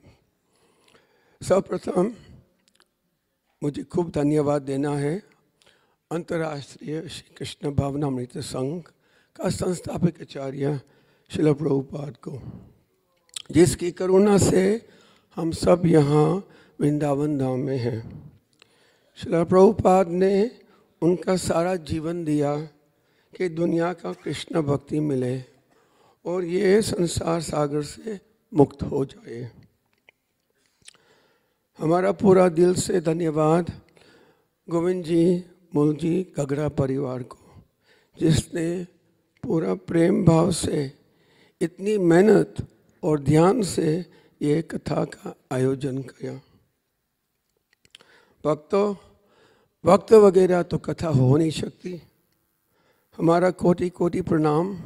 बहुत धन्यवाद पूज्य लाल गोविंद प्रभु से, जिसने ये सात दिन में उनकी मधुर वाणी से हमने ये भागवत कथा सुनाई। भक्तजनों, ये भागवत का आयोजन का विराम हो गया। मेरे मन में प्रश्न यही है, कल क्या होगा? हम सब वापस चले जाएँगे हमारा स्थान पर फिर क्या होगा? सो so, मेरी छोटी सी रिक्वेस्ट यही है। हमने सुना कि प्रत्येक जीव ब्रह्म से ये कि वो छोटी कीड़ी से तक ये जीव सब जीव की एक ही इच्छा है वो है सुख। सारा जीवन मेहनत करता है सुख प्राप्त करने के लिए और दुख को दूर करने के लिए। भगवान कहते हैं, ये जगत, ये संसार है, दुखलायम अशाश्वतम। यहाँ यहाँ सुख नहीं है, लेकिन हम मानते नहीं। छोटा सा एग्ज़ाम्पल है, जैसे डेजर्ट हिंदी में डेजर्ट क्या कहते हैं? डेजर्ट रण रण ओके डेजर्ट जैसे डेजर्ट में पानी नहीं है, आपको जितनी प्यास लगी है डेजर्ट में पानी नहीं है, सिर्फ़ वो मिराज है इल्यूजन है कि आगे पानी है। जैसे डेजर्ट में पानी नहीं है, जैसे कुआ में, वो कुआ ने कहते हैं ना वेल हाँ जिस वेल ड्राई है, जिसमें पानी नहीं है तो ये वेल में आप सोने की बाल्टी डालो या कि चांदी की बाल्टी डालो या कि प्लास्टिक की बाल्टी डालो। पानी नहीं है तो पानी नहीं है। इसलिए भगवान ऐसे ही समझाते हैं कि ये संसार में सुख नहीं है। हुँ? मुझे याद आता है, बॉलीवुड का एक छोटा पुराना संगीत पुराना तो मैं भी पुराना हूँ जो ये दुनिया ये महफिल मेरी काम की नहीं मेरी काम की नहीं। ये दुनिया ये महफिल मेरे काम की नहीं मेरे काम किसको सुनाऊं हाल? दिल बेकरार का बुझता हुआ चराग हूँ अपने मजार का। हे काश भूल जाऊँ, मगर भूलता नहीं। किस धुन से उठा था जनादा? बहार का ये दुनिया ये महफिल મેરે કા તમારે કેવું જોઈએ ને તમે શોખીન છો તમારા કારણે મેં ગાયા નહીં મને એમ કે ઇસ્કોનના બહુ મોટા આવીને બેઠા છે એટલે હું તો કંટ્રોલ માર્યો મને એમ કે આ કોઈ કંઈક મોટા અ, મહાત્મા છે તો મેં ગાયું જ નહીં પ્રભુજી દુરાત્મા છું હું તો સાવ નાનો દુરાત્મા છું पर यही सही बात है हाँ? जीव के लिए ये भौतिक सागर कोई काम की नहीं केवल कैसे भगवान को प्राप्त करो सुख चाहिए तो हमको आध्यात्मिक मार्ग लेना पड़ेगा ज्ञान द्वारा मैं कौन हूँ भगवान कौन है और मेरे संबंध उनके साथ क्या है भक्ति मार्ग का शरण लेना पड़ेगा समय बीतर जा रहा है लेकिन हम सब सेवा कब करेंगे लोग कहते हैं अभी नहीं कल करेंगे परसों करेंगे किसी को पता कल हो ना हो हम्म? गुजरात में हाँ कल हो ना हो हम्म? गुजराती में वो एक छोटो भजन છે હા ના આ આ તો ગુજરાતના સંતો ગાય છે मोंगो मनुष्य दे। फरी फरी ने। नहीं मले बारम्बार तो भाई तू बजी लेने किरदार। तो भाई तू बजी लेने किरदार। अमूल्य मानव शरीर वारंवार नहीं मले। तो भाई साहब, आपका कर्तव्य का पालन कर कर संसार से मुक्त हो जाओ। चाणक्य पंडित कहते हैं, आई सच न जो पी न लभाए शन, अकोट पी। सारा दुनिया का पैसे, सोना, हीरा, चांदी आपके पास हो, लेकिन एक चीज़ नहीं खरीद सकेंगे, वो है समय टाइम 500 साल पहले श्री कृष्ण भगवान लाल गोविंद ने जी भी बताया हाँ, श्री चैतन्य महाप्रभु का रूप से प्रकट हुआ था। एक सरल रास्ता देने के लिए जिससे हम ये माया संसार में से मुक्त हो जाए। एने छे असोदी माया, मासी वारो लागी, हरि नाम महामंत्र, लाओ तुम्हें मागी। मैं ये आशोरी लाया हूँ कि जीव के बहुत आसान से ये संसार से मुक्त मिल जाए, मुक्ति मिल जाए। हरिनाम महामंत्र। इति षोडशकम नाम नाम कल ही कलमास नासनम। हमारा मन हमारा मन और हृदय में कली का कलमाश भरा क्रोध, मोह, लोभ, अभिमान। हरिनाम द्वारा ये कली का रोग मिट जाएगा और शुद्ध और हृदय, शुद्ध मन और हृदय से हम सभी भगवान का धाम प्राप्त करेंगे। चैतन्य महाप्रभु कहते हैं, मनुष्य जीवन है, तीन तीन प्रकार से रहना। पहली चीज़, जीव दोया सारे जीव पर दया रखो, दया करो, किसी का बुरा न मत करो। दुर्योधन जैसे मत बनो। नाम रुचि, भगवान का नाम लो, हरे कृष्ण नाम जप करो भागवत ग्रंथ पढ़ो। शिला प्रभुपाद ने कितनी ग्रंथ दी तो हर रोज पढ़ो। ये ज्ञान द्वारा हमारी भक्ति स्थिर होगी और हमको दिव्य शक्ति मिलेगी। और तीसरा क्या है? वैष्णव सेवा। मंदिर में जाओ, साधु का संगति करो हाँ वो कर लो झाड़ू वाला जो भी सेवा मिले, वही कर लो। झाड़ू वाला का काम झाड़ू करो किचन में सेवा दो बुक डिस्ट्रीब्यूशन पर जाओ। कीर्तन करो बाथरूम क्लीनिंग है वो भी करो। क्यों? सेवा है हाँ, याद रखिए सेवा है प्रेम की भाषा। ये सात दिन मुझे बहुत आनंद आया आप सबकी संगति में हाँ। आप सब आप सब तो बहुत ध्यान और महान भक्त हो। मेरी आशा है कि आप सब ये छोटा कीड़ी जैसा जीव है को आशीर्वाद दिए कि मैं भी मेरी भक्ति में आगे बढ़ूं। हम्म। श्री वृंदावन की धाम की जय। श्री कृष्ण बालराम मंदिर की जय। श्रीवन लाल गोविंद प्रभु की जय गोविंद जी मूल गगरा परिवार की जय शील प्रभुपाद की जय हिताय गौ ब्रह्मनंदे हरि हरि बोल हरे कृष्णा हरे कृष्णा कृष्ण कृष्ण हरे हरे हरे राम हरे राम राम राम हरे हरे धन्यवाद, प्राणबंधु प्रभु का। बहुत सुंदर प्रभु जी ने अपने भाव को प्रस्तुत किया हम सबके समक्ष। अब मैं निवेदन करना चाहता हूँ हिज ग्रेस नंद किशोर प्रभु जी।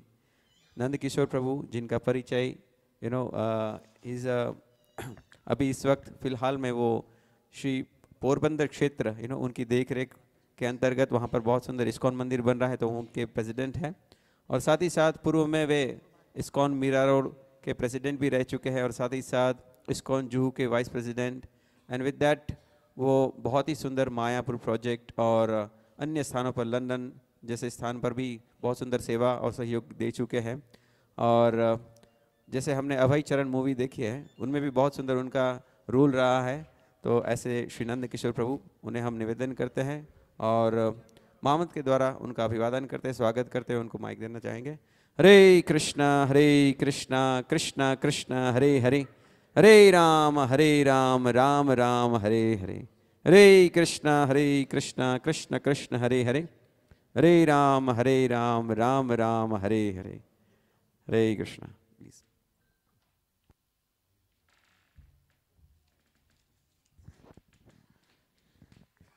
બોલો મારી સાથે હરે કૃષ્ણ હરે કૃષ્ણ કૃષ્ણ કૃષ્ણ હરે હરે હરે રામ હરે રામ રામ રામ હરે હરે આ લોકો મને કે છે હિન્દીમાં બોલવાનું મારું હિન્દી એટલું પાવરફુલ છે કે કોઈ સમજે નહીં. મેરા હિન્દી બહુ ગરબડ હે ઇસકે પ્રાણા બંધુ છે એ ગરબડ anyway I'll try okay I'll try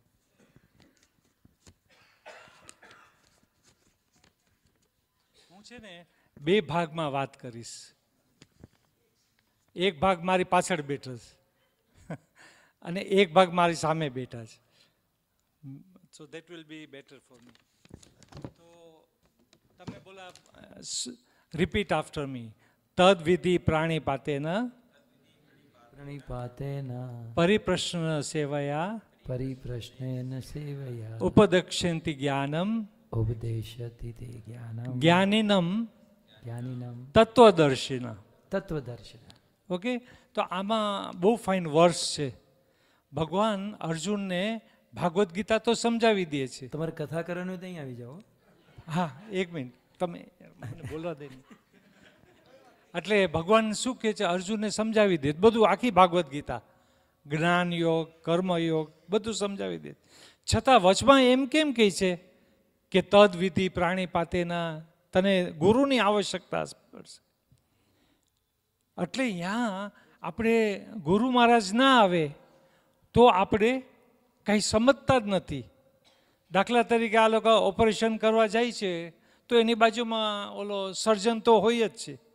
એને આખું ટ્રેનિંગ આપીને આગળ આવે છે.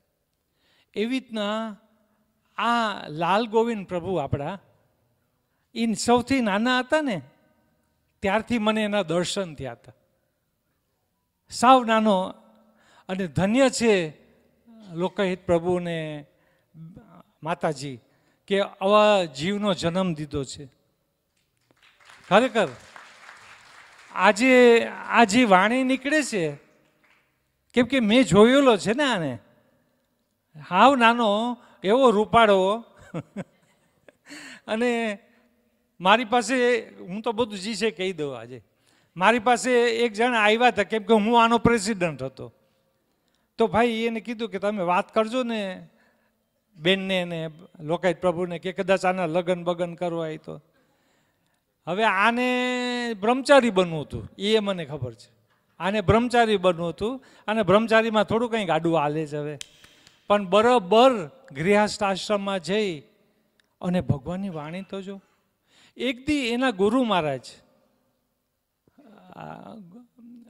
મહારાજ, એમાં મને બહુ ફાઇન વાત કરી. મને, ભાઈ, મેરા હિન્દી ગડબડ યાર. मेरे गुजराती में रहना आप लोग बोलेंगे दो मिनट सब बाजू स्टडियम में હું જાઉં ને ક્યાંય બી મને મને કે બે મિનિટ હું બે કલાક લઈ લઉં પછી એમના ગુરુ મહારાજ મને એક દી અ, મળ્યા હતા આપણે રાસમંડલની ઘરે જમવા ગયા હતા અમારા બે એમના ગુરુભાઈ છે રાસમંડલ પ્રભુ તો એની ઘરે અમે જમવા ગયા ત્યારે મને મહારાજે એક એવી વાત કરી મને કે નનકિશોર અમે રીત અમે પાછા આવતા હતા મંદિરે, કે તું લાલ ગોવિંદ પ્રભુનું ધ્યાન રાખજે કે કે એ પ્રવચન આપે. હવે મને એમ થાય કે આ નાનો જ અવળો અને પ્રવચન આપશે અને વहाँ બધા મહારથી બેઠા હતા. કમલોચન પ્રભુ ને એટલા બધા વનમાલી, હવે સંન્યાસી થઈ ગયા. મોટા મોટા પ્રવચન કરવા માટે. પણ મહારાજે જ્યારે કીધું ને, હું સમજી ગયો કે મહારાજ શું કહેવા માગે છે. એટલે મેં તરત જ કમલોચન પ્રભુને કીધું. અને એ લોકો પછી આગળ વધ્યા. ગુડકિશ પ્રભુ તો ના, હાથ છે આના ઉપર. બહુ પહેલાંથી જ આપણા જેટલા બી હતા ને, આ ગુજરાતી વૈષ્ણવ મીરા રોડમાં, એમના બહુ જ સરસ. હવે આ વાણી મેં જોઈ. તમે જોયું એ જેવી રીતના ઓલી ગુરુ રામાયણની જ્યારે ભગવાનના ઓલા નામ લેતા હતા ત્યારે? મેં જ જોયું કે એ કંઈક જોઈ છે. મેં આટલા વર્ષ ત્યાં પ્રેક્ટિસ કરી, પણ આ લાઈન મને યાદ જ નથી રહેતી. કેટલી વાર ભાગવતમ ખોઈલી હા, સાચી વાત છે. હજી છે, એ જ વાત કરો. પણ ગુરુ આમાં જોઈ લીધું તમે, ગુરુ મહારાજની ઓલા પાવર આવી રીતના ઓલો કુંડલ કૃષ્ણ પ્રભુ. પછી આમનો ગુરુભાઈ બીજો છે, જે ઇંગ્લિશમાં છે, અમેન્દ્ર પ્રભુ. તમે ટ્રાય કરજો જ્યારે બી યુટ્યુબમાં જાઓ ને ઇંગ્લિશમાં. આમ બસ it is just flowing it is just flowing એટલે મહારાજની અસીમ કૃપા છે. આપણે ગુરુના ચરણમાં ટ્રાય કરીએ. તમે લોકનાથ મહારાજની વાત કરતા હતા ને? તો લોકનાથ મહારાજ એવી રીતના છે. અમે વ્રજમંડલમાં જતા હતા. આખી રાત કીર્તન. આખી રાત પેટી લઈ અને એવું જમાવી જમાવી દઈએ એવી રીતના મેં, તમારો પરિવારને મેં જોયું. તમારે પરિવાર ઉપર એક શ્લોક છે. હવે આ છે ને આગળ વધીએ આપણે. એમાં શું કહે છે ખબર છે? બહુના નામ જન્મના મંતે જ્ઞાનમન પ્રવર્તતે, વાસુદેવ સર્વમિતિ, સહમાત્મા સુદુર્લભ. કેટલા જન્મ અને મરણ પછી અંતે આ આપણે જ્ઞાન આવે છે કે વાસુદેવ ઇતિ છે. સહમાત્મા દુર્લભ નથી સો દુર્લભ વેરી રેર તમે લોકો જે આ આખું કુટુંબ ભેગું થયું છે ને, એ આપણે આપણે ધારીએ છીએ એટલા માટે નથી થતું કે ચાલો હું રસિકભાઈ બની ગયો કે હું અજીતભાઈ બની ગયો કે. ના ના ના ના. આ આખું કુટુંબ એટલા માટે ભેગું થયું છે કે ઉપરથી સિગ્નલ આવ્યું છે. જરૂર તમારા કુટુંબના આગળમાં કોઈક એવું ઋષિ, ઋષિમુનિ હશે. ત્યારે આટલું લાલ ગોવિંદ પ્રભુ, મેં કેટલી સપ્તાહમાં ગયો છે? હું એમ નહીં સમજતા ચાલીસ વર્ષમાં, કેટલી સપ્તાહમાં ગયો છું? મોટા મોટાના આખા ઇન્ડિયામાં. હું આજે તમારી સામે વૃંદાવન ધામમાં કહું છું, સૌથી વધારે મને આજે મજા આવી. સૌથી વધારે, મારા હૃદયથી કહું છું. અને જો આ રાશેશ્વર રસિકભાઈ જો મને ના કીધું હોત, તો નીકળી જાત, ભૂલાઈ જાત. પણ આનો મને મેસેજ આવ્યો, મને કે તું વૃંદાવન આવી જા બસ. ટિકિટ લઈને તું વૃંદાવન આવ, પછી આપણે જોશું બધું. હાલો લ્યો. આપણે આવી ગયા અને હું કેટલા ભાગ્યશાળી. અને આમને સાંભળવાની મને બહુ જ ઈચ્છા હતી લાલ ગોયને લાસ્ટ ટાઈમ જ્યારે માયાપુરમાં હતા તમે બધા, ત્યારે મને એટલું થાય કે આ માયાપુરમાં છે. અને મને તો થાય ને. કેમ કે આને તો નાના છોકરાથી મેં જોયો છે. એક વાત કરું તમને. અમે બોરીવલીમાં ભાગવત સપ્તાહ કરી હતી. કહી દો. કહી દો બધાને. કહી દો હાલો અમે લોકો બોરીવલીમાં ભાગવત સપ્તાહ કરી હતી. કનૈયો નહોતો મળતો. કનૈયો તો જોઈએ ને. તો આ ભાઈને બનાવી લીધો કનૈયો. એ કોલેજમાં પ્રોગ્રામ હતો તો કોઈ ના મળે તો આને પકડી લઈ આવે. કેમ કે રૂપાળો બોર્યો. વાંસણી વાંસણીને કરીને આપણે કનૈયો હાલતો હતો. આની ઘણી લીલા છે પણ મને સૌથી વધારે, સૌથી આનંદ એ આવે છે, સૌથી મને આનંદ એ આવે છે કે બહુ એવો ઊંચો જીવ છે આ. બહુ ઊંચો જીવ છે. અને આપણે ટ્રાય કરીએ કે આપણે જેટલી વાર સંઘમાં મળીએ, એટલે અમે બધા આ છે કેન્યા વાર લાલ ગોવિંદ પ્રભુ? અમારા બધા છે આ એક જ ગ્રુપ આખું. એટલે મેં છે ને બધાને વાત કરી થોડી ઘણી કે નેક્સ્ટ આપણે ભેગા થવું હોય ને, તો હું એક જગ્યા કહું. કહું? બોલી દઉં? બધા રેડી થઈ જશે આવવા માટે? મસાઈ મારા. કેટલાને આવું છે મસાઈ મારા? બોલો, હાથ ઊંચો કરો. એ અહીંયા તો બધા હાથ ઊંચા થઈ ગયા છે. અહીંયા કેમ નથી થતા કોઈ હાથ ઊંચા હાલો અહીંયા થઈ ગયા. મસાઈ મારા કેન્યામાં એક એવી જગ્યા છે અને અહીંયા કિકરોજ કિકરોક હોટેલ છે. એમાં રાઈટ કિકરોક. હા, એમાં શું થાય છે કે ઓલા જ્યાં સિંહ એટલો બધો હોય છે, લાયન. અને જો આપણે સપ્તાહ નહીં સાંભળીએ, તો ઓલા લાયનનો તો ઉધાર થવાનો જ છે કે નહીં? એ આજુબાજુમાં જ છે બધા. એટલે આપણે આની પાસે ડેટ લઈ લઈશું કે આવતા વર્ષે અને તમે લોકો નાયરોબીવાળા તમે રિસર્ચ કરવા માંડો, એ વાં જઈને કે ભાઈ, અમને આટલા માણસો આવશું. સો સો માણસની એવરેજ રાખીએ આપણે. હે, પ્રાણાબંધુ પ્રભુ, સો માણસ આપણે થઈ જાય કે નહીં? હંડ્રેડ ના થાય? વધારે થાય. જેટલા થાય, આપણે ક્યાં ડરીએ જ કંઈ? આપણે રિસર્ચ કરો તમે લોકો. કમલેશને બધાને કહું છું વાં જઈને થોડું ફાઇન્ડ આઉટ કરે, એટલે થઈ જશે. આગળ આટલું જ મારે કહેવું હતું. પણ બધા કુટુંબને ખૂબ ખૂબ આભાર, ધન્યવાદ. અને હું આનાથી કેટલો પ્રસન્ન થાઉં. આપણું ઇસ્કોન બાવીસ તારીખ જ્યારે વાત કરતા હતા અયોધ્યાની, અવટાણે દિલ્હીમાં આપણે અખંડ પ્રસાદ આપીએ છીએ. To all the people coming to Ayodhya, ISKCON Delhi is responsible to give prasadam to everybody આજ આજ આ ચાલુ થઈ ગયું છે એ લોકોનું. પ્લસ અમે લોકો પોરબંદરમાં બાવીસ તારીખે અમે મોટું હરિનામ કાઢશું અને જેટલા આવશે એને બધાને અમે પ્રસાદીએ જમાડશું. અને એ પ્રસાદ છે ને તમારા પરિ- પરિવાર તરફથી જ છે. લ્યો. એ ઓલરેડી અમે બુકિંગ કરી લીધું છે. એટલે આપણે ખૂબ ખૂબ આભાર માને લાલ ગોવિંદ પ્રભુનું. હું તમને એક જ કહું, પછી વિરામ, આપણે આગળ વધીએ. આ તમે બહુ યાદ રાખજો.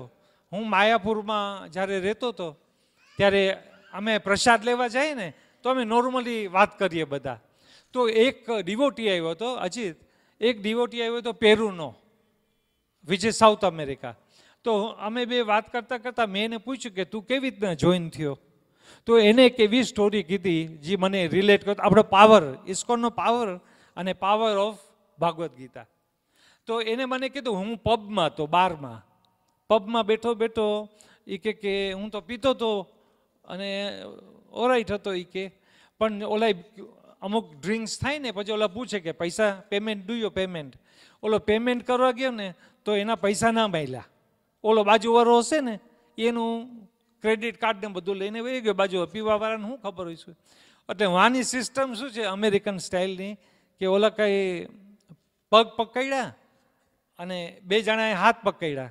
અને વન, ટુ, થ્રી કરીને બારે ફેંકો ઓલાને. બારે તો ફેંકો, પણ ઓલો ગટરમાં, બારના ગટરમાં પડી ગયો. આખી રાત એ ગટરમાં હતો અને નેક્સ્ટ મોર્નિંગ શું થયું ખબર છે? એ જ્યારે ઉઠ્યો ને, તો એની નીચે ભાગવદ્ ગીતા હતી. હા, સ્પેનિશ ભાગવદ્ ગીતા એનો તકિયો બંધીને આખી રાત હતી. એને જ્યારે ભાગવદ્ ગીતા ખોઈલી ત્યારે એની આંખમાંથી આંસુ આવી ગયા. એને પહેલી વાર રાધાકૃષ્ણનો ફોટો જોયો. પછી એને જોયું કે નિયરેસ્ટ આ સેન્ટર ક્યાં છે? તો નિયરેસ્ટ સેન્ટર એને ગયો. પહેલી વાર એની લાઈફમાં એને પૂરી પકોડા ભજીયા અને એવું બધું ખાધું. એનું ટ્રાન્સફોર્મેશન જો. પછી ઓલકાને લઈ ગયા શેવિંગ બેવિંગ કરાવ્યું. એને નવી લાઈફ આપી. એ છોકરાએ આખી વ્રજમંડળ કરી ગોર્ધન પરિક્રમા કરી, વૃંદાવન પરિક્રમા કરી અને એ ડિવોટી મને માયાપુરમાં ભેગું થયો. તમે જોઈ લો આ, બોલો હરિબોલ તો બોલો? હા, તો વાંધો નહીં. એકાદશી ડઝન મીન કે આપણી પાસે તાકાત નથી. આટલી બધી વેરાયટી બનાવી હતી આજે. તો અમે કોઈ દી આટલી બધી વેરાયટી ખાધી નથી હો. આજે એટલી બધી મેં જોઈ, બનાવી હતી વેરાયટી ઓકે? તો હું જોઉં છું, કંઈ બીજું કંઈ રહી તો નથી ગયું ને? ના કે પાછો ક્યારે ચાન્સ મળશે? હા હા મોસ્ટ ઇમ્પોર્ટન્ટ મોસ્ટ ઇમ્પોર્ટન્ટ વાત છે. જ્યારે હું જોઈન થયો ને એ તમારે જાણવું પડશે. જ્યારે હું ભક્તિ વિધાન મેનરમાં જોઈન થવા ગયો, તો મને એક દિવસ તમલ કૃષ્ણ મહારાજ તમલ કૃષ્ણ મહારાજ મીન્સ શિલા પ્રભુપાદના રાઈટ હેન્ડ અને વેરી ટફ અને વેરી ડિફેર આપણા આ પ્રાણબંધુ બેઠા છે ને, એના જેવા. સ્ટ્રીક અને કઠણ. તો કૃષ્ણ મહારાજ એક દી, હું ને મારી વાઈફ મારી વાઈફ તો પરજિયા સોનીની છે, ખબર છે તમને? અને હું તમારો જમાઈ થાવ એ તો યાદ કરાવવું પડે ને આ લોકોને. પછી અમને બેને કીધું she was working in Northwick Park hospital તો એને એક દિવસ કહી દીધું, અમને બેને કીધું કે, તમે જાઓ બોમ્બે. તો મેં કીધું, આ ઓચિતાનું બોમ્બે કેવી રીતના બધું જાવું, કરવું? એટલે હું જેમ નીચે ઉતર્યો ને આપણા તમારા કિસ્સામાં જો staying in that life membership પછી હું નીચે ઉતર્યો ને, તો મને શ્રુતિ ધર્મ મહિલા તો એની બાજુમાં કૌશિક હતા. અને થોડી વાર પછી અજીતને યાદ ન હોય તો પણ અજીતભાઈ આવ્યા અહીંયા. પછી મને વાત કરતા હતા, તો એવું છે, હું શું કરું? એટલે શ્રુતિ તો બોલે નહીં, આમ હા કે ના કંઈ જવાબ નથી આપતા.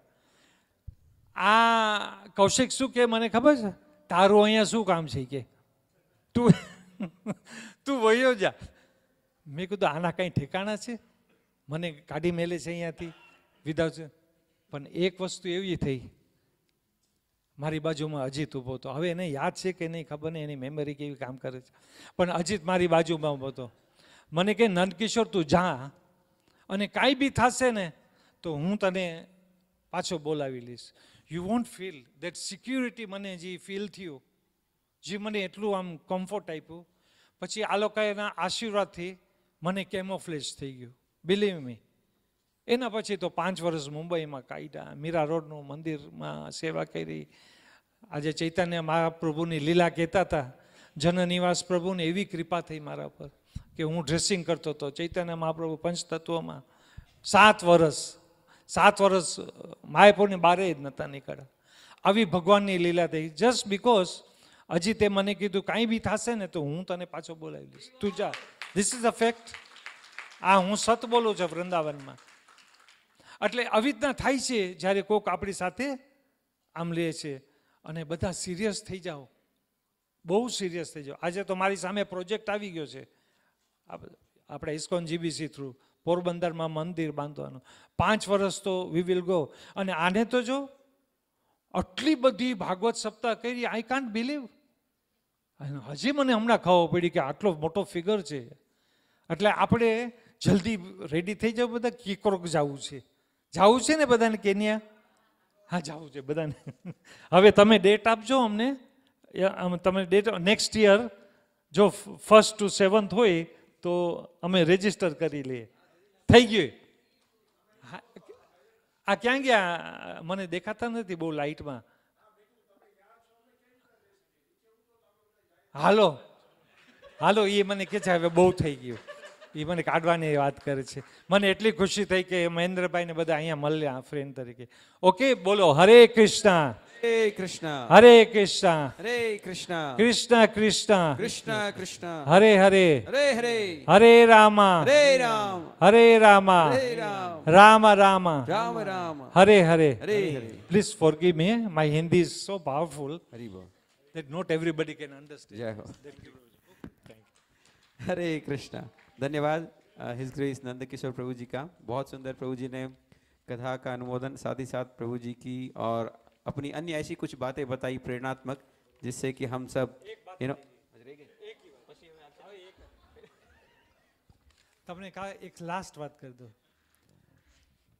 આપણી પન્ના છે ને તો અમે એકવાર અ, મુંબઈથી વાં જતા હતા આપણે કલકત્તા જતા હતા ફ્લાઇટમાં તો આખી ફ્લાઇટમાં અઢી ત્રણ કલાકની વોટ એવર ધ ફ્લાઇટ તો મને પન્ના સાથે ઇન્ટ્રોડક્શન વાત કરવા માંડ્યા. She kept on talking and joking કે મને દોઢ બે કલાક ક્યાં વહી ગઈ? ખબર ના પડી. પણ સ્પિરિચ્યુઅલી મને ખબર પડી કે she is not an ordinary soul મને એલો પિન પોઈન્ટ થયું. હમણાં જ હમણાં જ અમે ગીતા જયંતિ હતી ને, ગીતા જયંતિ એના નામની એટલી બધી સ્કૂલમાં ભાગવદ્ ગીતા ગઈ. જસ્ટ ઓલ ઓફ સડન એટલે કહેવાનો ભાવત એમ છે, જીવની પાછળ કેવી રીતના થાય છે? આ તમારા કુટુંબ કંઈ ઓર્ડનરી કુટુંબ નથી. તમે, હું લખીને આપું તમને. પણ આ રહ્યો. આ હજી તો અહીંયા બેસાડી દો એટલે કીર્તન કરવા મનશે.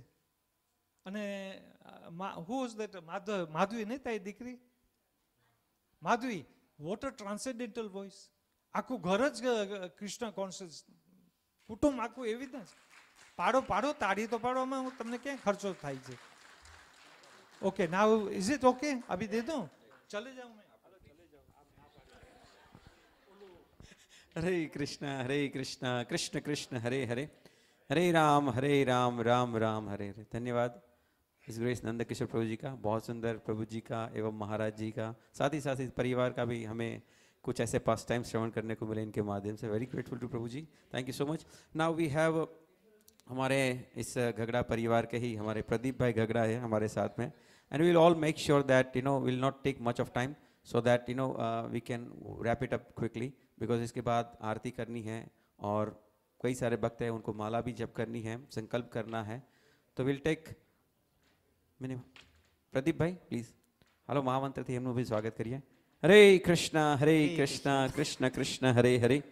हरे राम हरे राम राम राम हरे हरे। हरे कृष्ण हरे कृष्ण कृष्ण कृष्ण हरे हरे। हरे राम। हरे राम राम राम हरे हरे।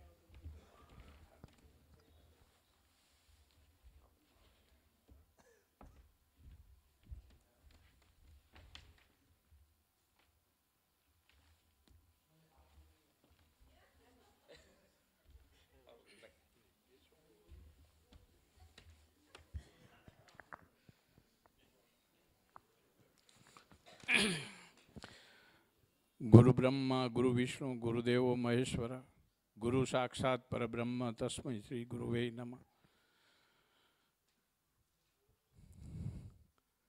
આજે ખૂબ સાત દિવસ સુધી આપણે ઉત્સાહથી જે માયણા એવા શ્રી લાલ ગોવિંદ પ્રભુને મારા હૃદયથી સાષ્ટાંગ દંડવત પ્રણામ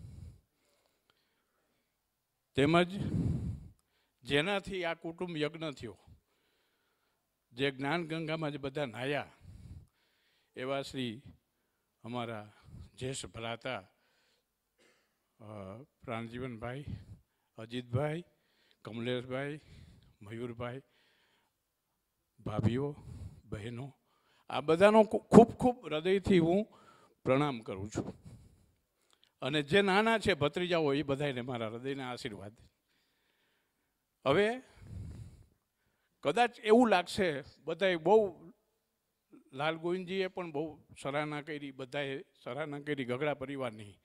તો ગગડા પરિવાર કોણ? એ જરાક આપણે સમજવું પડે. ગગડા પરિવાર એમને માં નથી આવ્યું, આ લોહીમાં વણાઈને આવ્યું જ. જે ઘગડા પરિવારનો વંશ જે ચાલુ થયો તે આપણો વંશ જે કહેવાય તે હનુમાન વંશી કહેવાય.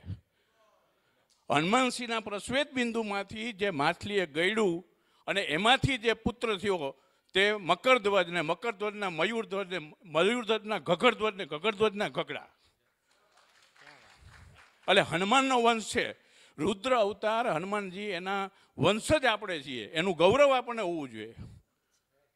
અને બીજી વાત એ છે કે પહેલાં છે ને બધા લંડન અમેરિકાનું બહુ નહોતું ત્યારે જાવા જા કરતા જતા અને અમે બચપણમાં જ્યારે ભણતા ને ત્યારે અ, એક ભૂગોળની અંદર ઇતિહાસની અંદર એક લાઈન આવતી કે જાવે જે કો નર ગયો નાવે મંદિર માય આવે જો મંદિર મહી તો પર્યા પર્યા ખાય જાવા જાય એટલે હાથ પેઢીનું તારી નાખે અને એ પછી એનું કાન છે, પૈસો મારો પરમેશ્વર ને બૈરી મારું, ગુરુ, છયા છોકરા શાલિગ્રામ સેવા કોની કરું? પછી એને બીજું કંઈ દેખાય ને ઇટ કેન બી મેરી એટલે એની જે એનું પ્રભાવ એના એના જીવનની અંદર પ્રાધાન્ય ભોગનું થઈ ગયું, એ ભાવ એનામાંથી નીકળી જાય.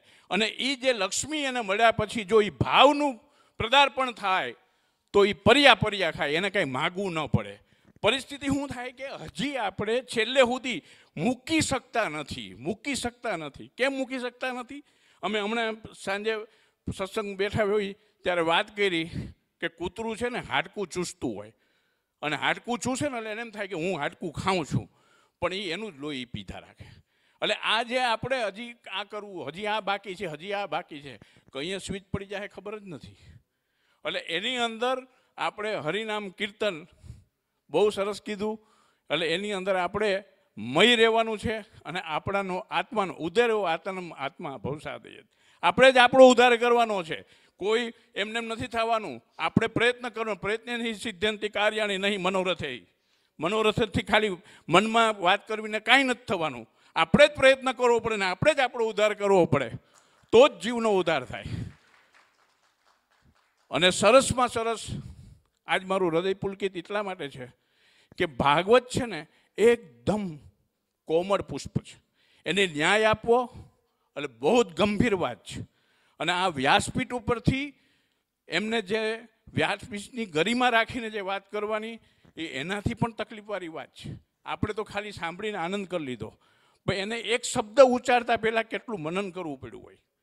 અને એમાં સૌથી જટિલમાં જટિલ અઘરામાં અઘરો જો અવતાર, એટલે બુધ અવતાર. અને એ બુદ્ધ અવતારને એમણે એટલી બધી રીતે સરસ રીતે ન્યાય આપ્યો, એના માટે ખરેખર બહુ જ મારું હૃદય તો પુલકિત છે. કારણ કે બુદ્ધ અવતારને જે સમજવા અને એને રજૂ કરવા, આ સહેલી વાત નથી.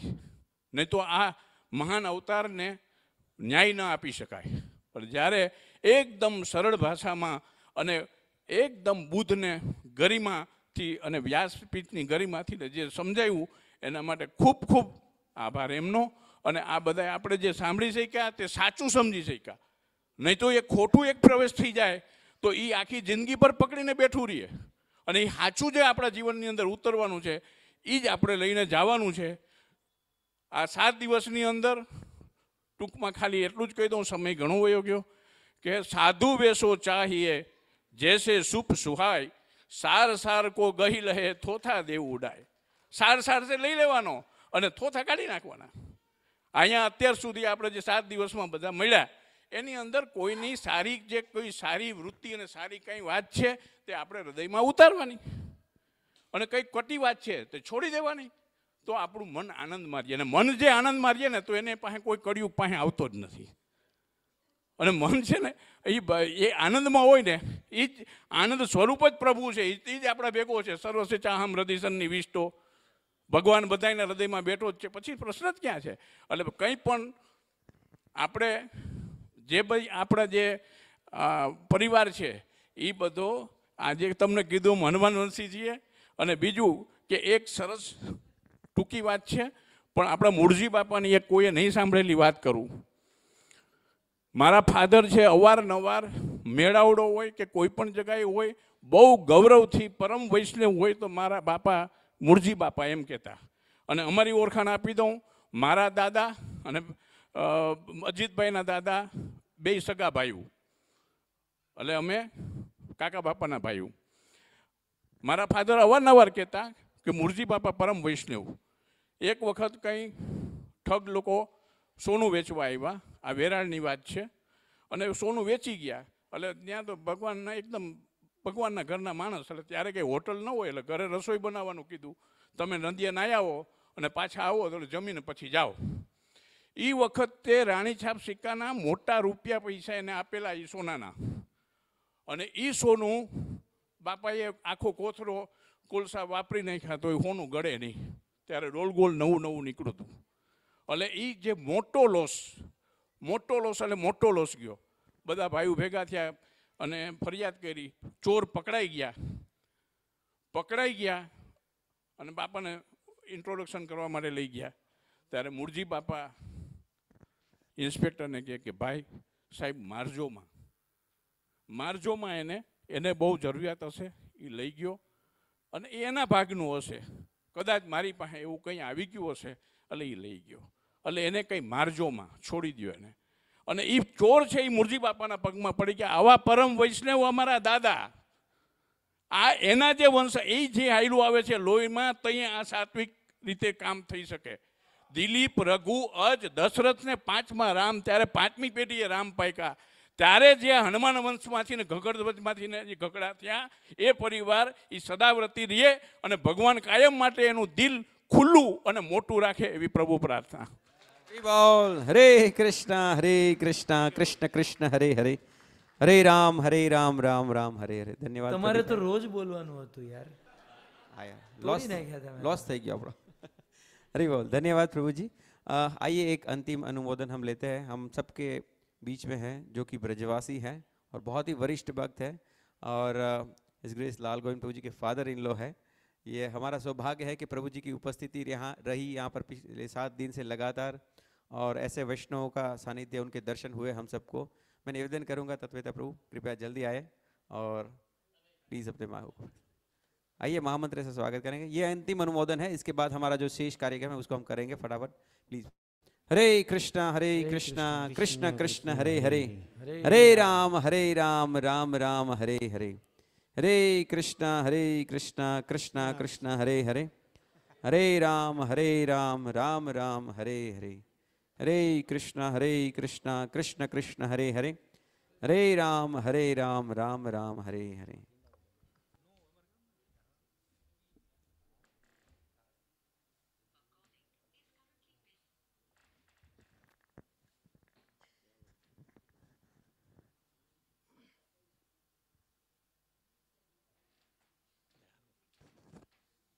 हरि बोल। नमो विष्णुपादाय कृष्णपृष्ठाय भूतले।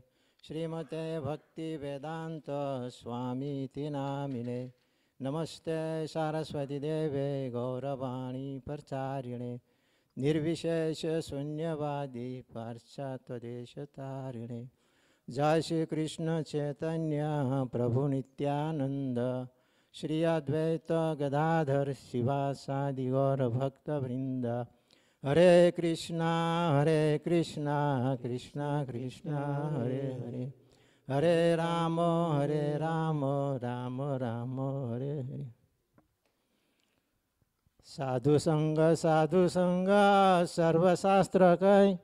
लव मात्र साधु संग सर्व सिद्धी है साधु संघ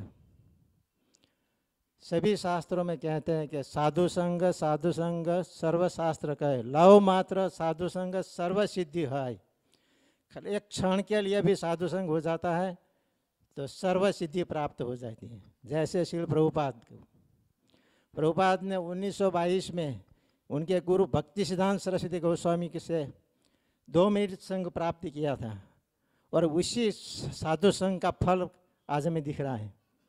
सारे विश्व में प्रभुपाद हरे कृष्ण महामंत्र का प्रचार कर दिए। तो ऐसे साधु संघ का महत्व है। तो उसी प्रकार ये साधु संघ का हम लाभ ले रहे हैं अभी श्रीमान लाल गोविंद प्रभु द्वारा और गगड़ा परिवार हमें दे रहे हैं सभी भक्तों को और आधुनिक प्रकरण से जो पंद्रह लाख लोगों ने श्रवण किया, ये सबसे बड़ा दान है। वास्तव में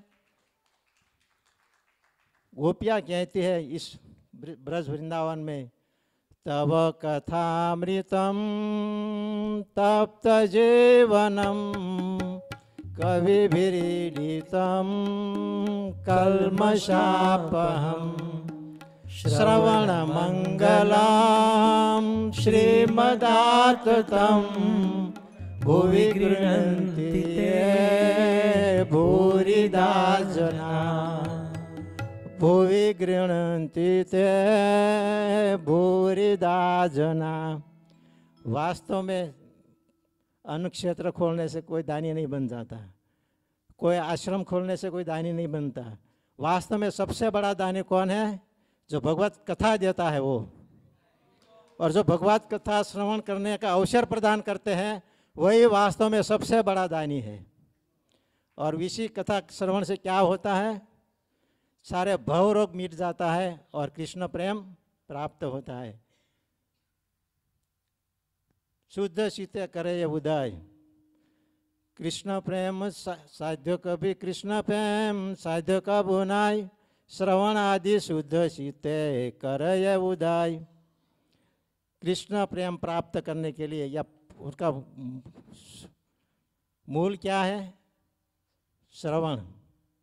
तो ऐसी भगवत कथा का जो आयोजन होता है तो उस आयोजन के द्वारा जो हमारे हृदय में जो कृष्ण प्रेम पड़ा हुआ है, उसको अंकुरित करते हैं, प्रकट करते हैं, भागवत कथा। तो खूब खूब धन्यवाद श्रीमान लाल गोविंद प्रभु और गगड़ा परिवार, जिसने सारे विश्व में ये अवसर प्रदान किया। वास्तव में ये सबसे बड़ा दान है। सबसे बड़ा दानी गोपिया कहती है, जो ब्रज में सर्वश्रेष्ठ भक्त के रूप में प्रस्तुत है श्री गोपिया।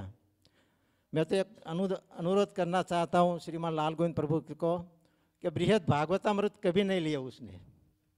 श्री सनातन गोस्वामी, हमारे छह गोस्वामी में से एक सनातन गोस्वामी है, उसने ग्रंथ की रचना की है, बृहद भागवतामृत। भक्तों ने सुना होगा नाम, जब भागवत समाप्त होता है और तक्षक नाग दसने के लिए जब आते हैं परीक्षित महाराज को, उसके बीच में थोड़ा गैप होता है। तो उसी समय उनकी माता उत्तरा दौड़ कर आती है परीक्षित महाराज के पास। और परीक्षित महाराज से अनुरोध करती है कि, हे बेटा, तुमने सात दिन में जो भागवत कथा सुनी सुखदेव गो, गोस्वामी से तो उसमें सार सार क्या है वो मुझे बताओ। तो उसी समय सुखदेव परीक्षित महाराज माता उत्तरा को बताती है और उसी प्रसंग को लेकर श्री सनातन गोस्वामी ने श्रीमद बृहद भागवतामृत की रचना की है। उसी ग्रंथ में ब्रज वृंदावन धाम की महिमा और ब्रजवासियों की महिमा प्रस्तुत की है। तो लाल गोविंद प्रभु ने आज तक वो टच नहीं किए हैं। पता नहीं क्यों नहीं किए वो। तो कभी अवसर आए तो उसी को लेना चाहिए। सारे ग्रंथ ले लिए हैं। यहाँ तक कृष्ण कर्णामृत भी ले लिए हैं। लेकिन बृहद भागवतामृत टच नहीं किए। तो बृहद भागवतामृत इतना सुंदर ग्रंथ है कि आप पढ़ेंगे या सुनेंगे तो इस भागवत को भी भूल जाएँगे, क्योंकि ये सनातन गोस्वामी की रचना है, जो वर्तमान हमारे आचार्य सर गोस्वामी हो गए। तो ऐसे भागवत कथा जो प्रस्तुत करते हैं, प्रदान करते हैं, श्रवण कराते हैं, और जो ऐसा भागवत कथा का श्रवण करने का अवसर प्रदान करते हैं, ये वास्तव में सबसे बड़ा दानी है। इसलिए सूद गोस्वामी कहते हैं कि तस्मात एकन मनसो।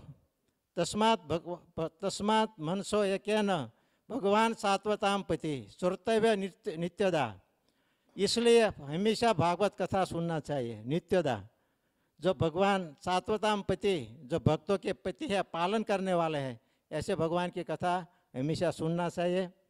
और ऐसे जो अवसान, अवसर प्रदान करते हैं, ऐसे आयोजन करके तो वास्तव में सबसे बड़ा दानी तो खूब खूब हम आभार मानते हैं श्री गगड़ा परिवार का, जो ऐसे आयोजन करके सारे विश्व में इस अवसर का प्रदान किए और खूब और विशेष करके श्रीमान लाल गोविंद प्रभु से कि उसने जो सात दिवन, सात दिवस इस भागवत कथा का श्रवण कराए। और एक अनुरोध है श्रीमद बृहद भागवतामृत लेने के लिए, कि समय मिले। हरे कृष्णा। हरे कृष्णा हरे कृष्णा कृष्णा कृष्णा हरे हरे हरे राम हरे राम। राम राम हरे हरे शिल प्रभुपाद की जय। हरे कृष्णा। बहुत बहुत धन्यवाद हमारे इस ग्रेस तत्ववेता प्रभु जी का जो कि कई समय से कई सालों से यहाँ पर ब्रज में रहते हुए ये ब्रज रस का आस्वादन कर रहे हैं। और बहुत सुंदर प्रभु जी ने भाव प्रस्तुत किया यहाँ पर। धन्यवाद प्रभु जी। और अब मैं निवेदन करता हूँ हमारे उन वैष्णव से यू नो जो हमारे घगड़ा परिवार के द्वारा आमंत्रित उनके जो कजिन्स ब्रदर हैं जिनको अ, हमारे ये पाँच भाई जो हमारे हैं राशेश्वर प्रभु हमारे अजीत प्रभु साथ ही साथ ये पाँचों भाइयों को एवं श्रीमान लाल गोविंद प्रभु जी को ग्रीटिंग्स करना चाहते हैं। ऐसे हमारे पहले तो निवेदन है हमारे इन गगड़ा परिवार के पाँचों भाइयों को कि आप सब यहाँ पर स्टेज पर आ जाए। हिज ग्रेस प्राणनाथ कृष्ण प्रभु अजीत प्रभु राशेश्वर प्रभु कमलेश प्रभु एवं मयूर प्रभु आप सब यहाँ पर उपस्थित हो जाए और इनको ग्रीटिंग्स करने आ रहे हैं हमारे जयंती भाई पटनी और नरेंद्र भाई धकान नारायण भाई भरत भाई और उनको ग्रीटिंग्स करेंगे और साथ ही साथ श्रीमान लाल गोविंद प्रभु जी को भी सम्मानित करेंगे। आइए महामंत्र के साथ।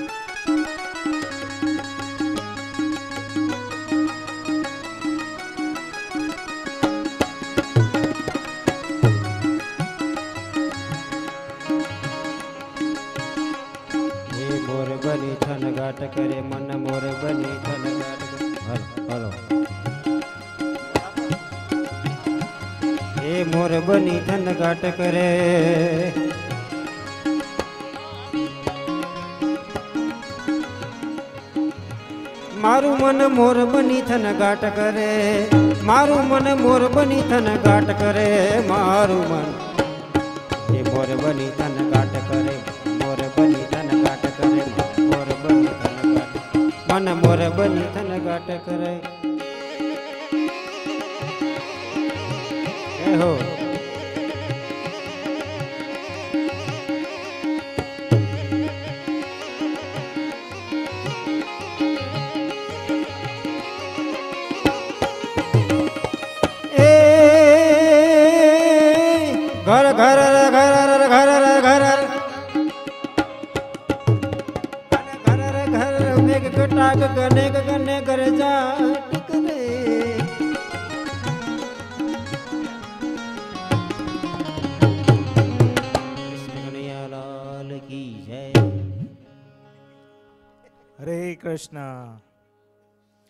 ही सुंदर तरीके से यहाँ पर यजमान परिवार के भाई बंधु जितने हैं, उनके कजिन्स उनके बहनों ने यहाँ पर स्वागत, सत्कार उनका किया पूरे परिवार का।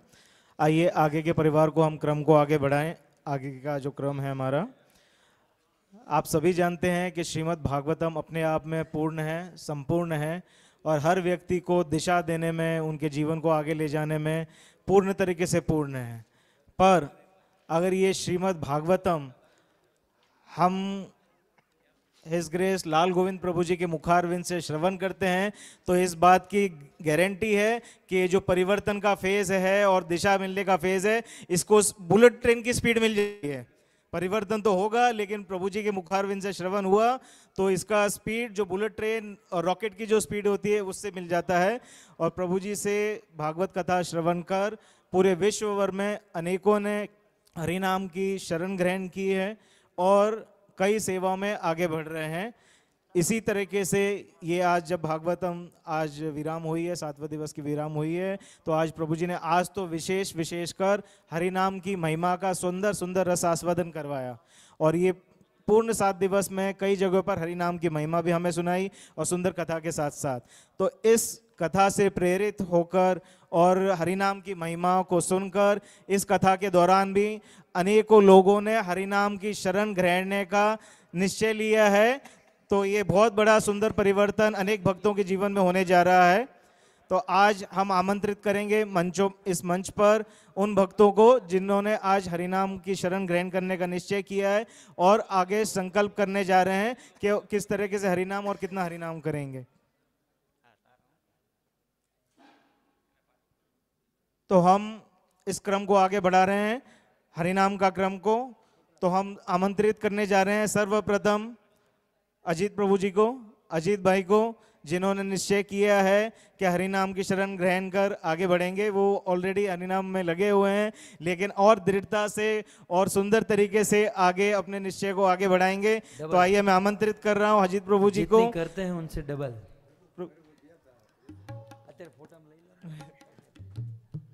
हरे कृष्णा हरे कृष्णा कृष्णा कृष्णा, हरे हरे। हरे राम हरे राम राम राम, हरे हरे। शिल प्रभुपाद की जय। मैं क्रम से नाम बुलाते जा रहा हूँ, सभी ऊपर आते जाएँ। आगे आगे आए पुष्पा बेन, कमलेश भाई।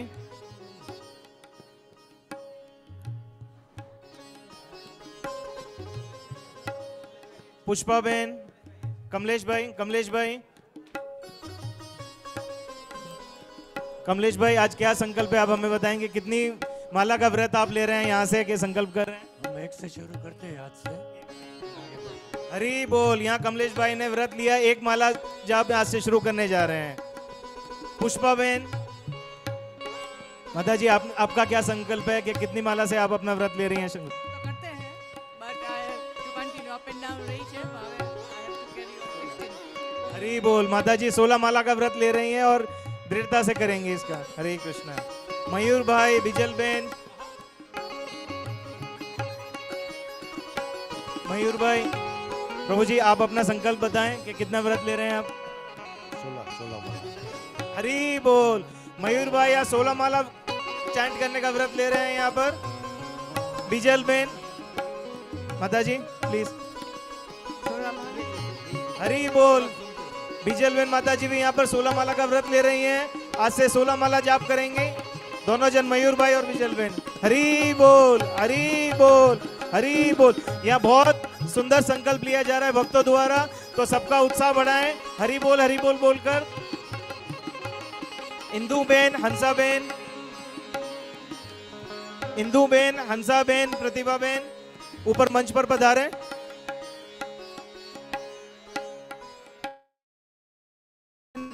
प्रतिभा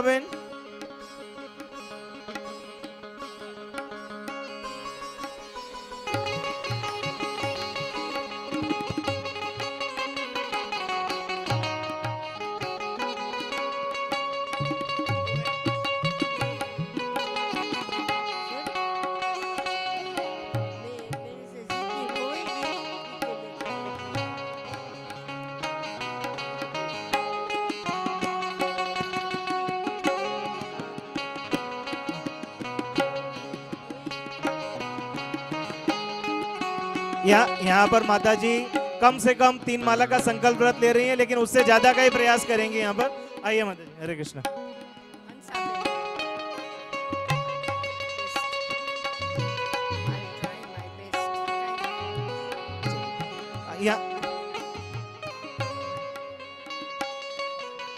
हंसा माता जी यहाँ पर आज ज़्यादा से ज़्यादा माला चैंट करने का व्रत ले रही हैं यहाँ पर, कि पूर्ण प्रयास करेंगी कि 16 तक पहुँचे यहाँ पर। हरी बोल।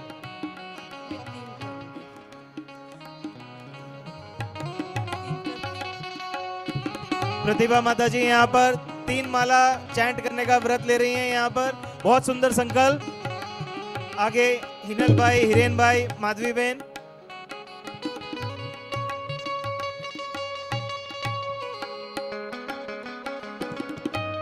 आते जाइए। चलिए, यहाँ पर नाम में देर हो रही है, आप बोलते जाइए। कौन कौन है? आप आते जाइए क्रम से।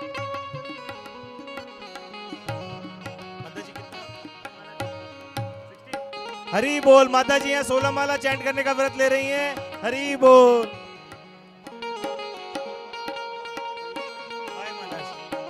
प्रभु जी यहाँ पर पाँच माला चैंट करने का व्रत ले रहे हैं। आज से पाँच माला का संकल्प यहाँ पर हो रहा है।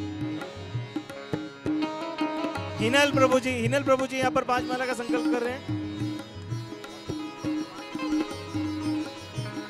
हिरेन प्रभु जी यहाँ पर पाँच माला का संकल्प कर रहे हैं, यहाँ पर पाँच माला जाप करेंगे आज से।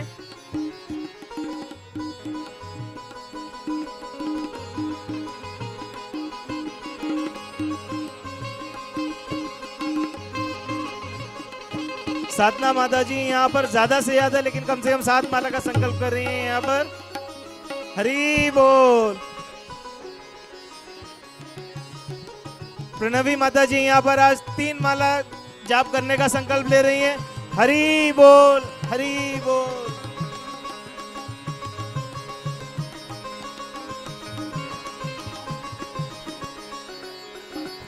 श्रेया माता जी यहाँ पर तीन माला जाप करने का संकल्प ले रही हैं आज।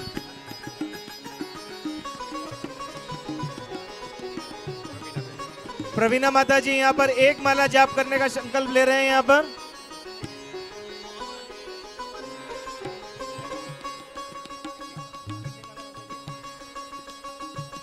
प्रीति माता जी यहाँ पर दो माला चैंट करने का संकल्प ले रही हैं यहाँ पर। उर्मिला माता जी यहाँ पर पाँच माला जाप करने का संकल्प ले रही हैं।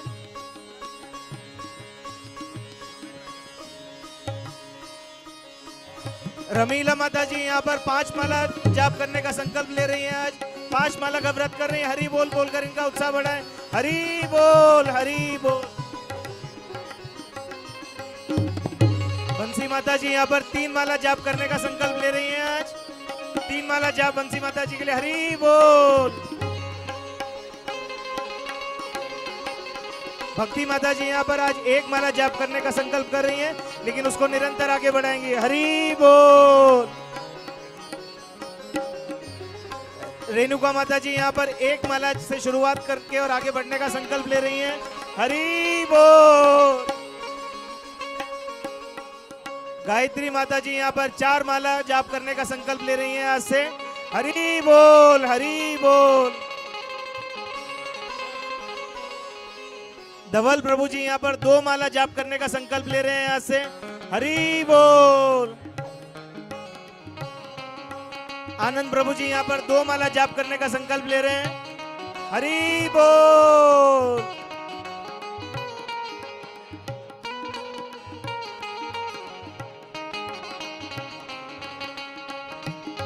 सुरेखा माता जी यहाँ पर दो माला जाप करने का संकल्प ले रही हैं। हरी बोल हरी बोल।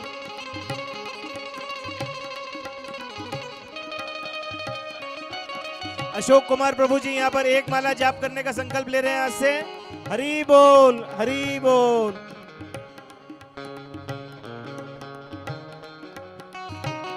बनवारी लाल प्रभु जी यहाँ पर एक माला जाप करने का संकल्प ले रहे हैं। बनवारी लाल प्रभु जी एक माला जाप करने का संकल्प ले रहे हैं?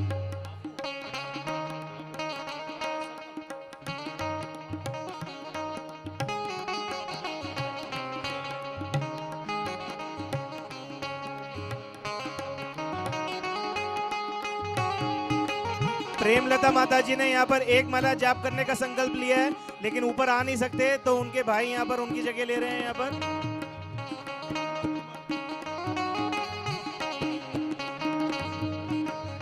रेखा माता जी यहाँ पर तीन माला जाप करने का संकल्प ले रही हैं, व्रत ले रही हैं। हरी बोल करके इन भक्तों का उत्साह बढ़ाए, हरी बोल।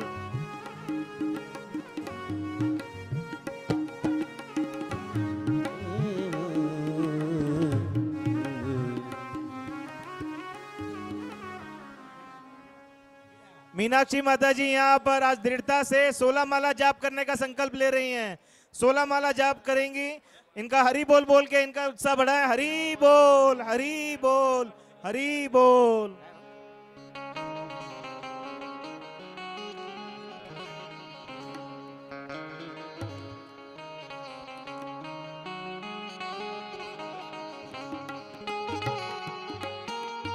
हंसा माता जी, तीन माला जाप करने का संकल्प व्रत आज ले रही हैं। हरी बोल।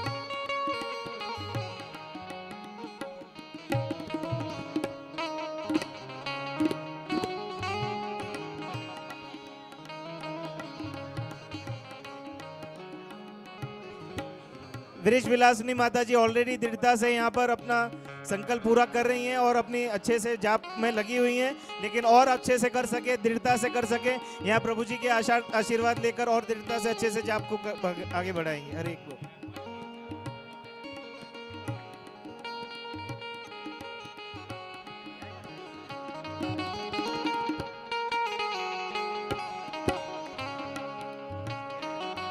आरती माता जी सोलह माला जाप दृढ़ता से अच्छे से करने के लिए आज से संकल्प ले रही हैं। हरी बोल हरी बोल।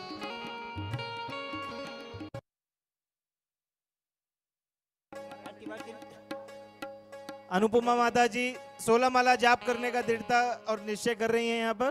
दृढ़ता से संकल्प कर रही हैं आज। सीमा माता जी आज से तीन माला जाप करने का संकल्प यहाँ पर ले रही हैं। हरी बोल।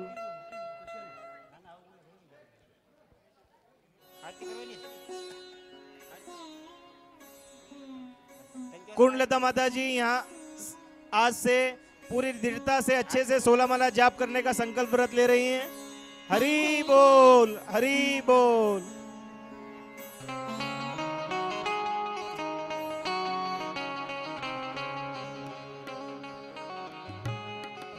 प्रफुल्ल प्रभु जी, एक माला से शुरुआत करके आगे अपने संकल्प को आज आगे बढ़ा रहे हैं। एक माला से शुरुआत करेंगे। हरी बोल।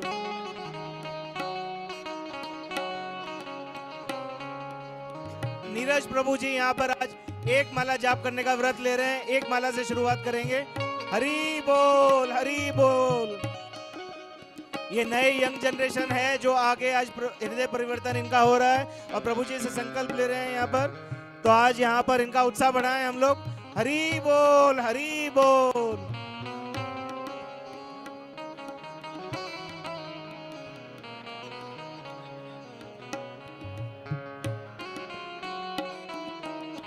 रामानंद प्रभु जी यहाँ पर आज से दृढ़ता से और अच्छे से सोलह माला जाप करने का संकल्प ले रहे हैं। सोलह माला जाप अच्छे से करेंगे रामानंद प्रभु जी हरी बोल।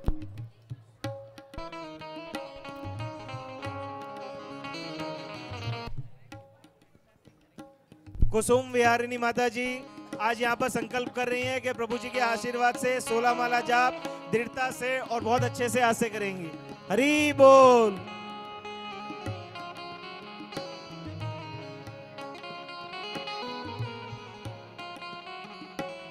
जय श्री माता जी यहाँ पर एक बहुत ही सुंदर संकल्प व्रत कर रही हैं कि एवरीडे ये एक माला का जाप करेंगी, लेकिन मंगला आरती रोज करेंगी। तो मंगला आरती और एक माला जाप का व्रत आज ले रही हैं। हरी बोल हरी बोल हरी बोल।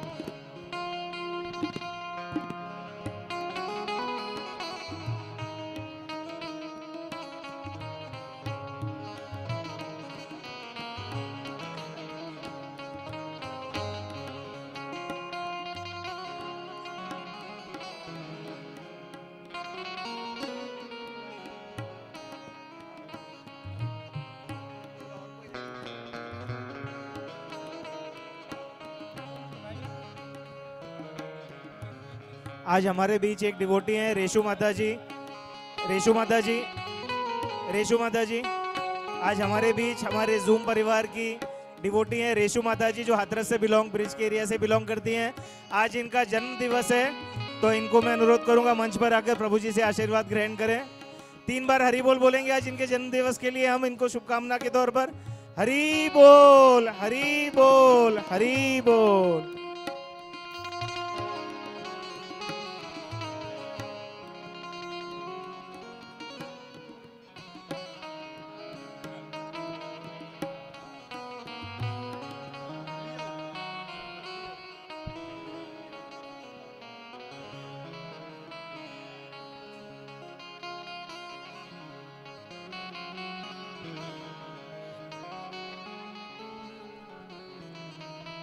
जन्मदिन की हार्दिक शुभकामनाएँ माता जी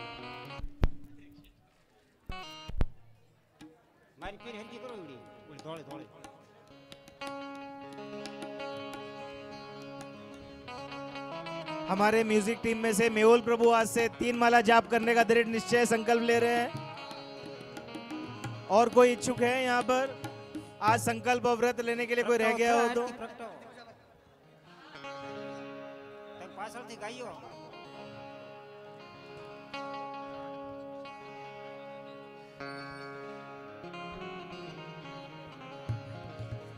आरती की थाली भी रेडी कराएँ। आगे क्रम में हम श्रीमद भागवतम की आरती होगी। आरती अति पावन पुराण की।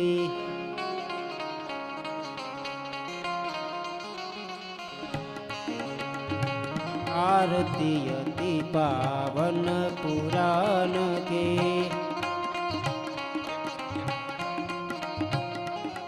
ई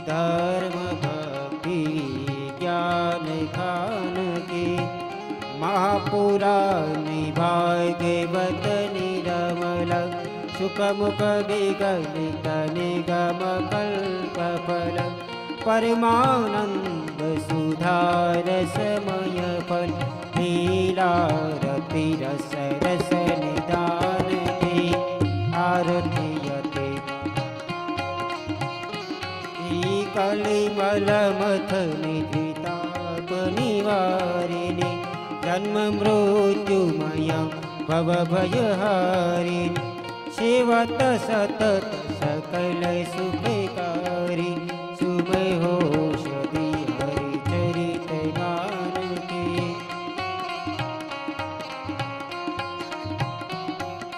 विषय बिला विमोह विनाशिनी विमल बीरा विवेक विकाशिनी भगवत रहस्य प्रकाशन परम ज्योति परमार्थ ज्ञान की आरतीयते ई परमहंस मुनि मन उल्लासने रसिक हृदय रस मुक्ति रति प्रेम सुदासी कथा हरे कृष्णा हरे कृष्णा कृष्णा कृष्णा, हरे हरे। हरे राम हरे राम राम राम। हरे कृष्णा हरे कृष्णा।